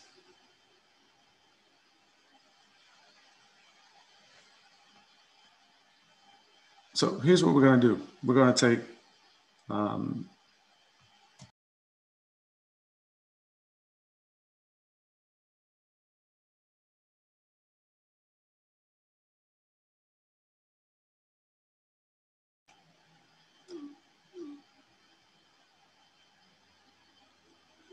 We're going to take a brief recess, a brief three minute recess to queue this up. And, and what I like staff to also do while we're queuing this up is to uh, bring the next uh, witnesses in for the next three agencies. So the witnesses for DC Lottery, Office of the CFO, and Department of Insurance, Securities, and Banking should be a total of five witnesses. While we're transitioning them in and trying to queue up the video, we're going to take a brief recess.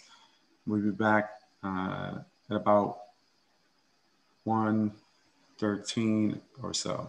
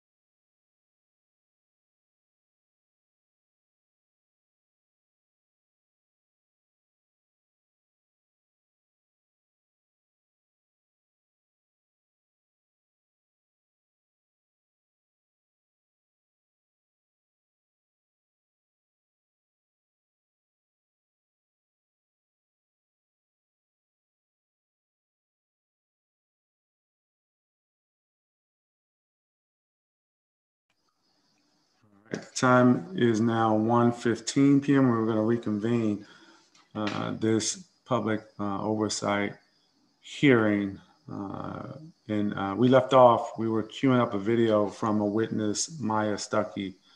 Uh, I think staff has worked out the, uh, the details and we can begin that. Hi, I'm Maya. Um, unfortunately, I can't be here right now. I'm pre-recording this. Um, I have school on Thursday. Um, I have in-person school on Thursday. I can't miss those classes, so I'm recording this um, as a pre-submission for my testimony because uh, yeah, that's what I do.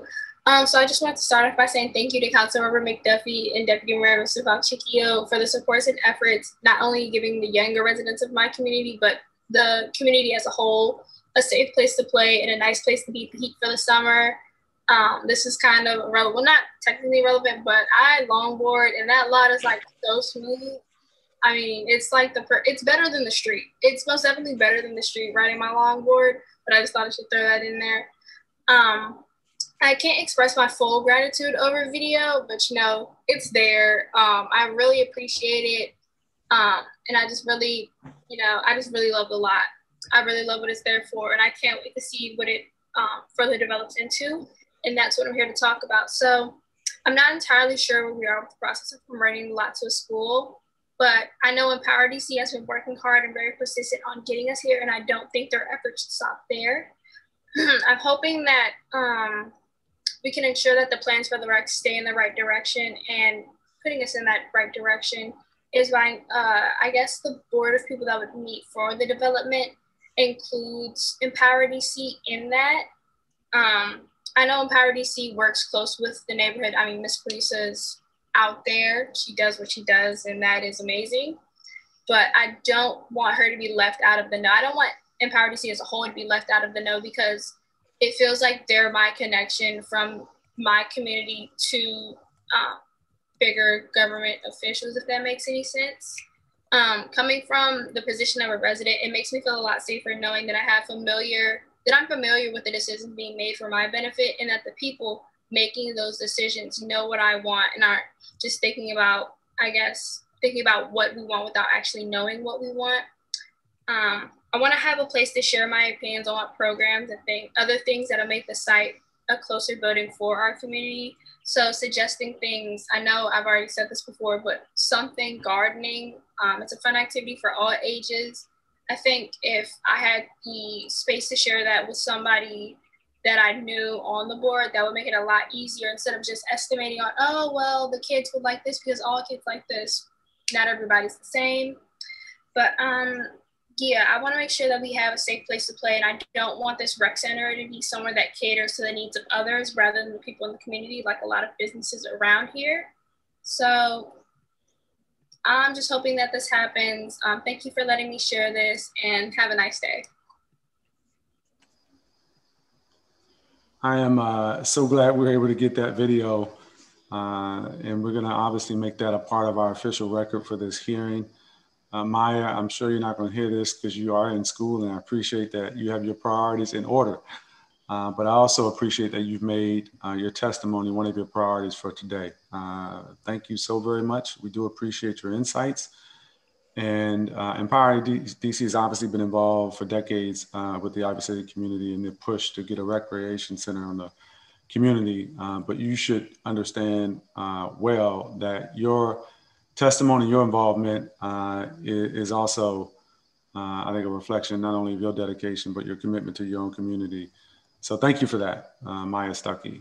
All right, we're gonna move next to uh, witnesses for uh, other agencies. DC Lottery is up. Uh, I don't know if we, yeah, we do.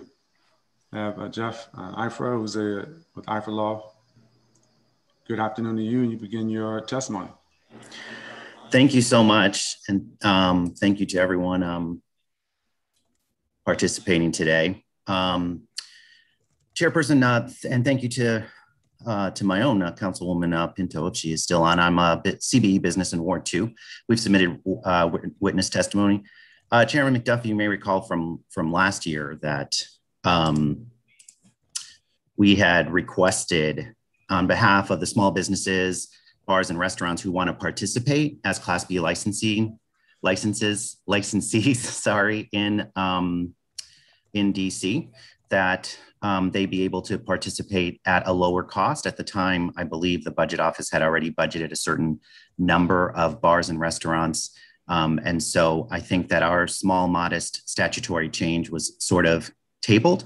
We wanted to try and renew that now coming out of COVID. It's more important than ever, I think, as you've been hearing throughout the past three hours, um, to get the small businesses and restaurants on their feet. And part of um, doing that would be to help enable them what really was your vision, which was to allow them to share in a portion of uh, lottery and gaming revenues um, in DC. As you recall, um, the then director, uh, Beth, um, did not, of the lottery, um, did not oppose the statutory change we were asking for. And all that statutory change says is that where there are multiple bars who are owned by a majority of the same shareholders, that there only be one license fee uh, of 25,000, assuming they're partnered with the CBE, as opposed to 25,000 per location. The statute currently talks about multiple buildings falling under one license, but the lottery is not really sure and looks to you um, whether or not that would cover what we're proposing. We have 10 bars, um, uh, Chairman, who are ready to go for this NFL season, and we have 20 more who are waiting. And this would present um, a really big financial obstacle if they had to go forward and pay 25K per facility. Um, so at a time when hopefully um, no monies have been budgeted for these licenses, we'd like to ask again um, that you consider a statutory change which would allow um, owners of multiple locations to pay one fee. And we have submitted a request to the lottery um, last summer um, to, to, the now acting director. And I think that the statutory clarification would would be the best approach and the easiest approach to make this happen. We don't know of any opposition. Our bars and restaurants, by the way, are located in every almost every ward in the city. Um, and like I said, they are very excited to uh, to finally launch. There have not been um, any bars or restaurants uh, since the lottery launched this program. There have not been any bars or restaurants who have been licensed. So this is not just me saying this is a problem. It seems evident from the fact that no one has been licensed that this is somewhat of a financial barrier for entering. Um, thank you. I'm happy to answer any questions. And again, we've submitted written testimony on this as well. And thank you for your testimony this afternoon and for providing the written testimony as well. Uh, I do not have any questions for you at this time. I'm familiar with the issue and recall uh, uh, our discussions previously about it. Uh, we're going to move next to the Office of the Chief Financial Officer uh, and the three uh, two witnesses who had signed up to testify. Uh, Karen Caston and Jennifer Kuiper uh, are both present, and we're going to begin with Karen Caston. Thank you.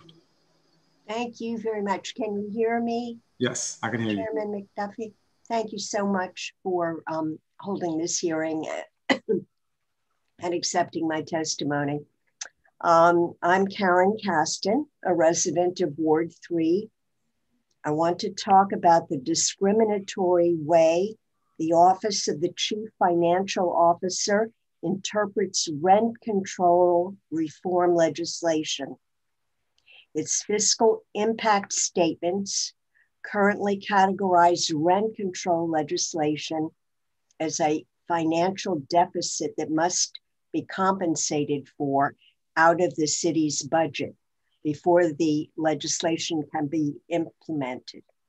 Take as an example the requirement that the recently passed voluntary agreements moratorium can't become operational until and unless it's funded.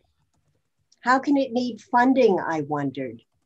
Will an office be set up or will staff need to be hired to administer the moratorium? The answer shocked me. As I understand it, the Office of the Chief Financial Officer calculated that the passage of the voluntary agreements moratorium would cause the city to lose $191,000 in hypothetical future taxes that landlords would have paid into the city's coffers due to higher rents that they would have been able to collect on the next group of tenants if the voluntary agreements moratorium hadn't prohibited it. And the whole thing is a, made even more questionable by the fact that post pandemic, there's no way to know if or when landlords will be able to charge higher rents. So the penalty on tenants and the protection of landlords is based on speculation about something that may not even happen. Um, I wonder why the fiscal impact statements don't assess rent control reform legislation as an asset to the city's economy based on the fact that renters who spend less money on rent have more money to spend on other things. The current interpretation that is injurious to renters only began with the fiscal impact statements in 2017. And it can be, and I hope it will be, undone. This issue also has a racial equity dimension.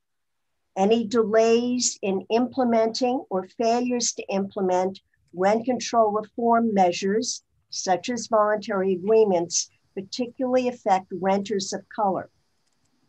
The Chief Financial Officer's current fiscal impact statement methodology is another example of government discrimination against renters of color and should be investigated by CORE. Ms. Caston, your time is That's expired. it. The Council Office on Racial Equity should investigate.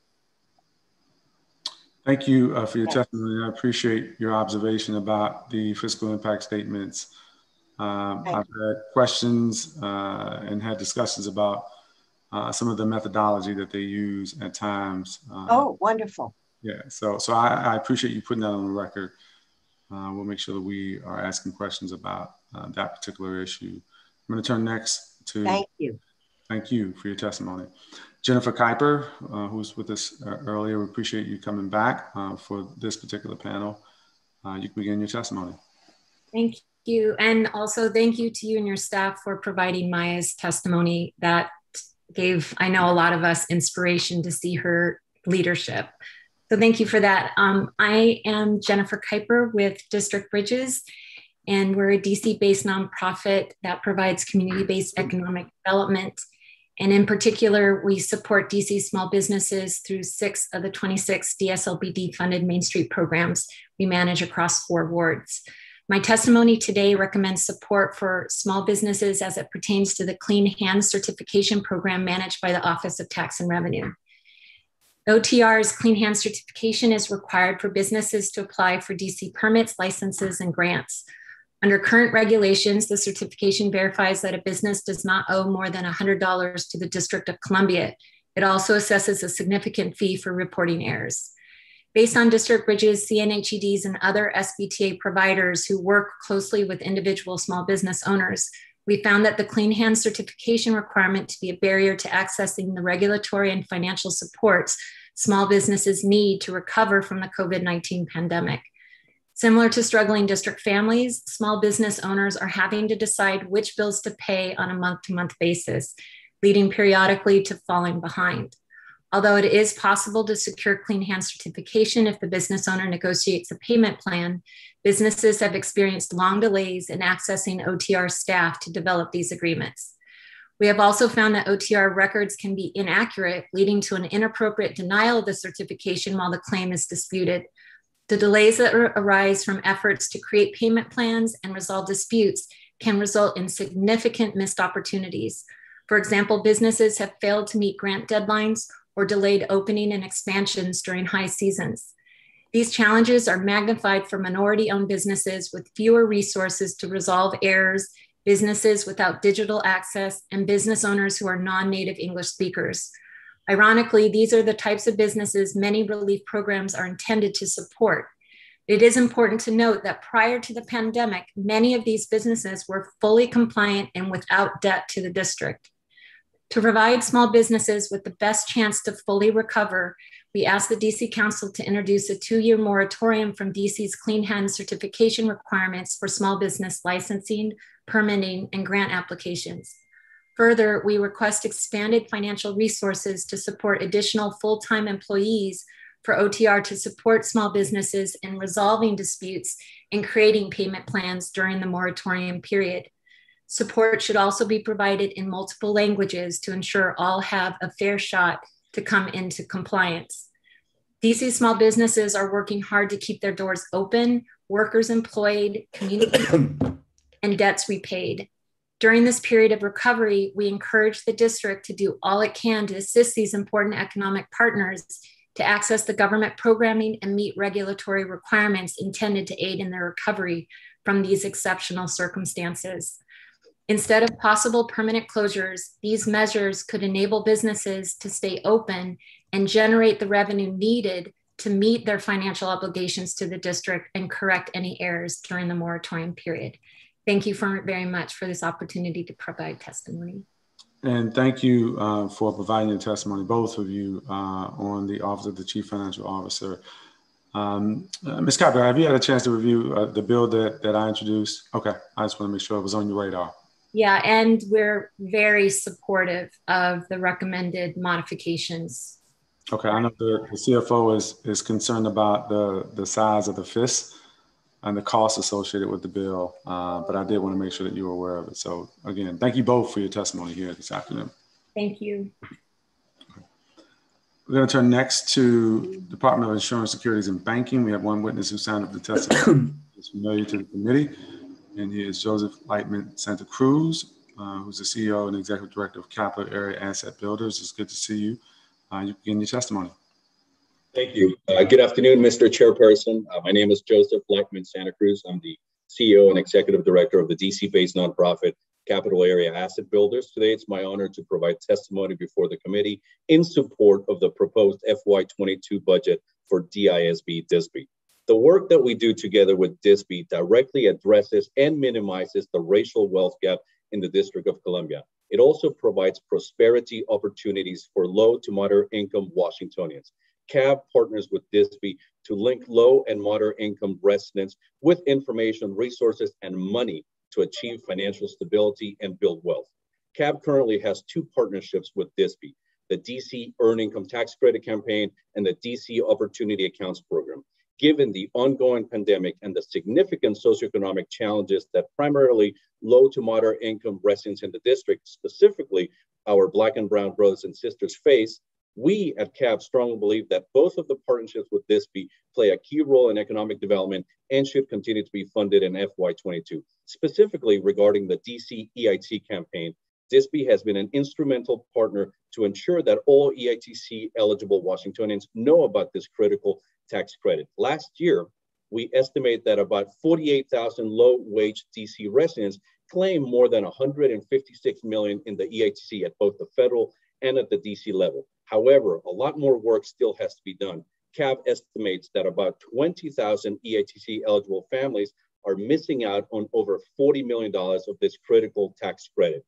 Regarding the DC Opportunity Accounts Program, we are extremely proud of managing this program. Each Washingtonian participating in the program is incentivized to save up to $1,500 and can then receive a match of up to $6,000. And this is a tax-free grant being provided. The combined $7,500 can be used to invest in their well-being and long-term asset building, like buying a home in the district, launching a business in the district, paying for college, and other long-term assets. The DC Opportunity Accounts Program is a unique program in the nation, and we're extremely proud and applaud that Mayor Bowser has requested an expansion of $3.8 million. This is a significant investment that will provide prosperity opportunities to primarily low-income Black and Brown district residents, and we kindly request that you support and fund this expansion, as well as the FY22 budget for DISB we would like to recognize the leadership by Commissioner Woods and the key role that DISB plays in empowering district residents on personal financial matters. We appreciate her support for the work that CAB does to both raise EITC awareness and to financially empower district residents through the DC opportunity accounts. thank you, Councilmember McDuffie, for your proactive role in ensuring that addressing and minimizing the racial wealth gap continues to be at the forefront in the district.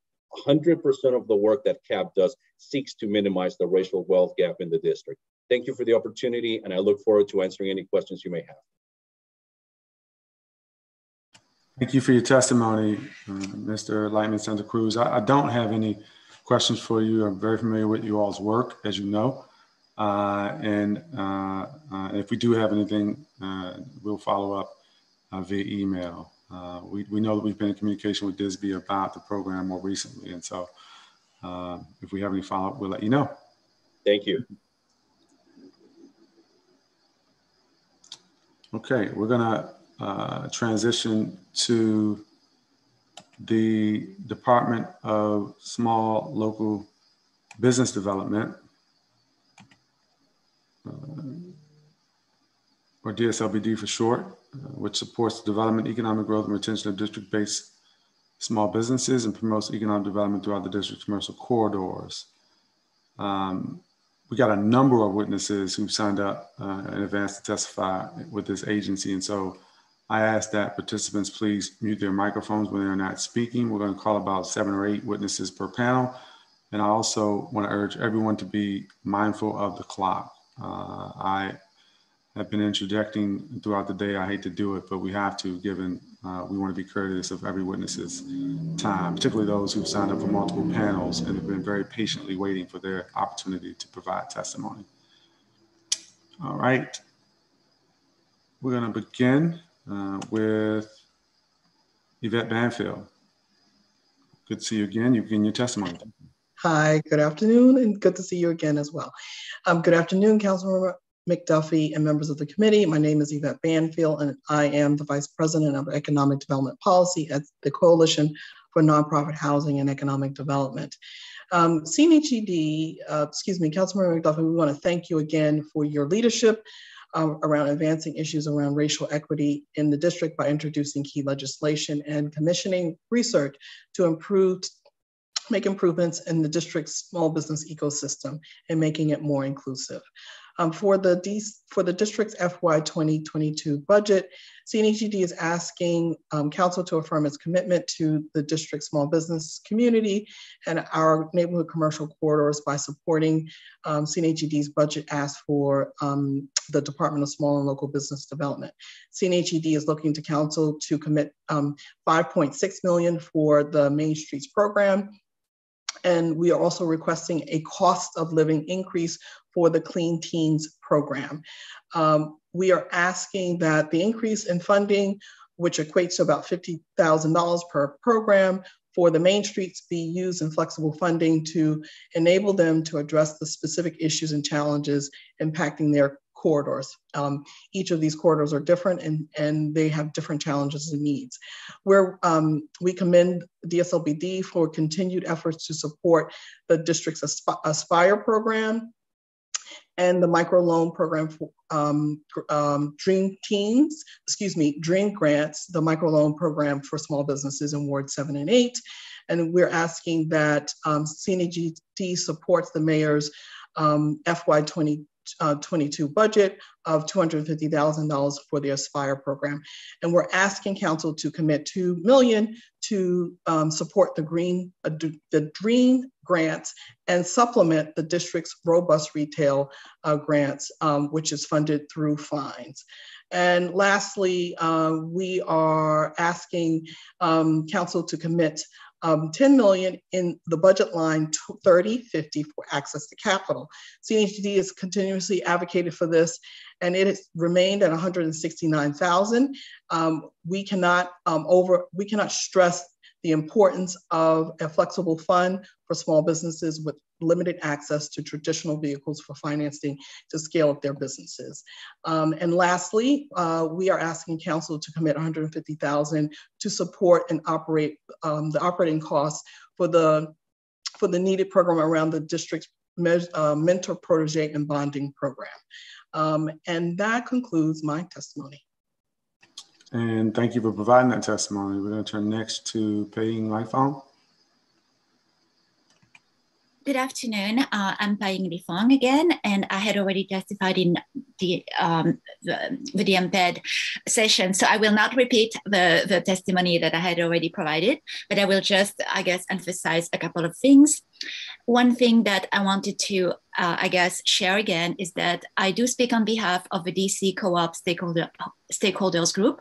We have been working together for five years. We have mostly been in contact with one DSL LBD staff member. However, we realized that we haven't really had visibility and have not been on the table of um, the DC economic development, um, I guess, big picture. And so we really wanted to take this opportunity of the FY 2022 DC budget hearing to be on the table, especially because of the post pandemic um, efforts to try to to find different models of um, economic development that would be more resilient and racially and economically just in DC. I would uh, say that, um, for example, you know, we we haven't really the only co-op specific grant this year was $40,000 for four co-ops at $10,000 each through WACIF and Capital Impact, which was wholly insufficient for startup co-ops. Uh, co-ops are special business entities with specific legal, tax, and governance structures. They need very specific types of financing and, and technical assistance. They need density of cooperatives and then second level technical assistance co-ops to survive and thrive. We would like to collaborate with, with DLSBD to create the following resources to help startup co-ops and the technical assistance partners they need to, to emerge and grow. So I'm going back to the three recommendations that had already been shared before. One is that we would like seed funding to really research and, and analyze DC's co-ops and the co-ops ecosystem that is going to be needed for DC. The funding, the financing, the technical assistance, which is legal and business development. Two, we would like to provide seed funding to support pilot projects that can once again support co-op startups that will develop business models for specific industry sectors and targeted worker communities, which are very diverse in DC. And then three, we would, we would like to establish a co-op trust fund where funding partners, private sector partners, and private citizens can add to city resources.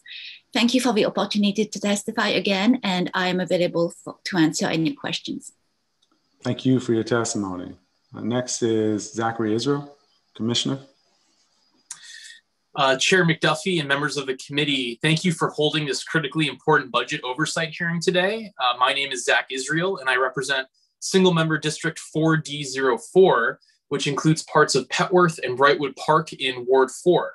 Uh, I am testifying today on behalf of Advisory Neighborhood Commission 4D, whose six commissioners collectively represent more than 12,000 residents. The focus of my testimony today centers on ANC 4D's support for a new DC Main Streets program designation beginning in fiscal year 2022 for Petworth, encompassing the Georgia Avenue corridor north of Kansas Avenue and south of Missouri Avenue and Upshur Street. Uh, SMD 4D04 includes the eastern side of Georgia Avenue between Emerson and Ingraham Streets, where several dozen independently owned and operated small businesses, ranging from a barber shop to Ethiopian and Jamaican restaurants, a Latin bakery, and a nail salon, are located. These businesses form the backbone of our community, and a DC Main Streets designation will help them tremendously. In addition to new businesses that may move into currently vacant and or blighted properties on this section of Georgia Avenue. The DC Main Streets program, quote, promotes the revitalization of business corridors by retaining and recruiting businesses, improving commercial properties and streetscapes, and attracting consumers. Leaders in these neighborhood organizations assist businesses and coordinate sustainable, community driven revitalization efforts in their neighborhoods. As a result of the DC Main Streets program, the district has seen an increase in new businesses and jobs. In addition, facade improvements and building rehab projects have upgraded the image of the commercial corridors, while marketing and branding efforts have resulted in additional exposure and increased market share. While there are currently DC Main Streets located on Upper Georgia Avenue north of Missouri Avenue, the Kennedy Street and 14th Street corridors, and Lower Georgia Avenue south of Petworth, the stretch of Georgia Avenue that I represent has been left out of this great program. On May 19th, 2021, ANC4D unanimously passed a resolution, number one, supporting the establishment and designation of a Petworth Main Street on the Upshur Street corridor and Georgia Avenue between Kansas and Missouri Avenues. And number two, supporting a funding allocation of $200,000 in the Department of Small and Local Business Development's FY22 budget for a first time investment for the Petworth Main Street designation and a subsequent investment of $150,000 annually to DSLBD for this purpose. This funding will provide significant returns in terms of business stability and growth and neighborhood vitality in ANC4D and provide targeted technical assistance and capacity building to support our neighborhood businesses during and beyond the pandemic. In addition to ANC4D, ANC4C, which encompasses the Upshur Street corridor, has also expressed their support for this, as well as Ward 4 Council Member Janeese Lewis George and hundreds of Ward 4 residents. A Petworth Main Street designation and boundary realignment is critical for ensuring an equitable economic recovery for our ANC40 neighborhoods, and I urge the committee to allocate the funding necessary in FY 2022 to create this new designation. Thank you. I would be happy to answer any questions. Thank you for your testimony, Commissioner. Next is Commissioner Clara Botstein. Good afternoon. Um, I have a similar topic here. Um, thank you for the opportunity to testify. My name is Clara Haskell Botstein, and I'm the ANC Commissioner for 4C08 in Petworth and a proud Petworth resident. I'm also here to urge you to support funding for a Petworth Main Street in the FY22 budget. As you may know, the DC Main Streets program, currently comprising 26 main streets, has been highly successful in supporting and retaining local businesses by helping them secure grants and other resources and serving as a coordinating body and collective voice for local business corridors. These main streets, which are run by nonprofit organizations, have created jobs, recruited businesses, made public improvements, and generated neighborhood engagement and community driven economic activity. Main Streets dedicate a full time staff person to supporting local businesses with their, their specific needs and give out at least 35000 in direct grants to businesses within the Main Street boundary. While Ward 4 has several main streets encompassing much of the Georgia Avenue corridor, there is a crucial gap in coverage in the heart of our community in Petworth. There is currently no main street covering the Upshur Street corridor or on Georgia Avenue from Kansas to Kennedy and through to Missouri, where many small restaurant and retail businesses have been profoundly impacted by COVID 19, including many women, minority, and immigrant owned businesses and long-standing small businesses. On Upshur Street, where I live, we have a range of wonderful small businesses from Willow to Cinder to Art of Noise and Loyalty Books to Town and Country Market and Fia's Fabulous Finds. However, we have seen significant turnover even before COVID 19, and businesses have shuttered during the pandemic. My colleagues and I have heard numerously from businesses about the need for more direct assistance, capacity building, and strategic support to weather crises like this one, recover stronger, and realize Petworth's full potential. For example, while the 800 block of Upshur Street is a critical community resource and attraction with expansive opportunities for economic development and community engagement, as evidenced by the recent Petworth Porch Fest event that brought thousands to the area, the businesses are in real need of support in order to survive and thrive. A Main Street would be an important step and a catalyzing force for economic stability and development that harnesses Petworth's great diversity and community. As we look towards a strong and equitable recovery in the district, we urge you to include funding for Petworth Main Street in the FY22 budget. This relatively small investment of 200,000 will yield strong returns in terms of business stability and growth, job maintenance and creation, community engagement, and neighborhood vitality. Most importantly, this investment will have the greatest impact on the businesses that need it the most, including those that have been hardest hit by COVID 19 and those owned by people with limited access to traditional capital. Over 100 businesses would be supported by this investment in the future of our community. Um, we have a neighborhood petition with nearly 450 signatures um, and an ANC resolution in, with unanimous support for this from 4C as well as 4D. Um, and I thank you for your time and consideration and would be glad to take questions. Thank you for your testimony this afternoon, Commissioner. We're going to turn next to your colleague, who I assume will probably have similar testimony, uh, Paul Johnson, ANC 4C07.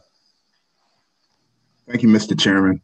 Um, my colleague, Commissioner Botstein, is always a hard act to follow, but I'll, I'll give it the uh, college try. Thank you, um, Chairman, for um, overseeing this and your uh, stewardship of uh, economic and equity and economic development with guardrails. It's really important. And uh, we think that our ask and advocacy today is right in line with that thinking. We also uh, wanted to take an opportunity to thank our Ward 4 Council member, Janeese Lewis George, for her um, strenuous and steadfast um, advocacy um, on behalf of her constituents, which include small businesses here in uh, the ward and here in this particular uh, area of the ward. I just wanted to sort of emphasize a few points. I know short on time. Um, we're, we're asking, and my colleagues before me have shared the particulars of the of the ask for the Petworth Main Street, but we're asking for um, you and your colleagues in the district to invest in us, um, to invest in our communities. Small businesses are the lifeblood of the economy, and they're really where the rubber meets the road in terms of uh, our constituents and residents benefiting from the fruits um, of an equitable economic recovery. Um, I want to share that we really have a broad based support from a uh, variety of stakeholders. Um, there's collaboration amongst advisory neighborhood commissions. There's no sort of um, narrow casting of fiefdoms. Um, uh, in terms of customer demand and support, uh, we have a petition, as was mentioned, um, that indicates broad-based uh, support from consumers. Um, we have sort of nonprofit and civic entities that are uh, very active in this space. Um, we have uh, CDFIs. I was pleased to see some discussion before about the deployment of capital. Industrial Bank supports this. It's right uh, smack within this catchment area. And um, it's very important the barriers uh, of access to capital um, and the, the, the, sort of last mile of deployment that I think one of the other um, um, uh, testimonial uh, was given that uh, there is a uh, really a needed effort to make sure that the last mile deployment of capital is sort of given to this area. We think a Main Street sort of helps in that regard. And I think that to address the racial wealth gap, uh, a Main Street is important, um, critical, I think with the comprehensive plan passing um, and determining who lives here and who benefits economically from the changes that happen here, a Main Street designation is important to support our businesses. Um, so thank you very much. Um, 4C uh, supports this. And uh, thank you again. We're available for any questions. Thank you. Thank you for your testimony, Commissioner. Just to, you know, we lost you a few times uh, there throughout your testimony. I think we certainly got the gist of it, but wanted to just let you know that. So if you haven't already, if you could just provide your testimony in writing, that would be helpful as well. Okay, thank you. there any resolutions? I think there, there were mentioned in some of the testimony about uh, resolutions in support of this, then, then ensuring that the committee has those would be helpful as well. Thank you. Thank you. Next, we have Charlie Whitaker, uh, who is the CEO of Career Path DC. It's good to see you. Mr. Whitaker, you can begin your testimony. Good afternoon, council members. Good to see you also. I would like to thank you, the mayor, and the other council members for supporting the clean teams during this epidemic. And also, I would really love to thank DSLBD. They've been a wonderful partner over the last 11 years. Today, I want to talk to you guys, though, about some numbers. So, for our clean teams, we haven't received an increase in several years. So, in 2018, the clean team was making $13.95 an hour. The living wage took us to uh, 14.20 an hour um, in 18, and then it went to 14.50 an hour in 19, and then it went to 14.65 an hour um, January to January 2020. Um, as of as of July the uh, first 2021, we'll be making 15.20 an hour. The team members will be making and we haven't received any type of um, increase in funding. Also, um, we have new requirements from DSLBD. We have to have cyber insurance. We have to have excess liability insurance, which is an un, umbrella insurance. And we have to now have environmental pollution insurance. All these insurances um, puts a large strain on our organization. And I just want to tell you how much we receive in administrative calls through these grants. I'm gonna give you an example. So from Minnesota Avenue it's it's $107,000. We have we get zero amount for administrative calls. For Kennedy Street, we get 2% um, administrative calls. From uh, Connecticut Avenue, it's like 3% administrative calls. Um, and I'm saying this to say this. If, if we could just get more in administrative costs, if, if they could give every team, if every team could receive $25,000 per area for administrative costs, that would really assist us with these new costs. And I haven't yet started talking about our bags went up, um, our uniforms went up during the pandemic. Uh, our supplies also went up during the pandemic. And uh, we've been working through the entire pandemic. Career Path DC never took off. We our guys came in faithfully and worked. My biggest fear is that at a point we're just going to be in the red and it's going to be it's going to really affect our organization. We love doing what we do for DC residents. We love doing what we do for the community. However, our ask today is just one to ensure that we do have that the contracts get an increase of at least $25,000 to make sure we can um, pay for a lot of new administrative costs that we have. And two, that um, as the living wage goes up, that we have like a fund set to, to the side where you guys can then go in and as you um, give the guys an increase, that you can that you'll be able to increase the budgets at the same time because this has really been a strain on us. Um, if you have any questions, uh, I, am feel free to ask me. But I appreciate, and I want to say this, I definitely appreciate the program, and I definitely appreciate you guys for all the support you've done over the years. Sure, sure. No, I appreciate your testimony, Ms. Whitaker. Uh, this is uh, the work that you do and, and, the work of your team is is extraordinarily important uh, to our commercial corridors. I think uh, everybody will acknowledge that. And, and I've had extensive conversation with you about this issue, which I think is more structural and needs to be addressed urgently. Uh, you mentioned cyber insurance, excess yes, insurance, and environmental what insurance? Cyber insurance um, and environmental pollution insurance. So we, we, we fought it. We fought the environmental pollution insurance last year, but this year they came back and said we had to do it again. So we, we just went on and got it because um, we just want to stay in compliance. Okay, but, so knowing, knowing your cost star would be helpful. So if you could you know, just just reach out to the committee and provide okay. that information um, uh, so that we have a sense, and we'll, we'll, we'll likely uh, reach out to some of the other uh, clean teams to, to get their costs and, and get a sense of, of, of uh, the increased costs more broadly, but also uh, the cost of insurance and having to have that as well. Uh, so I appreciate you, you raising that very important issue. You guys hire a lot of people who live in these communities across the District of Columbia. In many cases, you know, people with barriers to entry into the workforce. And so uh, I, I, really do appreciate what you do uh, and, and that you testify today.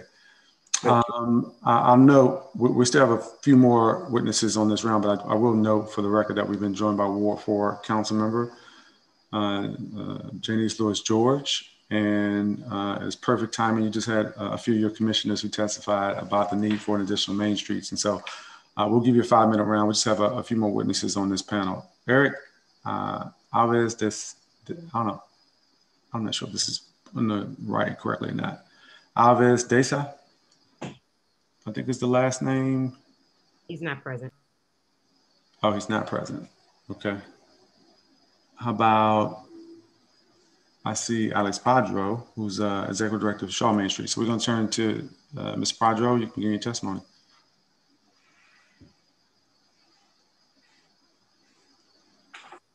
Thank you, Mr. Chairman and members of the committee and committee staff. I'm Alexander M. Padro, Executive Director of Shaw Main Street since 2004 and a former 10-year, excuse me, 10-term ANC Commissioner representing Central Shaw.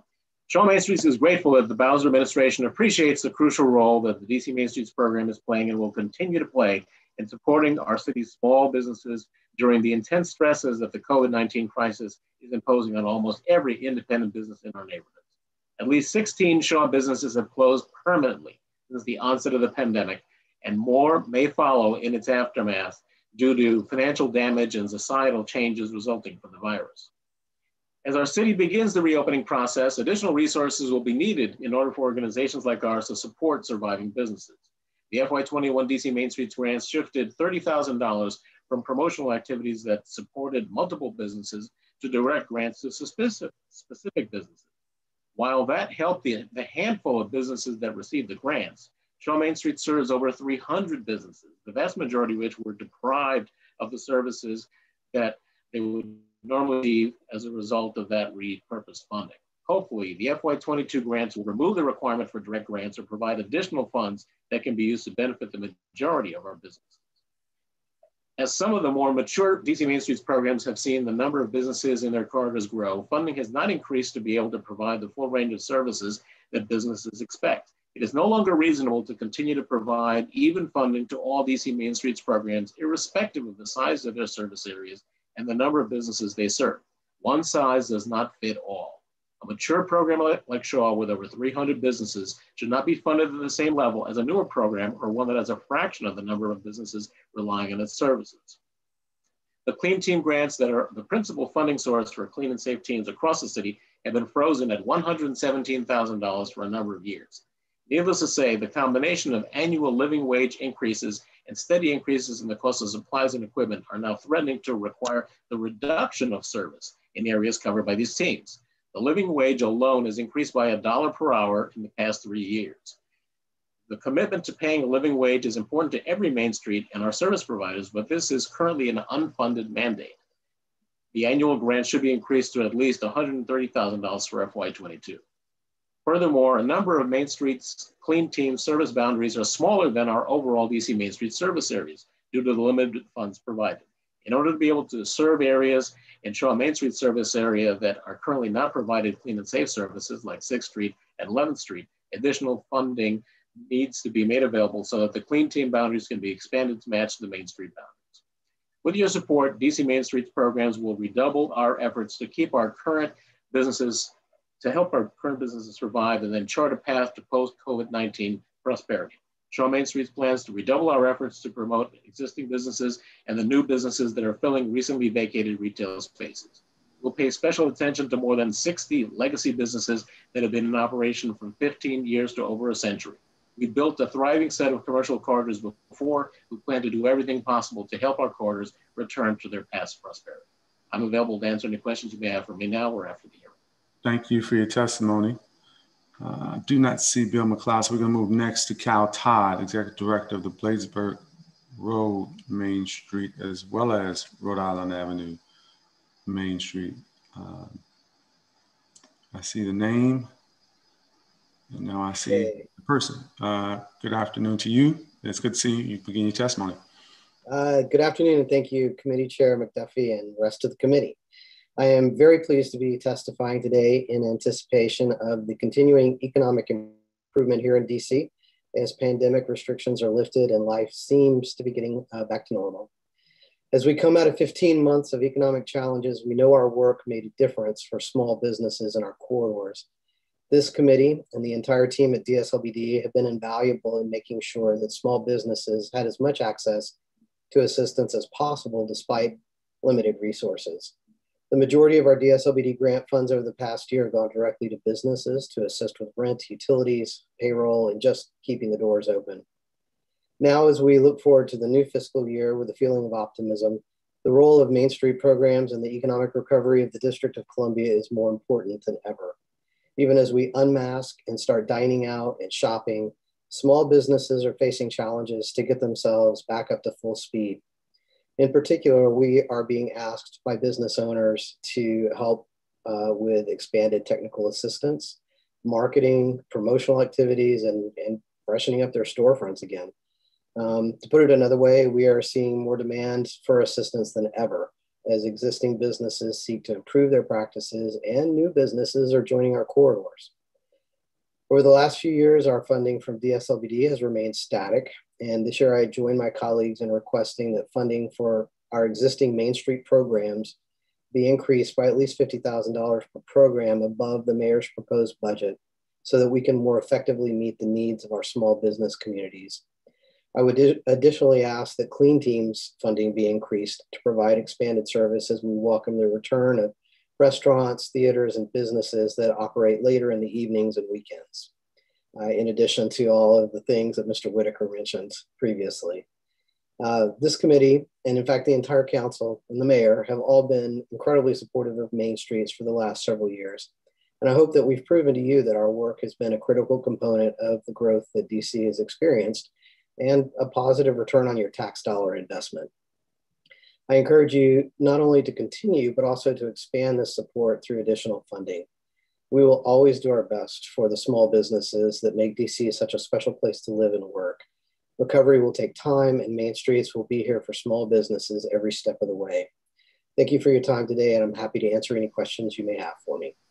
And thank you for your testimony. We're going to turn next to Rachel Shank, who's Executive Director of Georgetown Main Streets. And good afternoon to you. Good afternoon. Thank you for this opportunity. Let me just get my testimony up here on my screen really quickly. Okay. Um, good afternoon, Councilmember McDuffie and members of the committee. My name is Rachel Shank. I'm the Executive Director of the Georgetown Main Street Program, GMS. Our corridor stretches from K Street to Whitehaven Parkway along Wisconsin Avenue and half a block east and west. GMS supports more than 200 small and local businesses, not including corporate businesses, across the mile plus of the commercial district. Close to 60% of our small businesses uh, are either women, immigrant, or minority owned. And first and foremost, before I get started, I just want to thank you and this committee's support of small businesses during this past year. Today, I want to talk about two pretty straightforward funding opportunities that could be incredibly beneficial to small businesses in our corridor.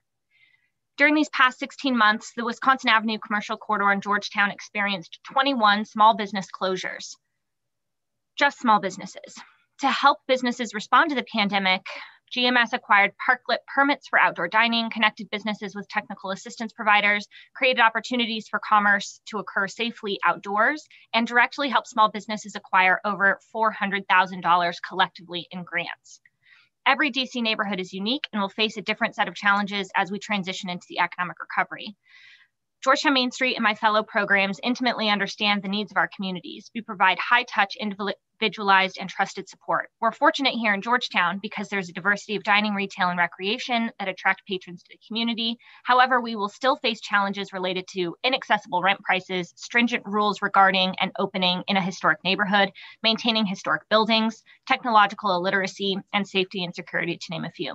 I fear we will face a new wave of challenges as rents become due and evictions resume. Demand increases, but employment remains challenging, and online retail continues to grow in popularity.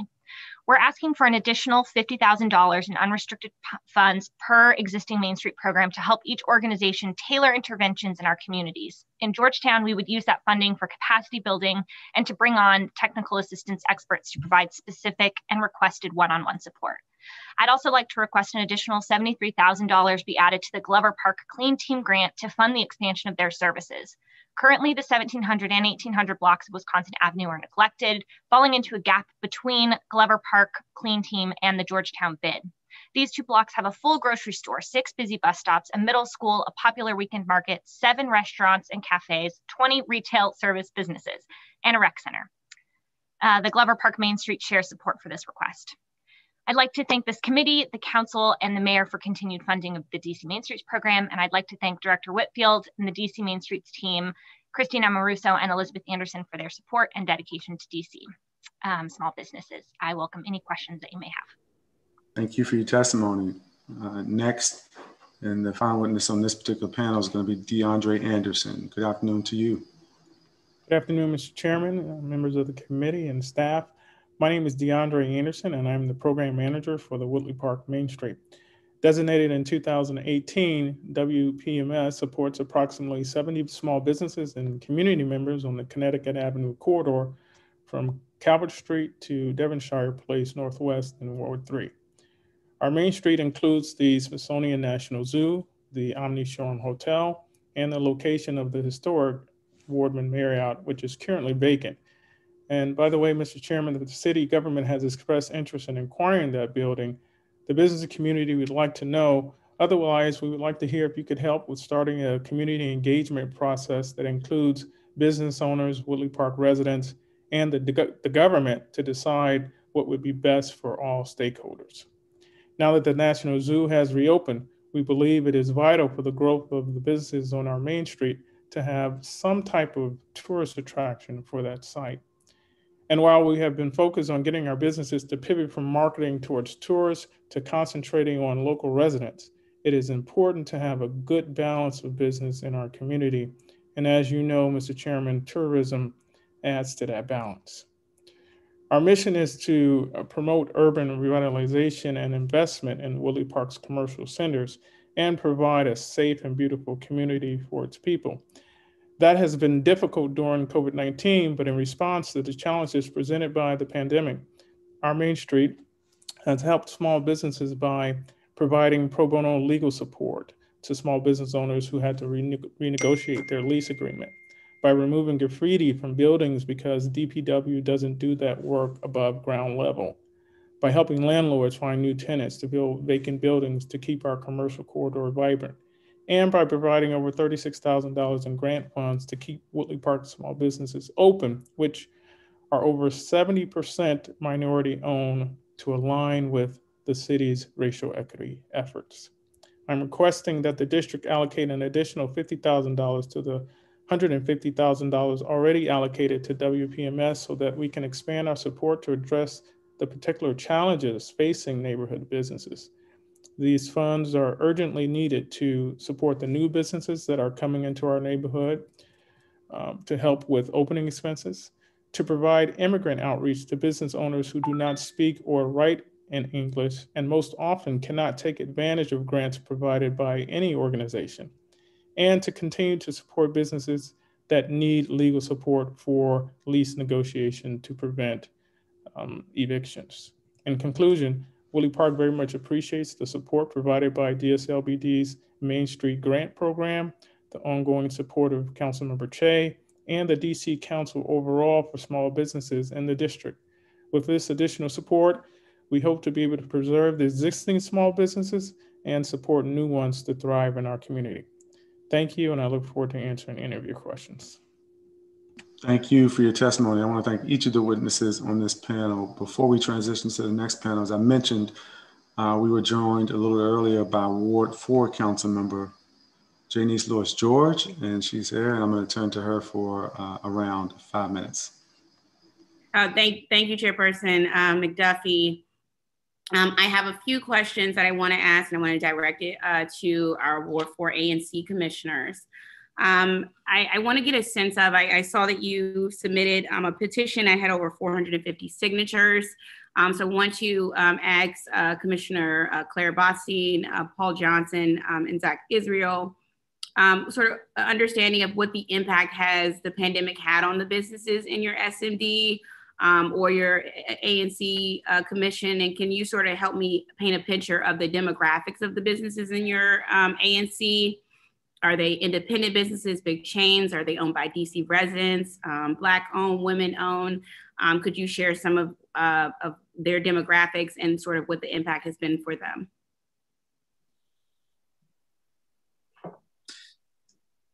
So um, I'll just jump in. Thank you, Councilmember Lewis George, for being here. Um, so, you know, along the stretch of Georgia Avenue that I represent from Emerson up to Ingraham Street, uh, the majority of businesses are small, independently owned businesses, many minority owned. Mm-hmm. Um, we have a barber shop, we have a nail salon, we have uh, a Jamaican restaurant, an Ethiopian restaurant and um, you know things have been tough for my conversations uh, with those owners over the last 14 15 months. Mm-hmm. um, and you know this type of designation that we're talking about i think would really help all of them collectively um, and uh, you know make things more equitable as we move forward. Um, this part of georgia avenue has sort of been left behind out of this and, and this this would help rectify things. Awesome. Thank you for that yeah, I would just second um, what Commissioner Israel said. I mean, we have, um, you know, they're all small businesses. A lot of the owners are local, um, a lot of women and minority owned businesses. Um, and I think one of the things that we're hoping on Main Street will do will sort of catalyze um, kind of engagement um, and more resources towards the community. But a lot of the, the businesses, you know, there can be language barriers. So accessing DC grants can be challenging, just sort of navigating not just the crisis, but normal operations. And as I said in my testimony, we've seen a lot of turnover um, even before COVID-19. And so um, even on the 800 block of Upshur, which is, you know, has the highest concentration in the area. So um, there's a real, real need. Um, these are local mom and pop shops, um, retail restaurants. Um, it's a community driver, a community locus point, um, and can be an attraction for the entire district. Um, but again, it's I think sometimes the kind of really successful businesses here can mask the realities for most. Mm-hmm. Um, and so I think there's also interest in just having an organizing body that can help with, you know, streetscapes were meant, or, you know, the streeteries were mentioned. Um, you know, is that something we want? How to get the permits? Who's going to organize that? Um, you know, we've been involved with some arts, um, community-based arts events, um, Commissioner Johnson and I and others, and you know, we've been doing that on a volunteer basis. Um, but having a main street to kind of you know even host a GoFundMe, you, know, you need right. a nonprofit. So there could be huge potential um, realized um, and jobs created and maintained as a result of the main street. Great, thank you for that, uh, Commissioner Johnson. Yeah.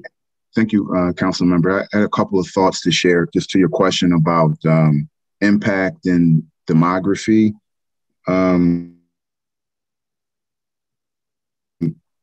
you know, the impact, there's been closures, you know, and there's been sort of suffering.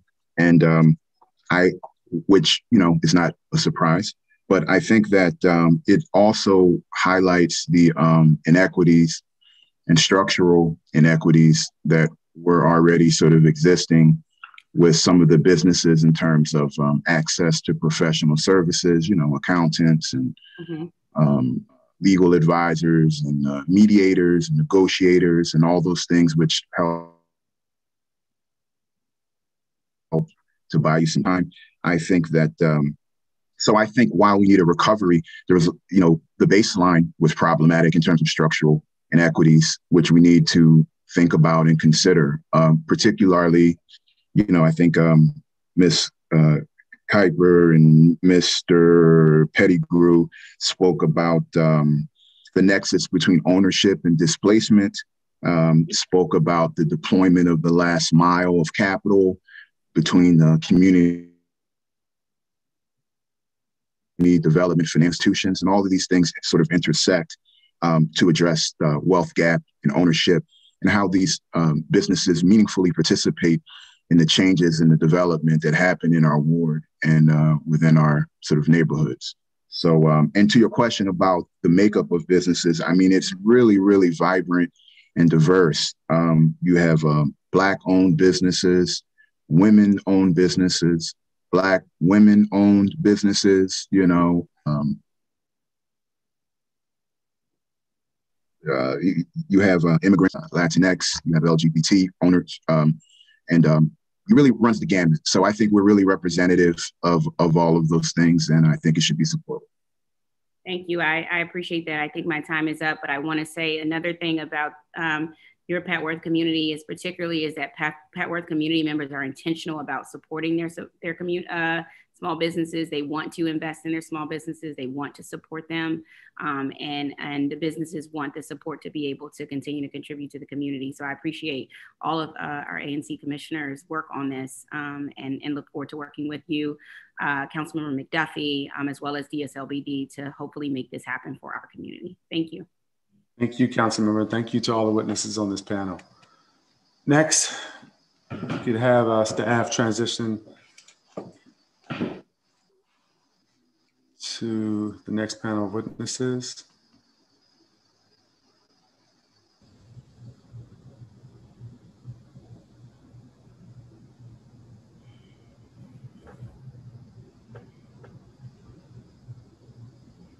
We're going to begin with Teresa Edmondson, who's just joined us, Main Street Manager, Lower Georgia Avenue, Main Street, District Bridges. Uh, good afternoon to you. You can your Good afternoon. Good afternoon, Chairman McDuffie, council member, and staff. My name is Teresa Edmondson, and I'm the program manager of the Lower Georgia Avenue Main Street. Lower Georgia Avenue Main Street was established in 2017 and provided a grant from DSLBD. Approximately 220 small businesses operate on Lower Georgia Avenue Main Street, located over one and a half miles from Bryant Street on the south end in Ward 1 to Upshur Street on the north end in Ward 4. Lower George Avenue Main Street is one of six DC Main Street grants managed by the DC-based nonprofit District Bridges. Lower George Avenue Main Street is a melting pot of longtime African American and immigrant businesses alongside new businesses. Languages spoken in these businesses include Mandarin, Amharic, Vietnamese, Arabic, Spanish, Korean, Swahili, French, and Urdu, to name a few. This stretch of Georgia Avenue is also home to anchor institutions such as Howard University, the Bruce Monroe Community Park, and the Petworth Library, which provide stability and generate demand for services upon which our businesses depend. Despite the challenges of the COVID-19 pandemic over the past 19 months, LGAMS used the DSLBD DC Main Street grant to provide much needed support to neighborhood businesses, including over 800 hours of technical assistance. Other support included $75,000 in direct grants to 26 businesses, assistance with streetery permitting processes, facilitating technical and loan assistance with partnering organization Latino Economic Development Center, connecting businesses to the DC Small Business Development Center at Howard University and the DC Bar Pro Bono Legal Clinic, individualized support to BIPOC and women-owned businesses to secure city and federal grants, 13 Lower Georgia Avenue Main Street businesses were recipients of one or the other or both. As the Lower Georgia Avenue Main Street program manager, I have three priorities. One, post-COVID reactivation, helping businesses reconnect with their neighbors and clients. Two, building bridges, helping businesses overcome language barriers. And three, business strengthening, getting access for entrepreneurs to the basic technical and financial support they need to grow and thrive. By allocating $75,000 of additional funds to LGAMS, we could expand our support to address the challenges facing these neighborhood businesses, of which the main ones for Lower Georgia Avenue are language access, are language access assistance, and access to capital, as they struggle to reopen, recover, and reconnect with their community. In conclusion, Lower Georgia Avenue can be a wonderful example of how a neighborhood can build on its past history and culture as it revitalizes and diversifies. With this additional support, we at District Bridges can help ensure the progress and success of the Lower Georgia Avenue Main Street. Lower Georgia Avenue Main Street would also like to take this time to acknowledge the value and appreciation of support from the district government on Georgia Avenue since before, well before COVID. Thank you. And thank you for your testimony. Next is Zach Rabarzik, Program Manager, Cleveland Park Main Street. Thank you so much, Chairperson McDuffie, council members, and committee staff. Uh, designated in 2019, Cleveland Park Main Street currently supports over 60 small businesses along Connecticut Avenue Commercial Corridor in Ward 3. This corridor, part of the broader Cleveland Park Historic District, is home to a diverse mix of small and large businesses the majority of which are women and minority owned, ranging from legacy small retailers to new concept restaurants. It is also one of the six main streets managed by District Bridges. From January 2020 through March 2021, we provided over 850 hours of technical assistance, ranging from alerting owners to pandemic related regulatory changes, assisting with grant applications and reporting requirements, to coordinating and liaising between DDOT and business owners over ongoing transportation projects. What I cannot stress enough is that despite the loosening of pandemic related restrictions and the gradual return of the customer base, our small local businesses in Cleveland Park, like many other businesses throughout the district, continue to need the support of the Main Street and district government as a whole. While it's a district wide and national issue, Many small business tenants in Cleveland Park are facing an uncertain future when it comes to lease negotiations with their landlords post pandemic. While many, but not all landlords have shown some level of flexibility with tenants in terms of lowering rent and establishing repayment pl- plans, many businesses are still concerned about what the end of the public health emergency will, br- will mean for their ability to pay market rate rents and associated property taxes passed down to them without additional relief from the district. As I shared during a previous hearing, a particular challenge for CPMS during the pandemic was the mandatory closure of small retailers and personal service businesses. Even after reopening and implementing best practices to keep staff and customers safe, many of these same businesses continue to struggle to make up for lost time and sales. We, we now request council's assistance to make sure that regulations are again updated to bring these businesses to parity with their neighbors to allow small retailers to use outdoor space similarly to restaurant streeteries, which are currently closed to retail participation. For FY22, we request that council increase the CPMS budget by 50,000 for a total of 200,000. This increase will allow us to provide a greater number of small businesses grants and technical assistance, in addition to target support we anticipate will be needed to help businesses survive a large DDOT streetscape project in the coming year. In addition, while not directly related to the CPMS budget, we request that your committee work with DSLBD in the main streets along Connecticut Avenue to increase the budget for the Connecticut Avenue Clean Team to levels commensurate with other large clean team programs throughout the district. Of course, without the support of DC Council and DSLBD, none of this would be possible. We look forward to continuing our partnership as we work together to help local businesses survive the current crisis and thrive long into the future. Appreciate it. And thank you for your testimony. Next on our list is Edwin Washington, the Parks Main Street. And good afternoon to you and you, your testimony.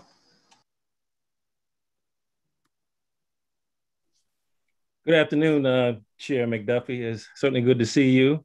Uh, good afternoon, Council Member uh, Lewis George. Uh, certainly appreciated you uh, coming over into our over uh, Culture Coffee with your uh, community hours here last week. It was very successful. Also, committee members and staff of the uh, Committee on B uh, Business and Economic Development, thank you for the opportunity to present testimony today on the mayor's FY22 budget as it relates to the Department of Small Local Business Development, in particular its DC Main Streets program. I am Edwin Washington, Executive Director of the Parks Main Street. TPMS is a program of the Center for Nonprofit uh, um, Advancement, uh, which also manages the Upper Georgia Avenue Main Street. TPMS will complete our third program year at the end of FY21. We continue to make a positive impact in the small businesses within our distinct commercial corridors of Riggs Park, Lamont Riggs, and Manor Park, uh, which, are, which are straddling wards four and five. Funding through DCLBD has made this possible. Without contradiction, FY20 was a year of change and in some cases devastation for DC small businesses. However, the upcoming summer months of FY21 bring a sense of hope. With this new sense of uh, beginning, DC Main Street's program should have more funding to help businesses with all their uniqueness to help them survive, thrive, and compete. Small businesses are excited uh, to get back to full operation by serving residents and visitors.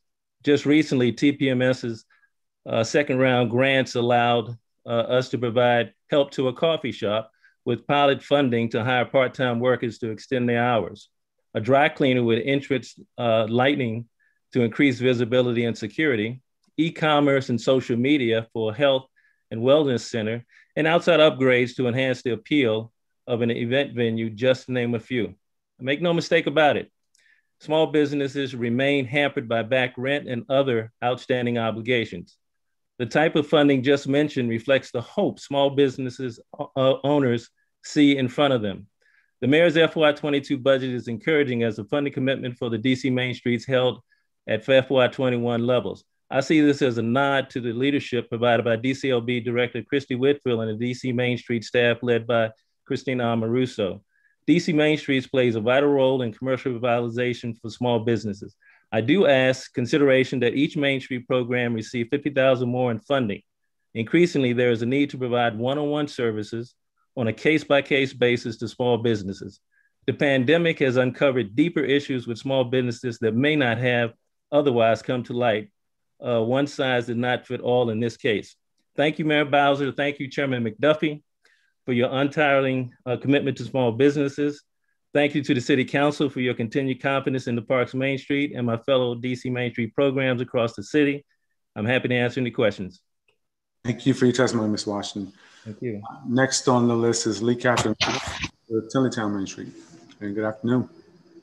Good afternoon, Chairman McDuffie and members of the Committee on Business and Economic Development. Uh, my name is Lee Catherine Miles, and I'm the Executive Director of Tenleytown Main Street. I thank you for the opportunity to testify today regarding the FY22 budget for the DC Main Streets and Clean Team programs within the Department of Small and Local Business Development. Tenleytown Main Street is a nationally accredited and DC designated Main Street program. Like the 25 other Main Street organizations that serve the city, we have spent the last year working shoulder to shoulder with the small local businesses in our community. We awarded more than $85,000 in grants and recovery supplies to Tenleytown businesses and helped them secure more than 800,000 in additional grants assistance. We also provided more than 1,000 hours of technical assistance. All told, we were able to direct nearly a million dollars of assistance to small and local businesses during the pandemic. The value of Main Street programs goes beyond dollars and cents, though. Main Streets are intentionally nimble, providing customized assistance to the businesses and neighborhoods we serve. We know there is not a one size fits all solution to the struggles facing businesses, and our business owners know they can call upon us at any time for help with lease negotiations or tax issues or government permitting or marketing advice or storefront renovations or myriad other issues. This is true whether we are in the midst of a global pandemic or on the path to recovery. While there's a bright light at the end of the tunnel as we celebrate our city's reopening, we cannot forget that our small businesses still have a long road ahead of them. I'm asking today the DC Council increased funding for DSLBD in support of the DC Main Streets program by 1.3 million, or the equivalent of $50,000 more per Main Street, as part of the city's investment in small local businesses. And let me emphasize the word investment. The annual $150,000 grant we received resulted in nearly 1 million in direct assistance to businesses, not to mention the value of new business attraction, place management, and business district marketing we provide. And that kind of return on investment is not atypical for Main Street programs. According to the National Main Street Center, on average, for every dollar allocated to a Main Street program, more than $30 is reinvested in the local economy. 30 to 1 is an exceptional return on investment by any standard. Additional funding would enable each Main Street program to provide support tailored to the specific needs of their business community. In Tenleytown, we'd allocate funds toward increased financial and technical assistance and support expanded initiatives to increase foot traffic and sales. I'm also here today advocating on behalf of the Wisconsin Avenue Clean Team. Citywide clean teams are often unrecognized frontline workers providing vital clean and safe services in our commercial corridors. They also offer employment and training for returning citizens, providing a pathway to economic opportunity. Wisconsin Avenue Clean Team ranks in the top 25% of teams in length of service, street trees, and trash can service, yet falls in the bottom half in terms of funding. So I'm requesting an additional $50,000 be allocated to the Wisconsin Avenue Clean Team to hire additional crew members and provide funding commensurate to the needs of the commercial area served. I'm grateful for the support Mayor Bowser, this committee, and the entire DC Council has provided to businesses and to the Main Street programs that serve them, and for considering increasing that investment as we recover and grow back better. I'd be happy to answer any questions you might have. And thank you for your testimony. Uh, next, we have Michelle Malatsky with the Logan Circle Main Street, District Bridges. Thank you. Um, thank you, Chairman McDuffie and committee members. Thank you for the opportunity to speak to you today about the Logan Circle Main Street and our DSLBD grants.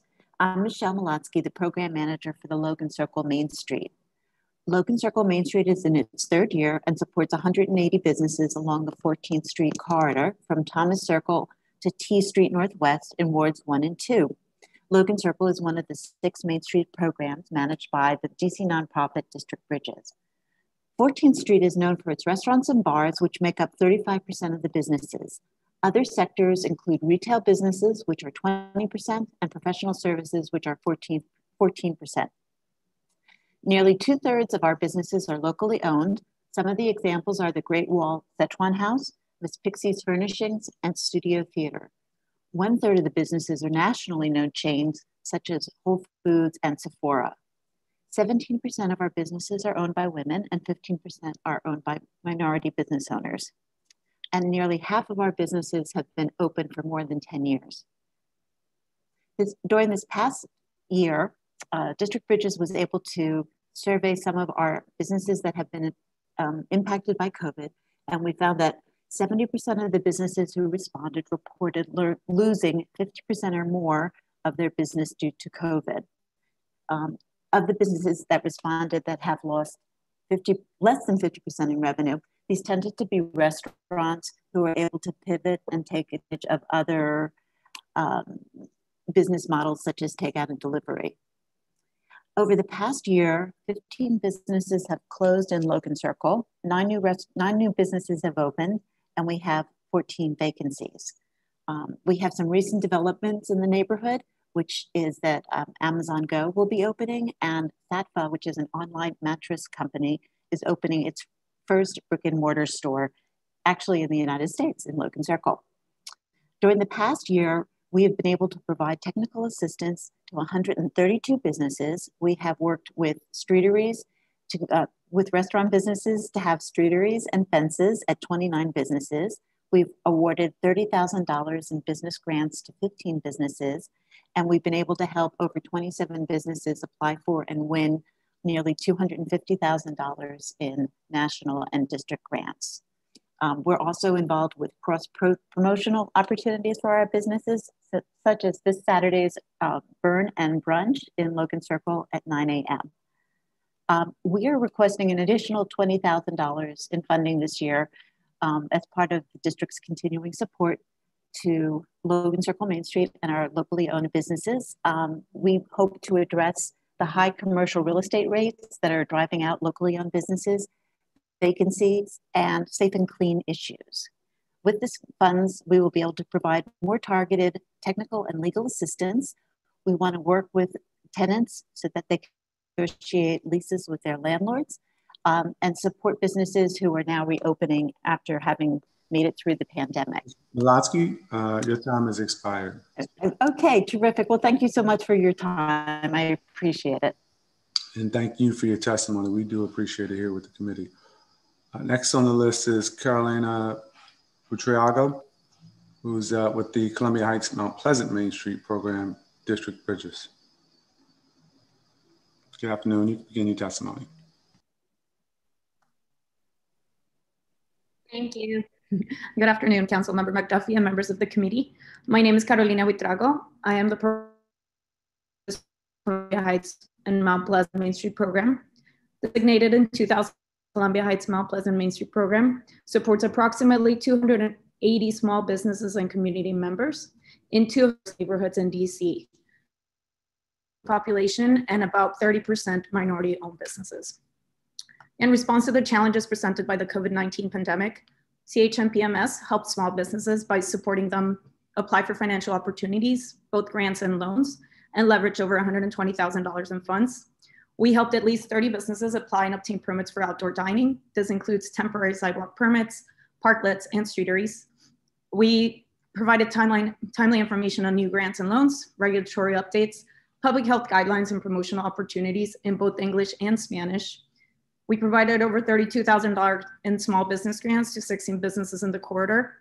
And we paid for the fence rental and the DAD for covering costing over $15. We also connected businesses with DC Bar Pro Bono to help them negotiate their rent with the landlord. And under a grant from the Mayor's Office of Latino Affairs, we're supporting 13 Spanish speaking businesses with facade improvement projects on 14th Street. I am requested that the district allocate an additional $100,000 in funds to the CHMPMS so that we can expand our support to address the particular challenges facing neighborhood businesses as they struggle to reopen and recover. This program covers over 280 businesses in two very distinct neighborhoods. This additional funds would allow us to provide more equitable access to types of, of support the businesses in this corridors need. In addition to the many supports we already provide, these funds are urgently needed to provide small business grants to minority owned businesses who were at a disadvantage when applying to financial opportunity, especially during the COVID-19 pandemic.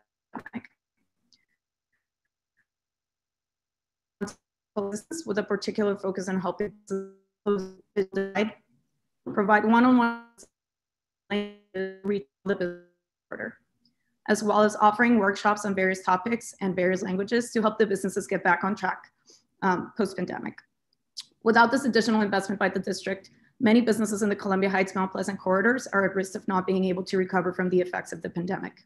This will disproportionately affect minority-owned businesses and would result in a significant loss in the diversity and cultural heritage of these communities. I would like to thank the council for continuing to fund this vital Main Street programs, which are more important than ever before as our city begins to recover. CHMPMS appreciates the support provided by, D by DSLBD and the ongoing focus of supporting small businesses here in the district. With this additional funding, we hope to be able to preserve the existing small businesses, which contribute to the identity of these neighborhoods and support new businesses to thrive in our communities. Thank you for your support and your time, and I'm happy to answer any questions you may have for me. Um, I do not have any questions at the moment, but we do have just a couple more witnesses on this panel. Uh, and uh, I just want to note we've been rejoined by Ward 2 Councilmember uh, Brooke Pinto. Uh, I'm going to turn to the next witness, who is uh, Kate Dean. And just as a heads up to witnesses, uh, I'm going to be taking a brief recess, but we will not interrupt the flow of this important hearing. And, and Councilmember Pinto is going to take over as chair when I transition in about five minutes. So just wanted to give you all a heads up. We're going to turn now to Kate Dean with the Glover Park Main Street. And good afternoon to you. You can begin your testimony. Thank you.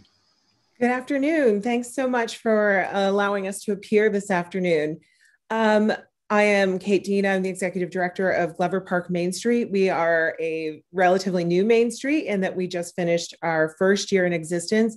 And if it's okay with everybody, I thought I would stray from prepared remarks uh, to talk to you about how actually I started off my day today dealing with a fire at one of our local businesses.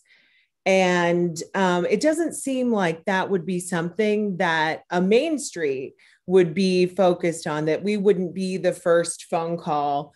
But that kind of off books, really personalized work is is really par for the course for um, my colleagues and I, and what we really are doing every day on the ground with these small and local businesses in the community. And I certainly didn't know that when I started um, with the organization. Um, but that is really uh, what can we do, right? Um, the only thing I could really do is stand with them and support them and communicate to the other businesses who are concerned for that kind of activity going on in the corridor and on their block, talk to the building owner and really connect them with a, a remediation company that can help them get out of this.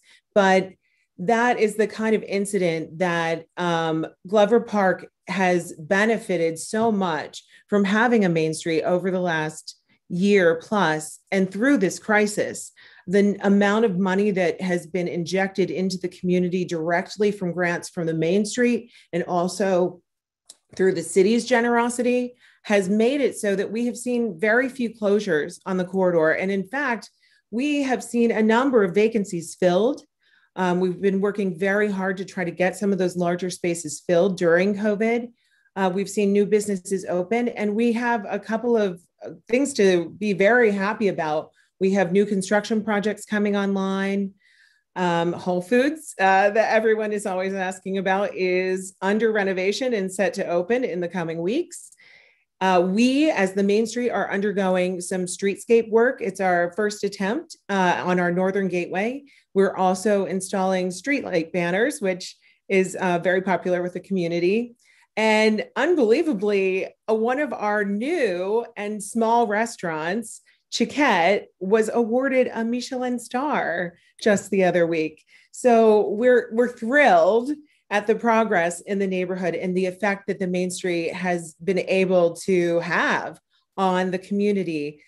But that's that's not exactly what I'm concerned about. I'm worried about 6 months from now and a year from now when the federal funding dries up and when the support from the city that has been so generous and really unique across the country when that's not available to small business owners anymore because we are on the other side of of the pandemic what happens when the exhaustion sets in and the everyday is just too much what we're going to see vacancies we're going to see closures um, the the problems with uh, that all of my colleagues have already commented on today. I simply echo their concerns. Your and, time has expired. I oh, apologies, but thank you.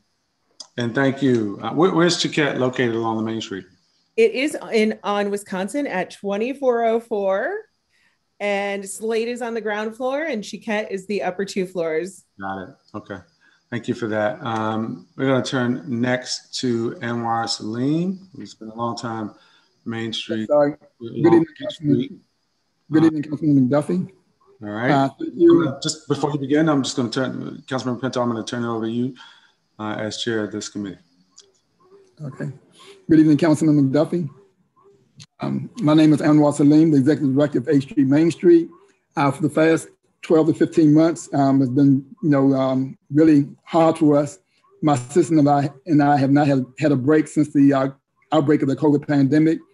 We are consistently operating from a position um, that allow us to service the needs of our businesses. Um, we've had less than 10% of our businesses uh, close, uh, including WeWorks. Um, some others closed um, permanently. Um, about less than 10% closed permanently, and others are questionable as we begin to look uh, forward to our future a little differently. Within the same time frame, we were forced to defend our ground and protect our businesses throughout the uprising of the murder of George Floyd. Uh, your office worked with us and other DC council members, the office of the mayor and many agencies worked with us to address the needs, uh, many of our needs. DSLBD partnered with us to address the neighborhood and local concerns and issues such as the issuance of personal protection equipment, um, allowing funds uh, for our mini grants, hosting virtual meetings to manage retail and security issues, and health and leasing concerns. Many pandemic and uprising exposed ma Main Street programs to many of our business shortcomings and relationships we need to strengthen between ourselves, the businesses that we serve. Uh, we met many of our businesses um, owners to help them apply for some, uh, some form of assistance. We discovered the hardship that many minority-owned businesses had, had applying for district and federal grants and loans because of one, unfiled uh, tax returns, inadequate business insurance, expired licenses, the inability to produce financial statements, the absence of organizational structure to produce timely paperwork. Through the past year, we assisted businesses with the following, but not limited to uh, leasing adjustments, pocket and street permits, pickup and delivery zone permits, mini grants, open for business signages, PPP loan applications, new ads and promotions, building security and hardening assistance, uh, connecting businesses with DC agencies to resolve uh, various issues, business highlights marketing, and um, uh, during the HP Festival, we also created pop-up um, and local federal grant assistance uh, for many of the businesses. Uh, during the time, same time frame, uh, these are some of the, uh, we realize that some of these issues uh, that I'm getting ready to mention, these three issues that need to be addressed immediately, or it's gonna really hurt some of our, many of our, some of our businesses. I'm concerned about our legacy businesses owned by our seniors who have fallen behind on property taxes. If we don't address this issue immediately, we will not only lose their business, but they will also lose their property to tax sales. A few of the, two, a few of the commercial landlords along A Street are avoiding the landlord and tenant courts and are taking their tenants to civil courts to find relief. I hope it doesn't become a trend. How can this issue be addressed? Three, some of some Main Street programs wish to morph into a, a business improvement district uh, type structure. I believe it's time to look into the uh, into the legislation and find ways to fit us into a structure that would allow would in time provide us with financial support and need uh, that is needed for success. No other program in the city has the tools and expertise to bring back our neighborhood commercial district like the Main Street program. We believe that there is no cookie cutter approach to bringing these businesses back online. Through our experience, we know that every quarter is different and unique uh, with unique qualities and, and asset. We will need to provide assistance and recommendations according to their strengths, weaknesses, and the type of businesses in need of services. We know that it is much cheaper to retain a good-minded business person to either change or improve their business model than to allow them to close because of undercapitalized Mr. Salim? Yes. We're we're a bit over time. If I can just ask you to, to finish up and we can get back during questions. Okay. Um, I'm gonna summarize. Well, we expanded our boundaries. We need an additional $100,000 to service Bladensburg Road and, um, and Benning Road. And we also need $100,000 to program uh, a public space, the Starburst. Um, other than that, um, the LBD has been great. Uh, we received about $150,000 like the other Main Street programs. And we would like to thank the council and the mayor uh, for their services in promoting and, and uh, supporting uh, the Main Street programs. Thank you. Okay. Thank you very much, Mr. Salim. Um, next, we have Martin Smith, the Executive Director of Barracks Row Main Street. Hi, can you hear me? We can. Great. Uh, good afternoon, Councilmember Pinto, members of the committee. My name is Martin Smith. I'm the Executive Director of Barracks Row, the oldest of DC's Main Street programs. Uh, I'm here today to express my thanks to the City Council and uh, the Mayor for their continued support of DC's Main Street programs and the important economic development and community building services that they provide. Just like my colleagues that you've already heard from today, when COVID 19 hit last spring, we jumped into action, helping our small business community to access federal and local funds and other resources to adapt to constantly changing rules, regulations, and guidance from public health officials, and to transition to new ways of doing business to meet those new changes. Uh, Barracks Row's experience during the pandemic shows that the investment in small and local neighborhood serving businesses is working. We were fortunate to have already relied heavily on neighborhood traffic rather than tourism or daytime office workers. And our good fortune increased when our neighborhood stepped up and deliberately decided to shop locally and order takeout and do everything that they could to support the commercial corridor with their dollars. As a result, we've been able to weather this storm better than many other commercial corridors, especially those without Main Street programs. We have lost a yoga studio, two restaurants, and a retailer, but we have gained over a dozen new businesses during the pandemic, and several more are about to open this summer. We also completed a $14 million renovation of the Eastern Market Metro Park during the pandemic, meaning we now have a significant public asset now that people are finally able to gather again. While we've been fighting for our businesses, though, our own organization has taken a significant hit from the pandemic. We canceled the entire event season in 2020 and all of our spring events for 2021. We also canceled our annual campaign to raise funds for our program from building and business owners during the crisis. While these were the right things to do, Doing so resulted in a significant loss of revenue for our program of over 200,000 unrestricted dollars. That loss of unrestricted income led to significant pay cuts for our own staff and eventually eliminating all of the staff positions except for my own. The assistance that we are able to provide to our small business community is directly proportionate to the resources that we have ourselves. Given that reality, I join my colleagues in asking for an additional $50,000 of unrestricted funds to be added to the existing Main Street programs and an additional $25,000 to be added to the Clean Team funding. The additional Clean Team funding is particularly significant to BRMS given our need for additional services to maintain the city's significant investment in the Eastern Market Metro Park. I also echo the concerns earlier of Charlie Whitaker. Increasing the living wage while not increasing the grant that pays for it is an unfunded mandate. The goal of the increases to the living wage is to put more money into the pockets of our city's workers. If we have to reduce hours of, uh, to fit the pay increase within our grant budget, then that doesn't happen. I also echo his concerns about increased costs due to inflation and also insurance requirements from the city. I realize my time is expiring here, so I'll try and sum the rest of this up.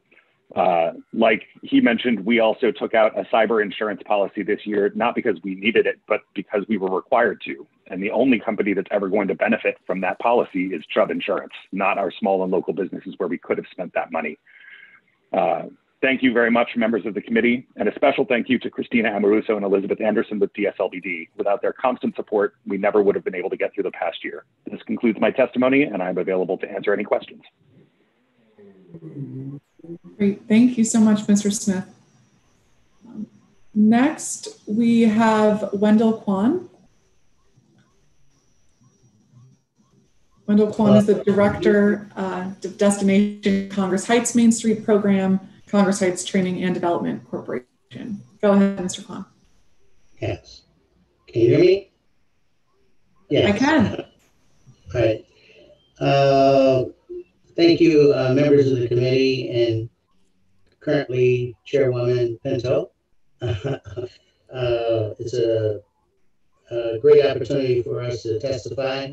Uh, we, as the other Main Streets, have uh, suggested in terms of baseline budget changes. Uh, we support the 50 grand increase for uh, Main Streets and then also the needed resources uh, the $25,000 baseline increase uh, for the clean teams. We uh, are out in Congress Heights, a community that is seeing some new investment uh, on St. Elizabeth, where Main Street has had a long history uh, of disinvestment. And so budget-wise, we support those baseline increases. we are kind of first responders uh, for uh, small businesses. Uh, and I think the one-time money that the city is receiving for innovation opportunities should be looked for for the Main Streets. And so I guess my testimony should have been on the uh, uh, panel uh, because the types of things that are being done uh, for bids, Main Streets kind of need the same type of innovation. And so I hope uh, that through the leadership of this committee, that we could somehow uh, meet soon uh, to talk about uh, innovation ideas. Because we, for example, explored establishing a bid in this area. And the reason we weren't able to do it is because most of the properties are owned by nonprofits and government agencies. And so it would not raise enough to you know to support biz, and I wouldn't dare compare uh, Main Street to biz uh, in terms of uh, the benefits uh, that they're receiving uh, in the budget, but uh, they represent you know dynamic areas in the city, and I think some of this one-time money should be looked at for innovation along Main Streets, and so. For example, we are one of the few areas in the city that has vacant and blighted properties uh, that could use that innovation money uh, to redevelop, uh, you know, the main street uh, to the quality of the first class city uh, that we live in. And so that's my only suggestion that we have an opportunity as Main Streets to uh, talk about the one-time innovation money that the city is receiving that could really help Main Streets, particularly those that are disinvested uh, like Congress Heights. Thank you. Thank you very much, Mr. Kwan. Um, and I think that gets us to the end of this panel. If we've missed you on this panel, if you can put your video on to indicate you have not testified yet. But I think that's it. All right, so I, we'll do a, a five minute round for this panel.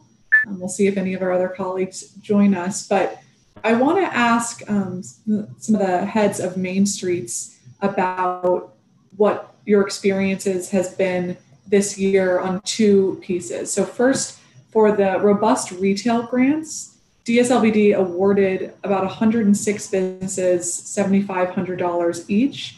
And I'm curious to know uh, how many businesses in your respective corridors applied and then received those grants. Um, and then if there's anything else that you want to share with the committee around outstanding needs that your businesses are reporting now that they're starting to get reopened, whether that's a permitting issue, a fee issue um, that we should be aware of. And so let's start um, with Michelle Malatsky, still on here, from the Logan Circle Main Streets.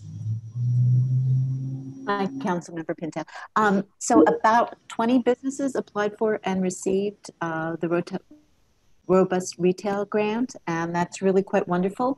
My request would be that uh, going forward in the future, there's a way to streamline it and make it easier for businesses to get the grant money. Um, still, a lot of businesses struggle with paperwork.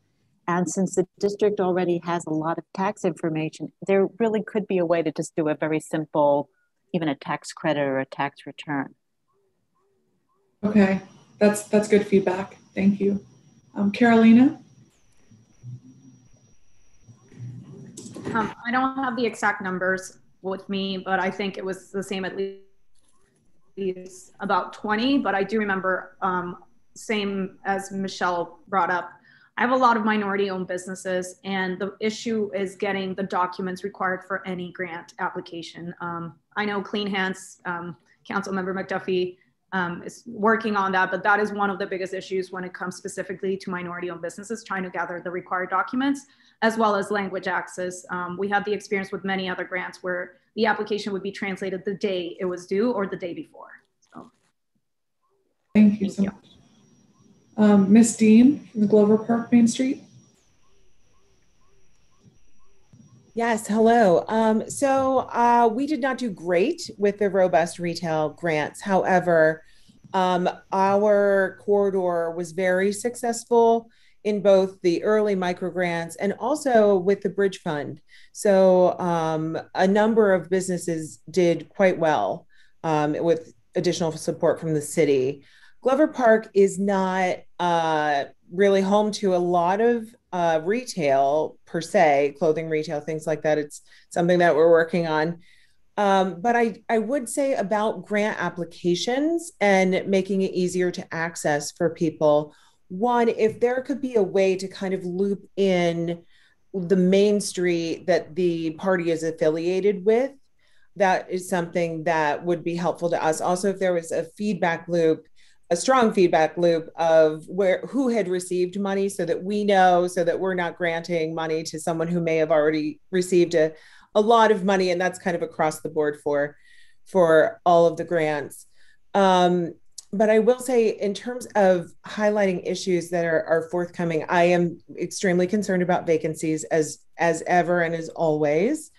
Um, and all of the associated reasons with that that my colleagues have already mentioned here today uh, but I would also say that we um, are concerned about the streeteries and getting permits through not DDOT but DCRA um, due to the structural nature of the the structures that we're trying to build right now. We've been working on one for over two months, and now we're into summer, and so this business is really at a loss and um, so anything we could do to improve our communication among all of the different agencies that we work with would be beneficial to the small businesses. Okay, thank you very much. I appreciate that. Um, Zach? Hi, council member. Thank you for this question. I know we had roughly a, a half dozen or so businesses um, receive the robust retail, and, and like Carolina shared, uh, language access was an issue for some of our, our businesses through the application process. Um, I know we've seen that improve recently with other rounds of grants, so that's a step in the right direction.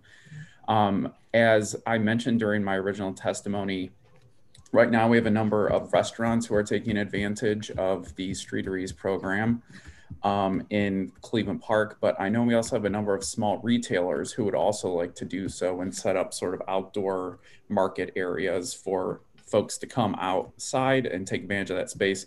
And right now, through the permitting process, they're not allowed to do so. Um, and to our understanding, this has gotten hung up in the executive's office. And we would love to be able to have um, those folks, with your help through DC Council, sort of push that through so retailers can have the same uh, permitting rights that restaurants do.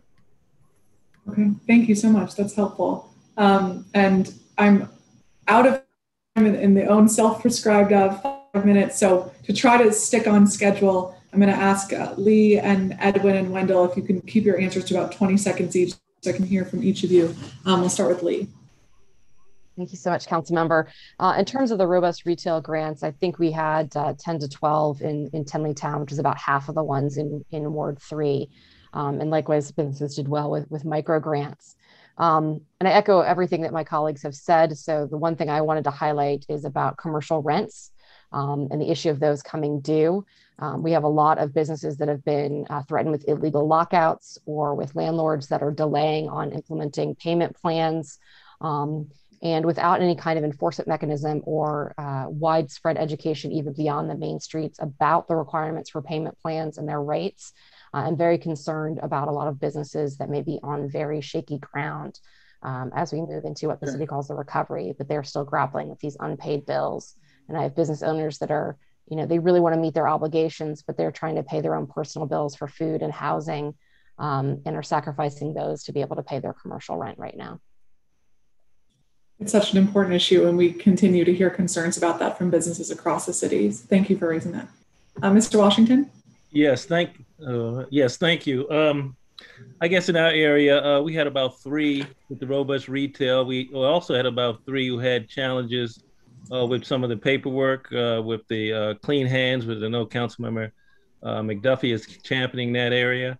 Um, and but I think that was probably one of the bigger. We also had an issue related to some insurance; those are key.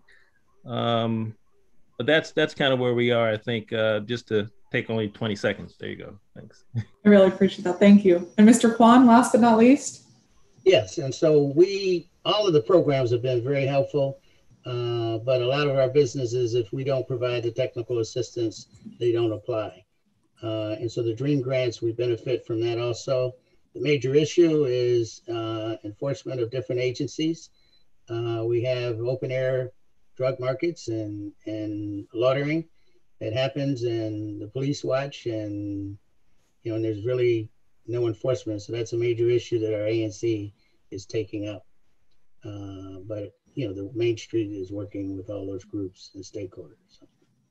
Okay. Well, thank you so much. And thank you to this entire panel. This has been such a challenging year and we've lost almost 300 businesses and it would be many, many more without the support of the Main Streets and all of your efforts to protect our businesses and provide them the support they need. So we look forward to continuing to work together and be creative as we head to the summer months to try to get our businesses open and up and running. So thank you.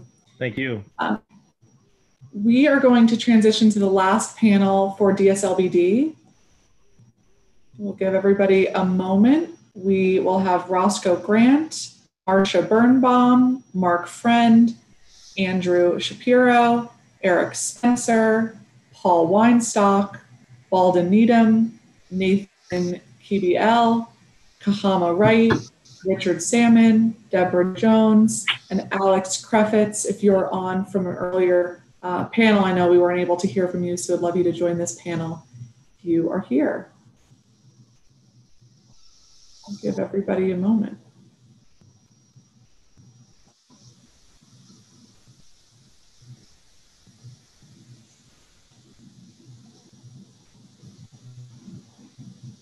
And we are going to, um, if we can reset the clock to three minutes, we'll have three minutes. And if I can ask everybody for your help to try to keep it, um, keep your testimony to three minutes as we have many more witnesses to get through. This is my, my first time standing in as chairing this hearing, so I don't want to interject too much.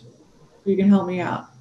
Um, all right, do we have Roscoe Grant on here? Present, Councilmember. Sorry? Not present. We don't. Okay. Okay. Um, we will start with Marcia Birnbaum from PFFC Downtown DC Public Restroom Initiative. Go ahead, Ms. Birnbaum. Hi. Um, I'm a DC resident, and as you know, I serve as mentor and advisor to PFFC's Downtown DC Public Restroom Initiative. Our research and advocacy both inspire and inform the introduction of Bill 220223, the Public Restroom Facilities Installation Promotion Act of 2018, which was passed by unanimous vote by the DC Council on December 18th, became law in 2019 and went into effect on October 1st of 2019. As a result of the onset of the COVID epidemic in March of last year, implementation of the two pilots uh, provided for two standalone restrooms open 24 7, the community restroom incentive pilot were put on hold. Uh, at that time, the Department of Small and Business, Local Business Development, which was responsible for implementing the second, had made impressive progress in preparing the guidelines to go out to bids who were interested in participating. And it was only logical, with COVID resulting in closure of so many facilities, to remove funding for the pilot from the 2020 budget. We're pleased to see the pilot now can resume now that the mayor has given permission to all of the establishments to re- reopen to, to 100% capacity, and that the 66,000 removed from the FY 2020 budget has now been reinstated in the 2022 budget. On behalf of our initiative, I'm here to give thanks to Council Member Nadeau for introducing this bill, the bill, to uh, all of uh, the members of the DC Council for unanimously passing it, and to Director Whitfield and her staff for enthusiastically, up until COVID hit, laying the groundwork for groundwork for instituting it. Uh, now that the COVID restrictions have been lifted, uh, DCBLD can pick up where it left off. So these funds will make it possible for a bid to provide incentives to up to 30 businesses to open their restaurants to the public. Participating businesses will be required to put up a decal indicating that members of the public are welcome to attend and locations of the businesses along with hours will be made available either on an app and or on the DC government website.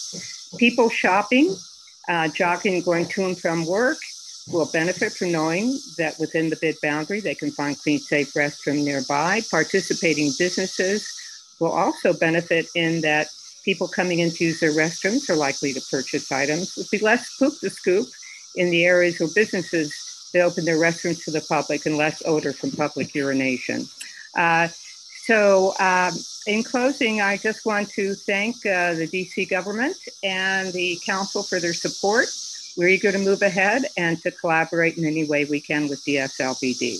I'm attaching to this testimony a description of the London Community Toilet Scheme upon which this is based. Thank you. Thank you so much, Ms. Birnbaum, and thank you for the time um, and, and your effort on this really important initiative. We absolutely need to see more bathrooms and public restrooms throughout our city, and I appreciate your leadership on this. My pleasure. Uh, next, we have Mark Friend, also from the PFFC Downtown DC Public Restroom Initiative.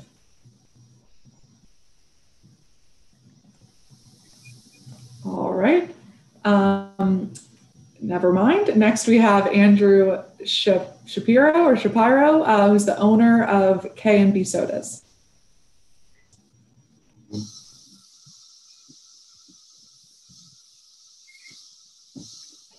Hi, I'm here. I'm just driving, so unfortunately, I'm not going to have my video on, but I pulled over. Um, no problem. Just going to read off my testimony. Uh, Chairman McDuffie, council members Allen, Cheh, Gray, and Pinto, thank you for allowing me to speak today. Uh, my name is Andrew Shapiro, and I am a 21 year resident of DC and the founder owner of K&B Sodas based in Ward 4. I am speaking today to voice my strong support for the funding requests, both for the DSLBD and for the designation of a Petworth Main Street area in the FY 2022 budget and for increased funding for the green teams. In our capacity as a unique, locally grown DC based small business, we have had a great success working with the DSLBD as well as great success participating in Main Street programs and working with clients in those corridors. Recently, at the generosity of the North Capitol Main Street, K&B Sodas, K&B Sodas was able to participate in the National Main Street Conference and Workshop, where we were able to network and learn essential strategies for surviving as a small business in the new environment we find ourselves in. When we first launched in late 2015, early 2016, we began working with the Small Business Resource Center in DCRA to navigate the complex and complicated process of launching a small food and beverage business. This was a moment when others across the city were launching similar concepts, and while the regulatory agencies got up to speed and how to properly handle the licensing of food and beverage product, the Small Business Resource Center was very helpful in holding us steady until we were able to obtain a business license. We would also like to thank the Latino Economic Development Center for their assistance in securing and helping us secure a DC micro business grant last summer and for helping us navigate the PPP process and getting PPP funding. They are an invaluable asset to the DC community. Additionally, DSLBD has made us aware of many programs and opportunities for small businesses owners like myself to learn much more and participate in workshops and trainings and to grow as a contributor to the business community it was through this that we became aware of um, the coffee and coffee and capital series, which has been an extremely useful uh, weekly series to learn about um, federal, city grant, and funding assistance, um, and helping to navigate the very tricky waters of being able to stay in business given the realities of the past year. Through the DSLBD, we are now in the process of applying for the Anacostia Impact Fund, which, among other things, pairs small business leaders with business graduates at Georgetown to develop the Georgetown Business School to develop some fundamentals and assistance like writing business plans, developing growth strategies, and sound accounting practices. On a weekly basis, we sign up for one of the information Zooms offered by the department and feel quite thankful to live in a city with strong resources um, to support the small business community, even if the city itself does not make it easy on small businesses or always financially support it. We are also speaking in support of the Petworth Main Street um, designation area. We have seen the success of the Main Street programs around the city and the vibrancy they have brought to neighborhoods and communities. We remember a time when Main Streets in most places were vibrant and dynamic, and as such, we strongly support the spirit of the program and its mission and I've been proud to work with several Main Streets in the city in support of their programs. One such was the Kennedy Street Festival in 2019, which we are proud to be a vendor at. Petworth is a dynamic community with a rich history and a corridor with unique small businesses that would greatly benefit from this designation. Um, for example, Timber Pizza, who has long been a partner and carried our product, is a vibrant contributor to the community and one such business that would benefit. We strongly urge the final budget to include funding for this program and the positive impact it'll have on the Petworth neighborhood and community. We thank you, the committee, for allowing us to speak today and are happy to answer any questions. Thank you so much, Mr. Shapiro, and thank you for your efforts on behalf of your small business and being open-minded about the opportunities before you, especially in this challenging year. I really appreciate that. Um, thank you. And be safe driving. Next, we have Eric Spencer from DC Caucus for Returning Citizens. Councilmember Pinto and members of the committee, the DC Democratic Caucus for Returning Citizens is here today, today regarding the proposed funding in Mayor, Mayor Muriel Bowser's fiscal year 2022 budget addressing returning citizens' participation in the District of Columbia's medical marijuana program as owners and operators. While the district is appreciative of the mayor's efforts in recognizing, recognizing the inequity and importance of funding, $300,000 will simply provide for the technical assistance portion of the mayor's proposal from one of several cannabis consulting firms here in the district. The startup and entrepreneurial costs the mayor touts in her budget require more. Funding in terms of low interest loans and grants would have a greater impact. As is customary, the caucus would like to bring to the attention of this committee that there are tens of thousands of returning citizens living in the district, and a majority of whom pay their fair share of taxes. This population has historically been overlooked in the medical marijuana industry here in the district. However, thanks to the chairman and members of this committee, returning citizens are beginning to see a semblance of equity now that they can participate. But mere participation is not enough. Returning citizens, some of whom were successful in the legacy cannabis market, believe that given the opportunity in the legal cannabis market, the results will be the same. The COVID 19 pandemic exposed acute and deep rooted connections between physical and economic health here in the district. The medical marijuana industry in the district continued to thrive, posting profits and creating wealth for owners and operators who may not reside in the district nor have been incarcerated for marijuana, while simultaneously excluding those most impacted directly from the war on drugs. Medical marijuana business owners collectively agreed that business had never been better. These admonitions by current industry participants lead to the conclusion and provide proof that the medical marijuana program in the district is viable, profitable, and here to stay, providing additional funding to the Department of Small and Local Business Development of five to $10 million with, with the goal of offering low interest and loans and grants to another government program, that being the medical marijuana program, will ensure that the mayor's objective of financial assistance for establishing cannabis business enterprises by assisting district residents, including veterans and returning citizens with startup entrepreneur resources, will be met. A mere 300,000 will not suffice. The caucus believes that the above requested five to 10 million would be a good starting point for funds available for returning citizens to have a meaningful opportunity to join the medical marijuana program here in the district as owners and operators. The caucus believes that these funds would aid in the anticipated increase of medical marijuana licenses in light of B 24-0113, the Medical Cannabis Amendment Act of 2021. This bill currently is before the council and would increase dispensary licenses to 16. The caucus is hopeful that there will be set asides for returning citizens to increase the odds of participation in the district's medical marijuana program as this committee and the council as a whole address the medical marijuana Cannabis Amendment Act of 2021. In conclusion, it has not been lost on the caucus President Biden's stance on adult use cannabis here in the district. President Biden stipulated in his budget that he was against adult use by not removing the appropriations rider that prohibits the district from creating a recreational cannabis program.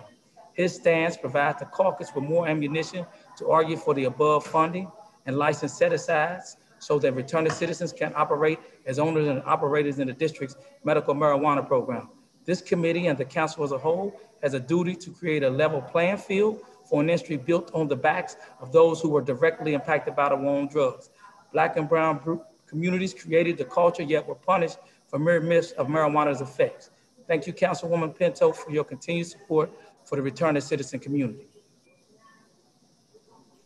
Thank you so much, Mr. Spencer, for all of your work and your testimony. I definitely want to circle back when we can ask some questions. Um, it's absolutely outrageous that President Biden's budget continues to include the spending rider over the District of Columbia from enacting our own adult use cannabis program. Um, but in the meantime, we absolutely need to take every step necessary to ensure that returning citizens are included in the process. There's a lot of potential for making a lot of money in this business and making sure that we do everything we can to overcome the decades long impacts of the war on drugs and the overcriminalization of cannabis that now uh, many people are, are realizing never should have been criminalized in the first place. So thank you for your efforts in that.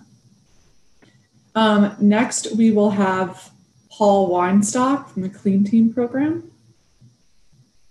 Um, yes, good afternoon. I want to thank everyone for um, allowing me to participate in this hearing and also thank all the council members that's taking place in this hearing as well. Uh, my name is Paul Weinstock. I'm a returning citizen. I am a contractor with uh, DSL BD with the Clean Team. Also, I am a Ward 5 uh, CE, and I'm the director of State Now Next Generation, which is a nonprofit organization. I want to commend Director Whitfield and the aide for uh, giving me an opportunity as a returning citizen to come out and regain my freedom and become a small business entrepreneur, as well as helping others to provide them with job opportunities. And I would like to uh, speak on some, a couple issues that uh, Director Whitfield and uh, DSL BD has helped me with along to be successful and just give them you know, just a, a, round of applause for the great work and the great opportunities that they have allowed me. Uh, one of the issues that um, with, with, that I was helped with as far as payment, as far as the COVID nineteen cleaning, um, I had several um, projects where we were doing the cleaning, and um, there was an issue with payment.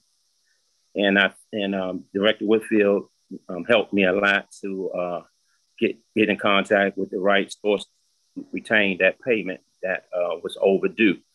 Also, um, she has helped me, and the agency has helped me as well in the workforce development part. And by me being able to hire uh, a certain amount of clean team workers, we do uh, train them for workforce development and uh, public speaking and basically customer service to make them be better in uh, their opportunities as far as job related. Also, um, they um, Director Whitfield has helped me partner with other agencies um, in the workforce development field.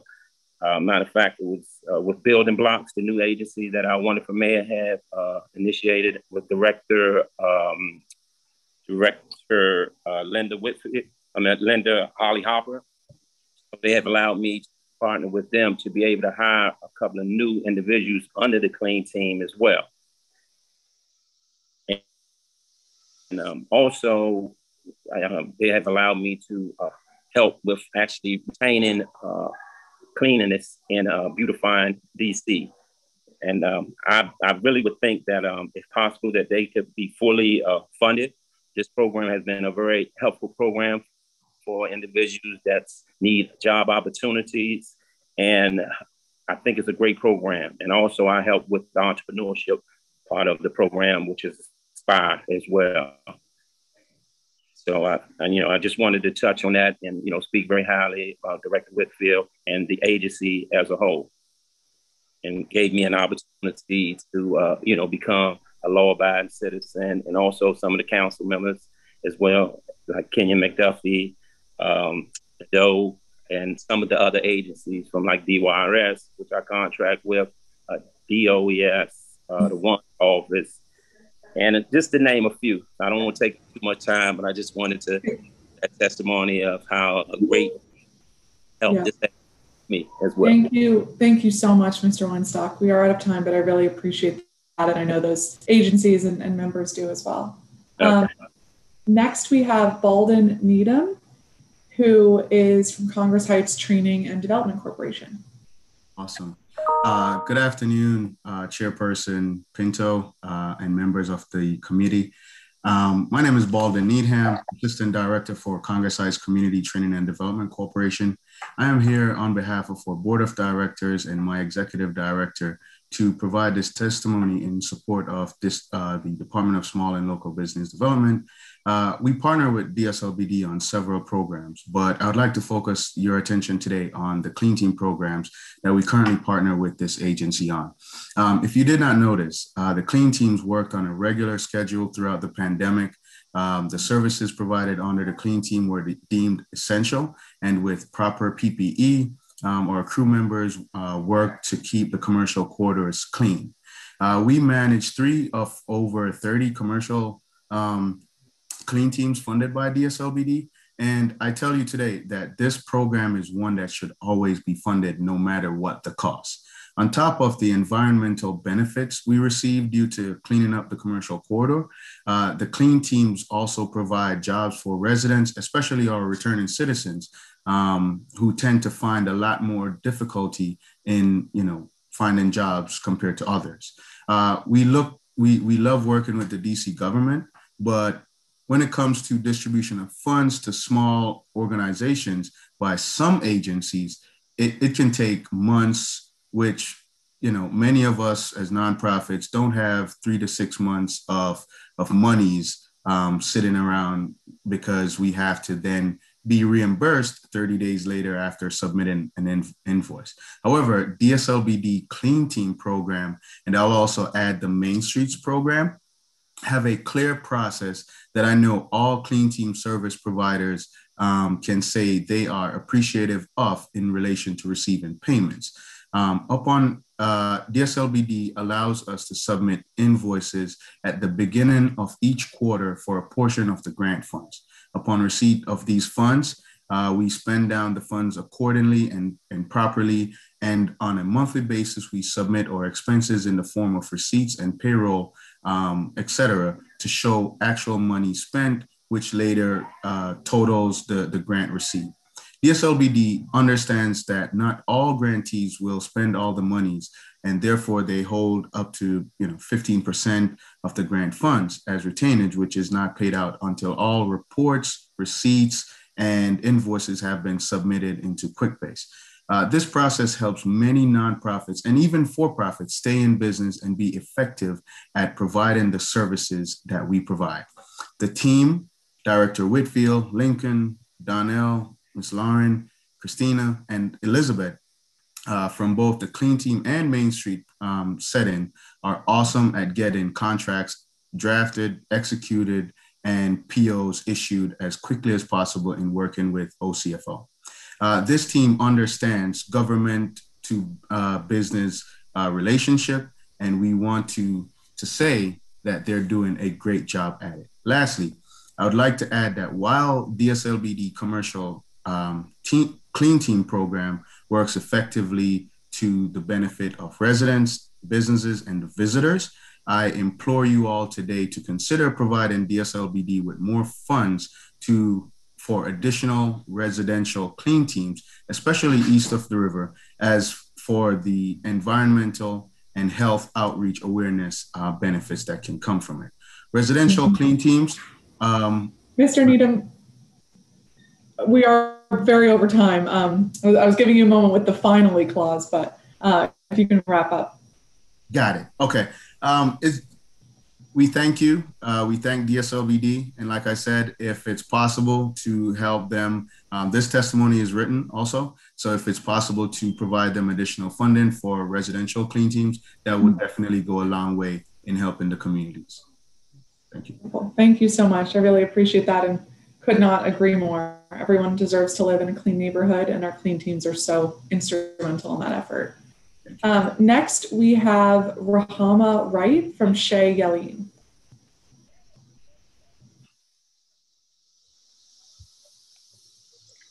Um, good afternoon, everyone. Thank you, Council Member Pinto and all the committee members. My name is Rahama Wright, and I'm the founder of Shea Yeleen, a DC-based shea butter brand and I'm also the curator of the DC Pop Up, which creates retail events on behalf of women and minority makers in DC. Uh, my business, I'm proud to say, is a CBE certified business. And today I want to testify, testify about how DSLBD plays a significant role in advocating for small businesses like mine And they also provide opportunities that would be much harder for me to tap into without the behind the scenes work of DSLBD. I'll point to a very quick example. Uh, the Golden Triangle bid reached out to me to create a pop up as part of their Grow Golden program to reactivate retail and provide opportunities for small businesses in downtown DC. And now I'm in a position to help 30 other local brands get their products into a retail space and help them to increase sales over the summertime and hopefully well into the holiday season. Uh, furthermore, I recently received a $640,000 grant from, De from DMPED to create a manufacturing facility for beauty entrepreneurs in DC in Ward 7. And the advice and support I've received from DSLBD I can truly say, in the words of Maya Angelou, I come as one, but I stand as 10,000. Uh, the vision behind my beauty makerspace is to support other early stage entrepreneurs and create jobs in a very nascent but growing DC beauty industry. Without DSLBD and Director Whitfield and her team working behind the scenes to make these connections for small businesses, I am certain we would continue to be left out of important conversations as we are all trying to build back better and recover from the impacts of COVID 19. I cannot express enough the need for a whole of government approach to supporting SMEs in DC.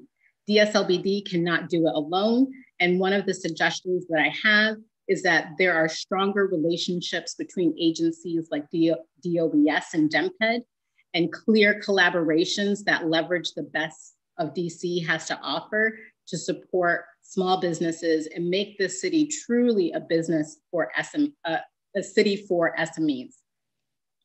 I also want to just lastly recommend that the DC um, Council increase the budget for DSLBD.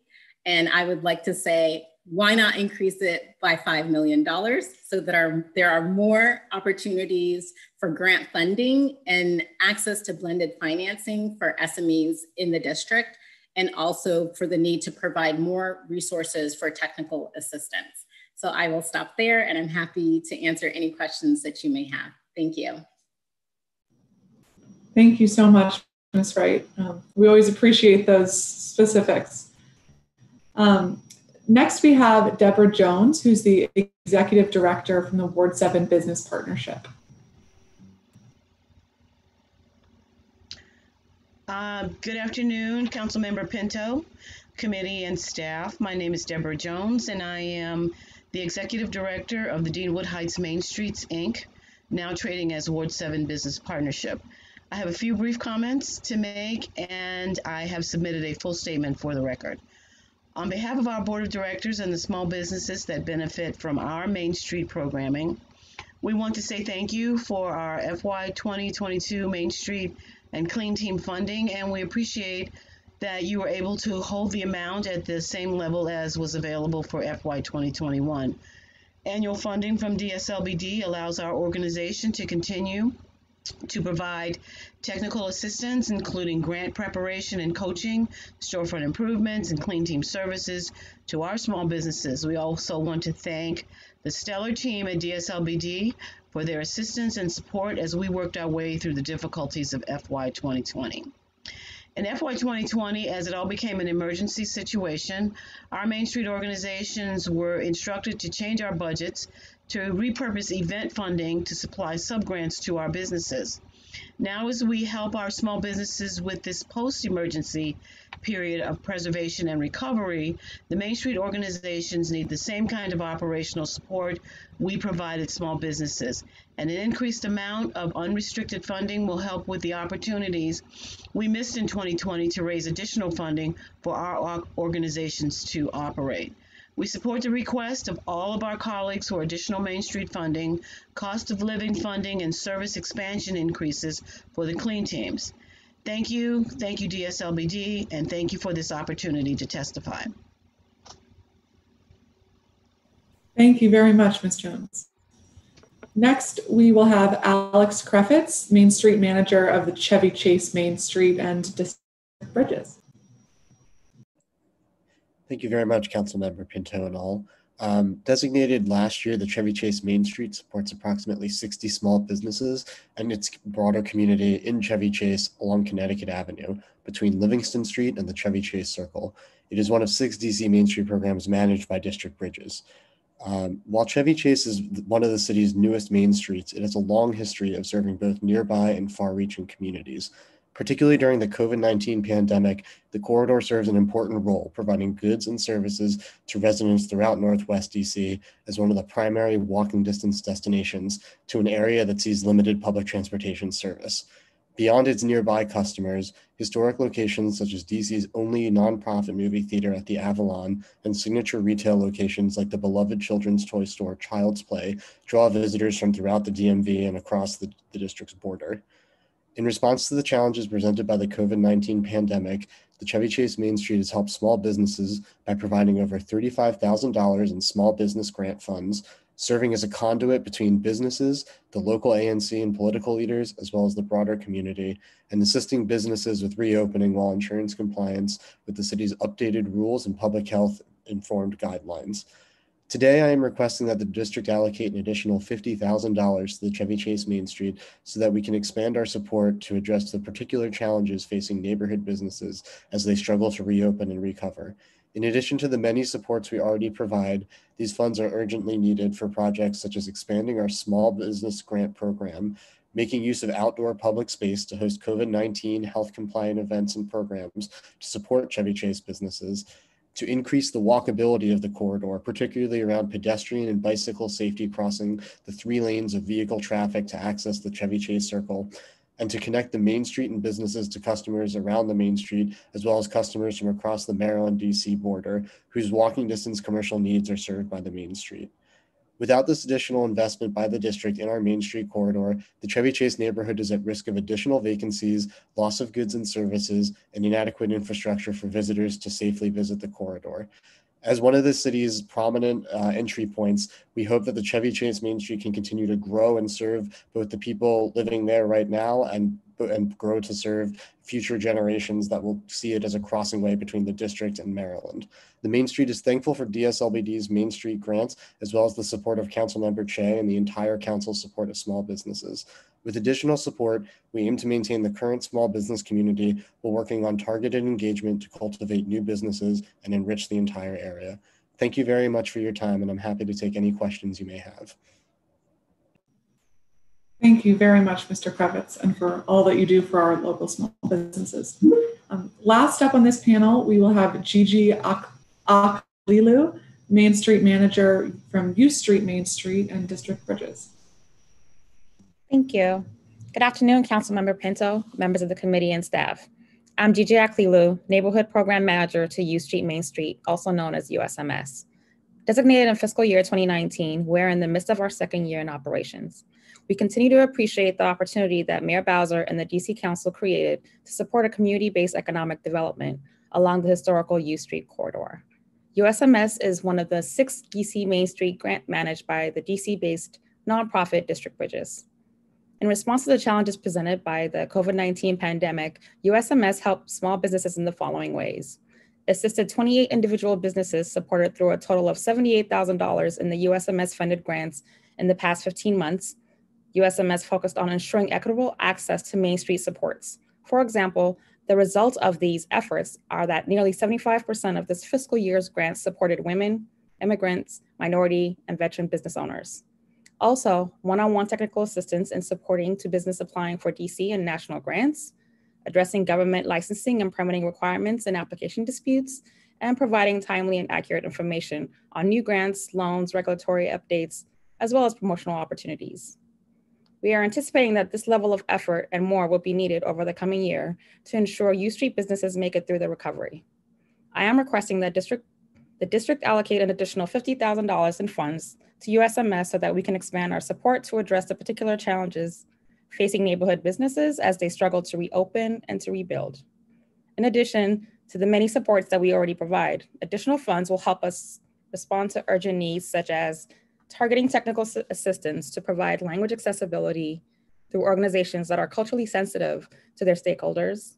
Also, one-on-one outreach to ensure businesses needing strengthening financial systems are, are matched with organizations that can provide reliable support through ongoing relationships and provide specific new forms of immigrant outreach directly affecting business owners and or employees in the USMS corridor, as many of them are DC residents.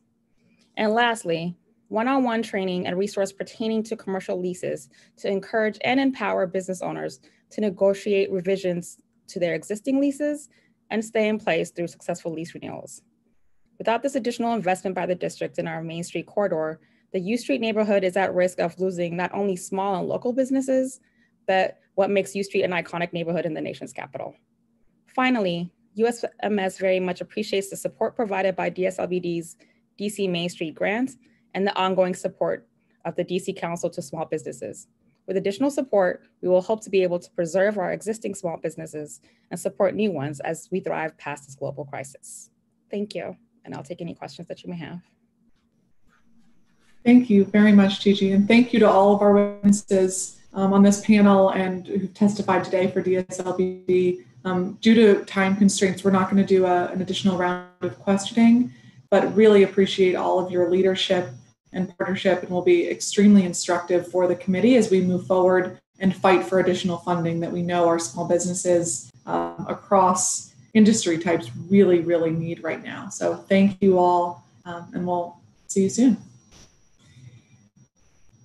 We are going to transition now to the Public Service Commission, or the PSC. And the mission of the PSC is to serve the public interest by ensuring that financially healthy electric, natural gas, and telecommunications companies provide safe, reliable, and quality utility services at reasonable rates for District of Columbia residential businesses and government customers. With that, I'd like to call our next panel of public witnesses. Um, and again, ask if you're not speaking, if you can mute yourself. And we will be hearing today from Mark Rodeffer, the Sierra Club DC chapter. Go ahead whenever you're ready, Mark. All right, thank you. Um, thank you, Councilmember Pinto. Um, and thank you to the entire committee for holding this hearing today on the Public Service Commission budget. Uh, my name is Mark Rodeffer, and I'm testifying on behalf of the Sierra Club. Our top priority is combating climate change. We're a formal party to several cases before the Commission where we advocate to uphold the district's climate commitments, as the Commission is statutorily required to do under the 2018 Clean Energy Law uh, that went through this very committee. In 2018, the Commission allowed the Canadian fracked gas supplier AltaGas to purchase our local gas utility on the condition that it evolve its business model to support and serve the district's 2050 climate commitments by providing innovative new services and products instead of only relying on selling gas. We understand that part of the Commission's responsibility is to ensure financially healthy utilities, not, not for the benefit of the company's shareholders, but to ensure that district residents have reliable service. We believe the role of the Commission is not to deny any utility from operating a business, but instead to ensure that the utility business model is consistent with DC's climate commitments. The financial health of a utility should not be at odds with DC's climate commitments. In fact, the utility should be financially healthy because they are meeting DC's climate commitments. And the Commission's job is to ensure that that happens. When the company that Alta, the, the company that AltaGas bought in 2018 is named WGL, which stands for Washington Gas Light. When the company was founded in 1848, its business was providing street lighting with gas. But WGL evolved its business from providing lighting to providing heat for buildings. And it can evolve its business again, continuing to provide building heat through sustainable means, like clean energy micro district heating systems using geothermal energy industrial scale heat pump networks, and wastewater heat extraction systems. Other utility regulators have approved similar plans. Massachusetts approved an application from the Eversource gas utility to build a network of geothermal heating and cooling systems that will cost homeowners $20 a month or $5 a month for low income households. There is no fuel cost other than the, the small amount of electricity used to power the heat pumps. And this protects ratepayers from severe fluctuations in fossil fuel prices. We understand that DC's gas utility and its Canadian fracked gas parent company have never undertaken such endeavors and would prefer to continue selling fossil fuels. Because of this resistance, it is essential that the Commission take proactive leadership in this area. Uh, the, in another area, the Sierra Club was pleased that the Commission opened formal case 1167 to guide the utilities towards compliance with DC's climate commitments. To ensure DC's climate commitments are met, the Commission's budget should include funding for an independent consultant to evaluate any plans from the utilities to ensure they are consistent with DC's climate commitments and to allow the consultant to provide its own proposals to ensure our climate commitments are met. We cannot rely on the utilities alone to plan for meeting our climate commitments.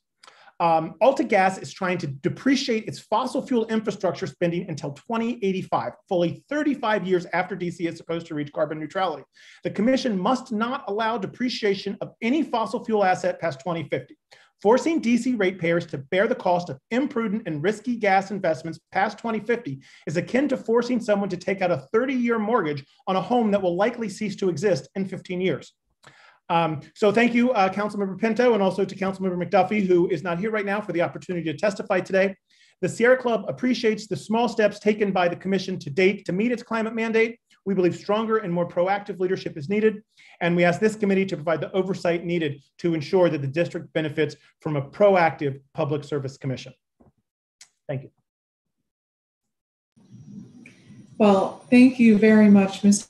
Rutherford, for your testimony and your continued leadership in this space is to note it's one thing to have goals, but another thing to make sure that those goals are implemented and actionable along the way. Um, so, given that this is a budget oversight hearing, um, and through your advocacy, we know you're very familiar with the mission of the PSC. If you had control over the PSC budget, what would you be prioritizing? Uh, well, uh, the, the, one thing that uh, we think is very important is, is something that um, that I mentioned, which is that the, the Public Service Commission uh, has this formal case um, where it says, you know, the utilities can submit plans for um, how they want to meet DC's climate commitments. Uh, and that's fine. But really, I mean, we can't rely on the utilities alone to do it, especially AltaGas. They, they put forward what they called a climate business plan, which was a fanciful and unrealistic plan that would cost billions and billions of dollars on top of the billions they want to invest uh, in continued fossil fuel infrastructure. And it wouldn't really do much for climate, uh, to move us towards our climate commitments. So, so, you know, asking them to submit a plan like that that's totally unrealistic uh, isn't really going to get us where we need to go. So so, uh, so, so what we want, we, we think the commission needs to hire an independent consultant, both to evaluate whatever plans from the gas and electric utilities there are, but also to propose its own plans and to use the Clean Energy DC plan as sort of the roadmap to say, okay, we have the, the outline of how DC wants to achieve carbon neutrality. In addition to Clean Energy DC, Carbon Free DC uh, uh, will be released by DOE. I'm not exactly sure when, but at some point in the future, they're still working on that but using those as the roadmaps and the, and the consultant will say okay you need to do this this and this. And, and, and you know i don't know what exactly the independent consultant should be. We want them to be totally independent you know not the sierra club doing it not the utilities doing it um, someone with expertise who is saying okay we know what dc wants to do. We need to figure out how to do it. And, and we want them to come up with specific proposals as well. Um, so so we think that money in the D, in the psc budget um, for that is very important. I would also add that um, you know the the since there's this new climate mandate, you know, the, the commission has always sort of looked at it as okay, we got we got cost and we got reliability, and those are the two things that we really care about. Uh, and of course, those two things are both very important, and in no way do we mean they shouldn't focus on those. But the climate commitments need to be up there with those, just as important as them. And we think that they should hire um, they, they need they need some some experts on this, some in-house experts. I mentioned this consultant who wouldn't be in-house, but but some people who this is their job. Uh, I, I, think they were trying to hire an environmental economist. I'm not sure where that stands, um, but we think they need experts on this stuff um, beyond uh, what they currently have. When I say this stuff, I mean how we're actually going to do this, especially with the gas utility, because it's it's much more difficult to do it with the gas utility than it is with the electric utility. Do it, I mean, achieve our climate commitments. Okay, well, thank you very much. That's a really helpful, um, actionable recommendation. So we appreciate that. Um, due to time, we are going to move on to the next panel, but I want to thank you again, Mark, for being here. It's pretty remarkable that you are the only public witness who signed up today um, to testify for the Public Service Commission, which I think says a lot to your passion and, and commitment to this important commission and, and um, effort. So thank you. All right. Thank you, Councilmember Pinto. We are going to transition now to the Office of the People's Counsel. Uh, the Office of the People's Counsel is an independent agency for the District of Columbia and our government. And by law, the office advocates for consumers of natural gas, electric, and telephone services. And OPC represents the interests of district utility ratepayers before DC's Public Service Commission, Federal Energy Regulatory Commission, Federal Communications Commission, and other utility regulatory bodies and the courts. The office is mandated to conduct consumer education and outreach and may represent individual consumers with complaints related to their utility service and bills. So, with that said, I will now call our next panel of public witnesses. And once again, ask that participants mute their microphones when they are not speaking. So, first, we're going to have Joshua Wayne, public witness, witness Graylin Presbury, the president of the DC Federation of Civic Associations, and Hazel Thomas, the Premier Community Development Corporation. And we will begin with Mr. Wayne. Hi, thank you very much for the opportunity to uh, to share uh, my experience with OPC. Um, I started working with them in um, November of last year. I, I, unfortunately can't get into a lot of details about the situation because I'm facing uh, on the verge of litigation with a uh, public utility. Um, I've had a uh, unfortunately very challenging and difficult experience that has spanned multiple years. Um, was not getting uh, sort of responses, and and uh, even though they the this utility had previously uh, admitted responsibility for the uh, the situation. By the time I got to OPC, they were trying to distance themselves and, and deny that they had any that they were the accountable party. Um, you know, I, so again, I, I, can't get into a lot of details just because of the the I'm on the verge of litigation. Um, but I did still want to take a few minutes just to share my experience with OPC. Um, I mean, they were truly a lifeline. Unfortunately, we're not able to get the public utility to settle the matter with me, but it was, certainly was not for lack of trying. Uh, they were extremely generous with their time and very caring. It was a very challenging situation. My wife went through an illness in the middle of our whole ordeal with the utility. Um, so it's been it's been a real strain on our family um, and finding them and, and, and gaining their advocacy particularly Mr. Stephen Dudek and Ms. Valka Valentine um, on their staff were just incredibly supportive. They spent you know hours and hours working on our case and reaching out to the utility. Um, so I, I, just wanted to really advocate on their behalf and, and, just say what great you know what a great service they provide. Um, you know, it was really great customer service. You know, I, I think I, I'm 100% confident that if they could have brought it to full resolution, they would have, but it really was just more the stubbornness on, on behalf of the utility company. Um, but they just have really just been very, very uh, just nurturing and support through the whole process. So, for, for what that's worth, I just really wanted to share share my experience with the agency. Um, just really could not have been a nicer and kinder group of folks and knowledgeable, and really just helped me start to navigate where I needed to get to to at least move it to the next step. Um, you know, just where I am right now. So just wanted to, wanted to thank them and, and just get that on the record with the city council. So thank you very much for the opportunity to speak. Thank you very much, Mr. Wayne. That means a lot and certainly goes a long way when you have someone you know is on your side. So thank you for, for coming here today to testify to that. Thank you. Um, next, we have Graylin Presbury, who's the president of the DC Federation of Civic Associations. Go ahead, Mr. Presbury.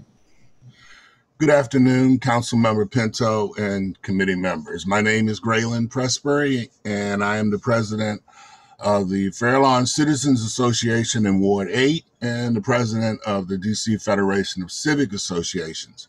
I'm glad to testify on behalf of the exemplary work of the Office of the People's Counsel. OPC resolves utility consumer complaints. OPC educates consumers about the district's utility markets. Through its representation, OPC gives consumers a voice in the utility regulatory process. OPC's advocacy has resulted in repro- improved reliability and quality of utility services throughout the district. OPC's advocacy has helped the district's consumers save millions of dollars in utility rates and fees. Plus, with the addition in the last two years of advocacy for DC water consumers, OPC's budget should be approved to ensure the agency has the resources to continue its representation of DC's utility consumers. Thank you. Thank you very much, Mr. Presbury. Appreciate that. And next, we will hear from Hazel Thomas from the Premier Community Development Corporation. Good afternoon, uh, Councilmember Pinto, Councilmember McDuffie, uh, and staff. Uh, my name is Hazel Bland Thomas, and I am uh, the board chairperson for Premier Community Development Corporation, and uh, I'm, which works with community development in Ward 5. However, my comments have relevance to citizens throughout the District of Columbia. Um, obviously, the economic challenge of COVID-19, a COVID-19 pandemic is not unique to Ward 5. In fact, the ex economic stress has been exacerbated by economic stress exacerbated by the pandemic may be less visible on neighborhoods like off of Connecticut Avenue, more so than in Ward 7 and 8. But everyone has been deeply hurt by COVID 19, and everybody is hurting now. I respectfully request that the uh, Office of the People's, that the District Council provide adequate funding for the Office of the People's Counsel to carry out its mission for representation and advocacy. Because consumer prices are strike, uh, spiking wildly, the need for OPC's advocacy and assistance is greater now than ever. In fact, the People's Counsel has done an extraordinary job advocating for the residents of the District of Columbia since 1975. In fact, uh, their advocacy record dates back all the way to 1926. Um, I would say that I would say that coupled with its traditional responsibilities, since 19 since 2018, OPC has been a consumer advocate for the clients of DC Water Authority. And following the council's passage of the DC Consumer Protection Amendment of 2018, the Office of the People's Counsel has been an advocacy role was expanded to take care of clients with regards to water. And even with these additional responsibilities, they have provided their legendary high quality service which has been even more of a challenge during this pandemic. I would like to say that um, now is not the time to constrict OPC's budget, but to increase it. Consumers need it now more than ever before. Though to no effort of no cause of their own, uh, families have incomes have dried up and they have no more to no one to turn to but the office of the people's counsel which they know will do their utmost to help them out of their utility crisis. I hope you will recognize that we're now just beginning to see the light at the end of the COVID 19 tunnel. And we need the Office of People's Counsel to help us, all income levels, all quadrants of the city, to help us to that tunnel. Thank you for this opportunity. Uh, if you have any questions, I'd be happy to entertain them now or in writing later. Thank you for this moment um, and uh, to, uh, to address the council. Well, thank you very much, Ms. Thomas, and thank you to all of the witnesses for testifying. Um, I have submitted I have submitted written testimony as well. Okay, No, not a problem. Thank you. Um, and all the witnesses should make sure they submit their uh, testimony to the committee as well. Um, we are going to move on to the, the final panel, but thank, thank you. We lost Mr. Wayne um, but thank you to all of these panelists for testifying. Um, so this is our final um, testimony of the day that we're going to hear on the Alcoholic Beverage Regulation Administration, or ABRA. Um, ABRA supports the public's health, safety, and welfare through the control and regulation of the sale and distribution of our alcoholic beverages. In October 2021, ABRA began overseeing the district's medical marijuana program administration and implementing the council's mandate to establish a social equity scoring structure into the medical cannabis program. During the pandemic, ABRA has introduced several innovative programs to help businesses, including our streeteries carry-out delivery programs for on-premises licenses. ABRA was a critical member of the Mayor's Reopen DC task force, um, and we're really appreciative for their partnership throughout this pandemic. So we are going to call our last group of public witnesses. We have KJ Hughes um, and Eric Spencer from the DC Caucus for Returning Citizens.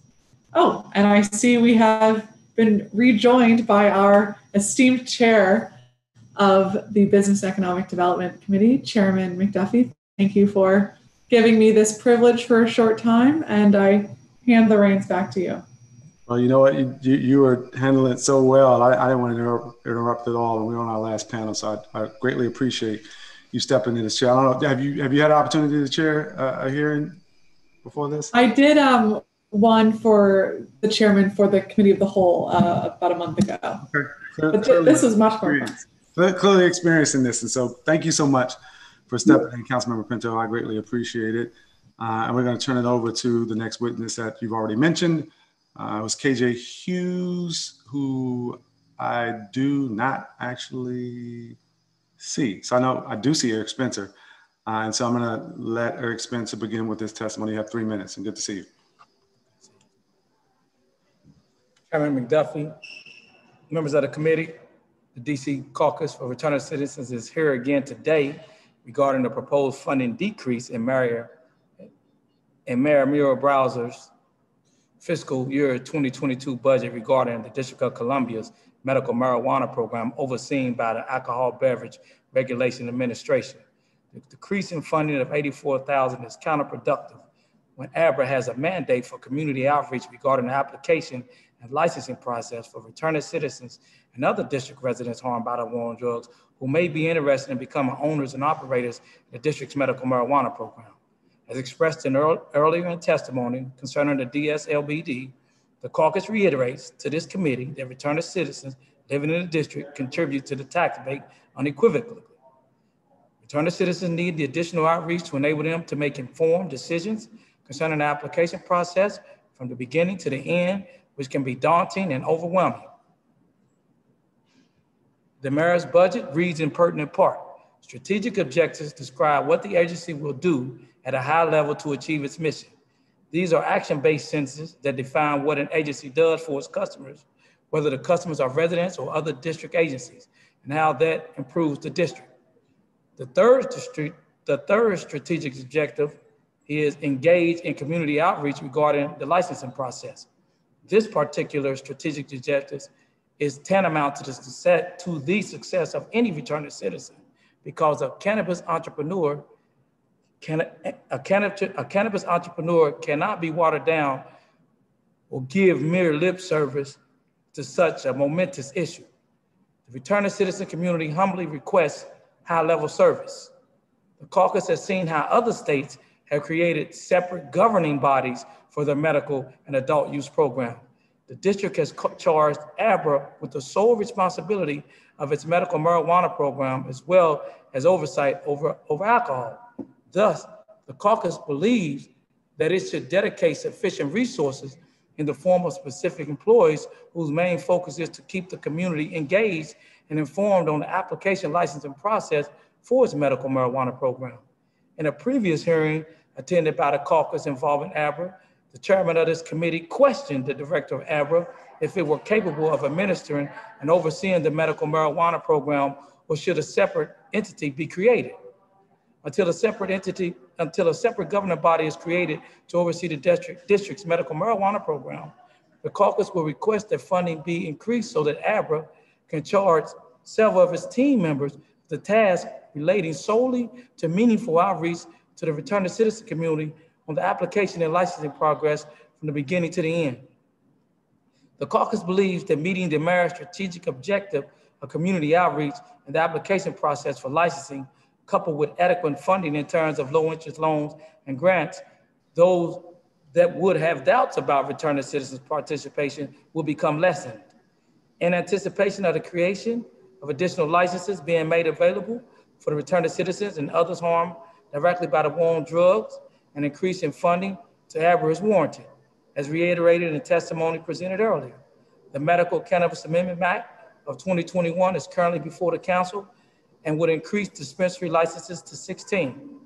In conclusion, the caucus requests that this committee restore the proposed $84,000 decrease in funding in the mayor's budget proposal and increase funding to provide ABRA with the resources to engage meaningful and substantial, substantive community outreach regarding the application and license process for its medical marijuana program.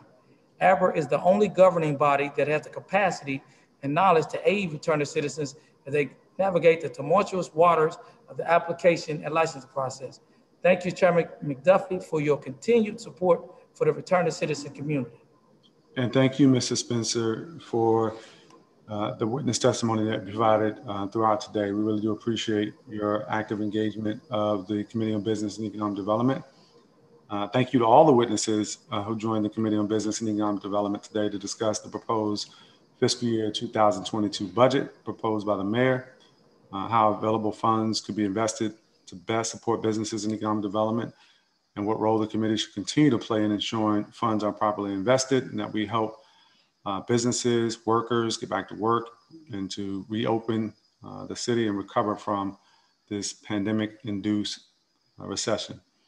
Uh, special thanks to Councilmember Brooke Pinto uh, for chairing this hearing in my absence. I really do appreciate that and all the members who joined our hearing today. As a reminder, those interested in submitting written remarks for the record may do so by 5 p.m. on Monday, June 7, 2021. Submissions should be mailed to the committee at business economic development at dccouncil.us. This marks the end of today's public hearing. The committee will convene on Monday, June 7, 2021 at 12 p.m. for its next budget oversight hearing on the Public Service Commission, the Office of People's Counsel, and the Alcoholic Beverage Regulation Administration. The time is now 4.05 p.m. and this budget oversight hearing of the committee is adjourned. Thank you.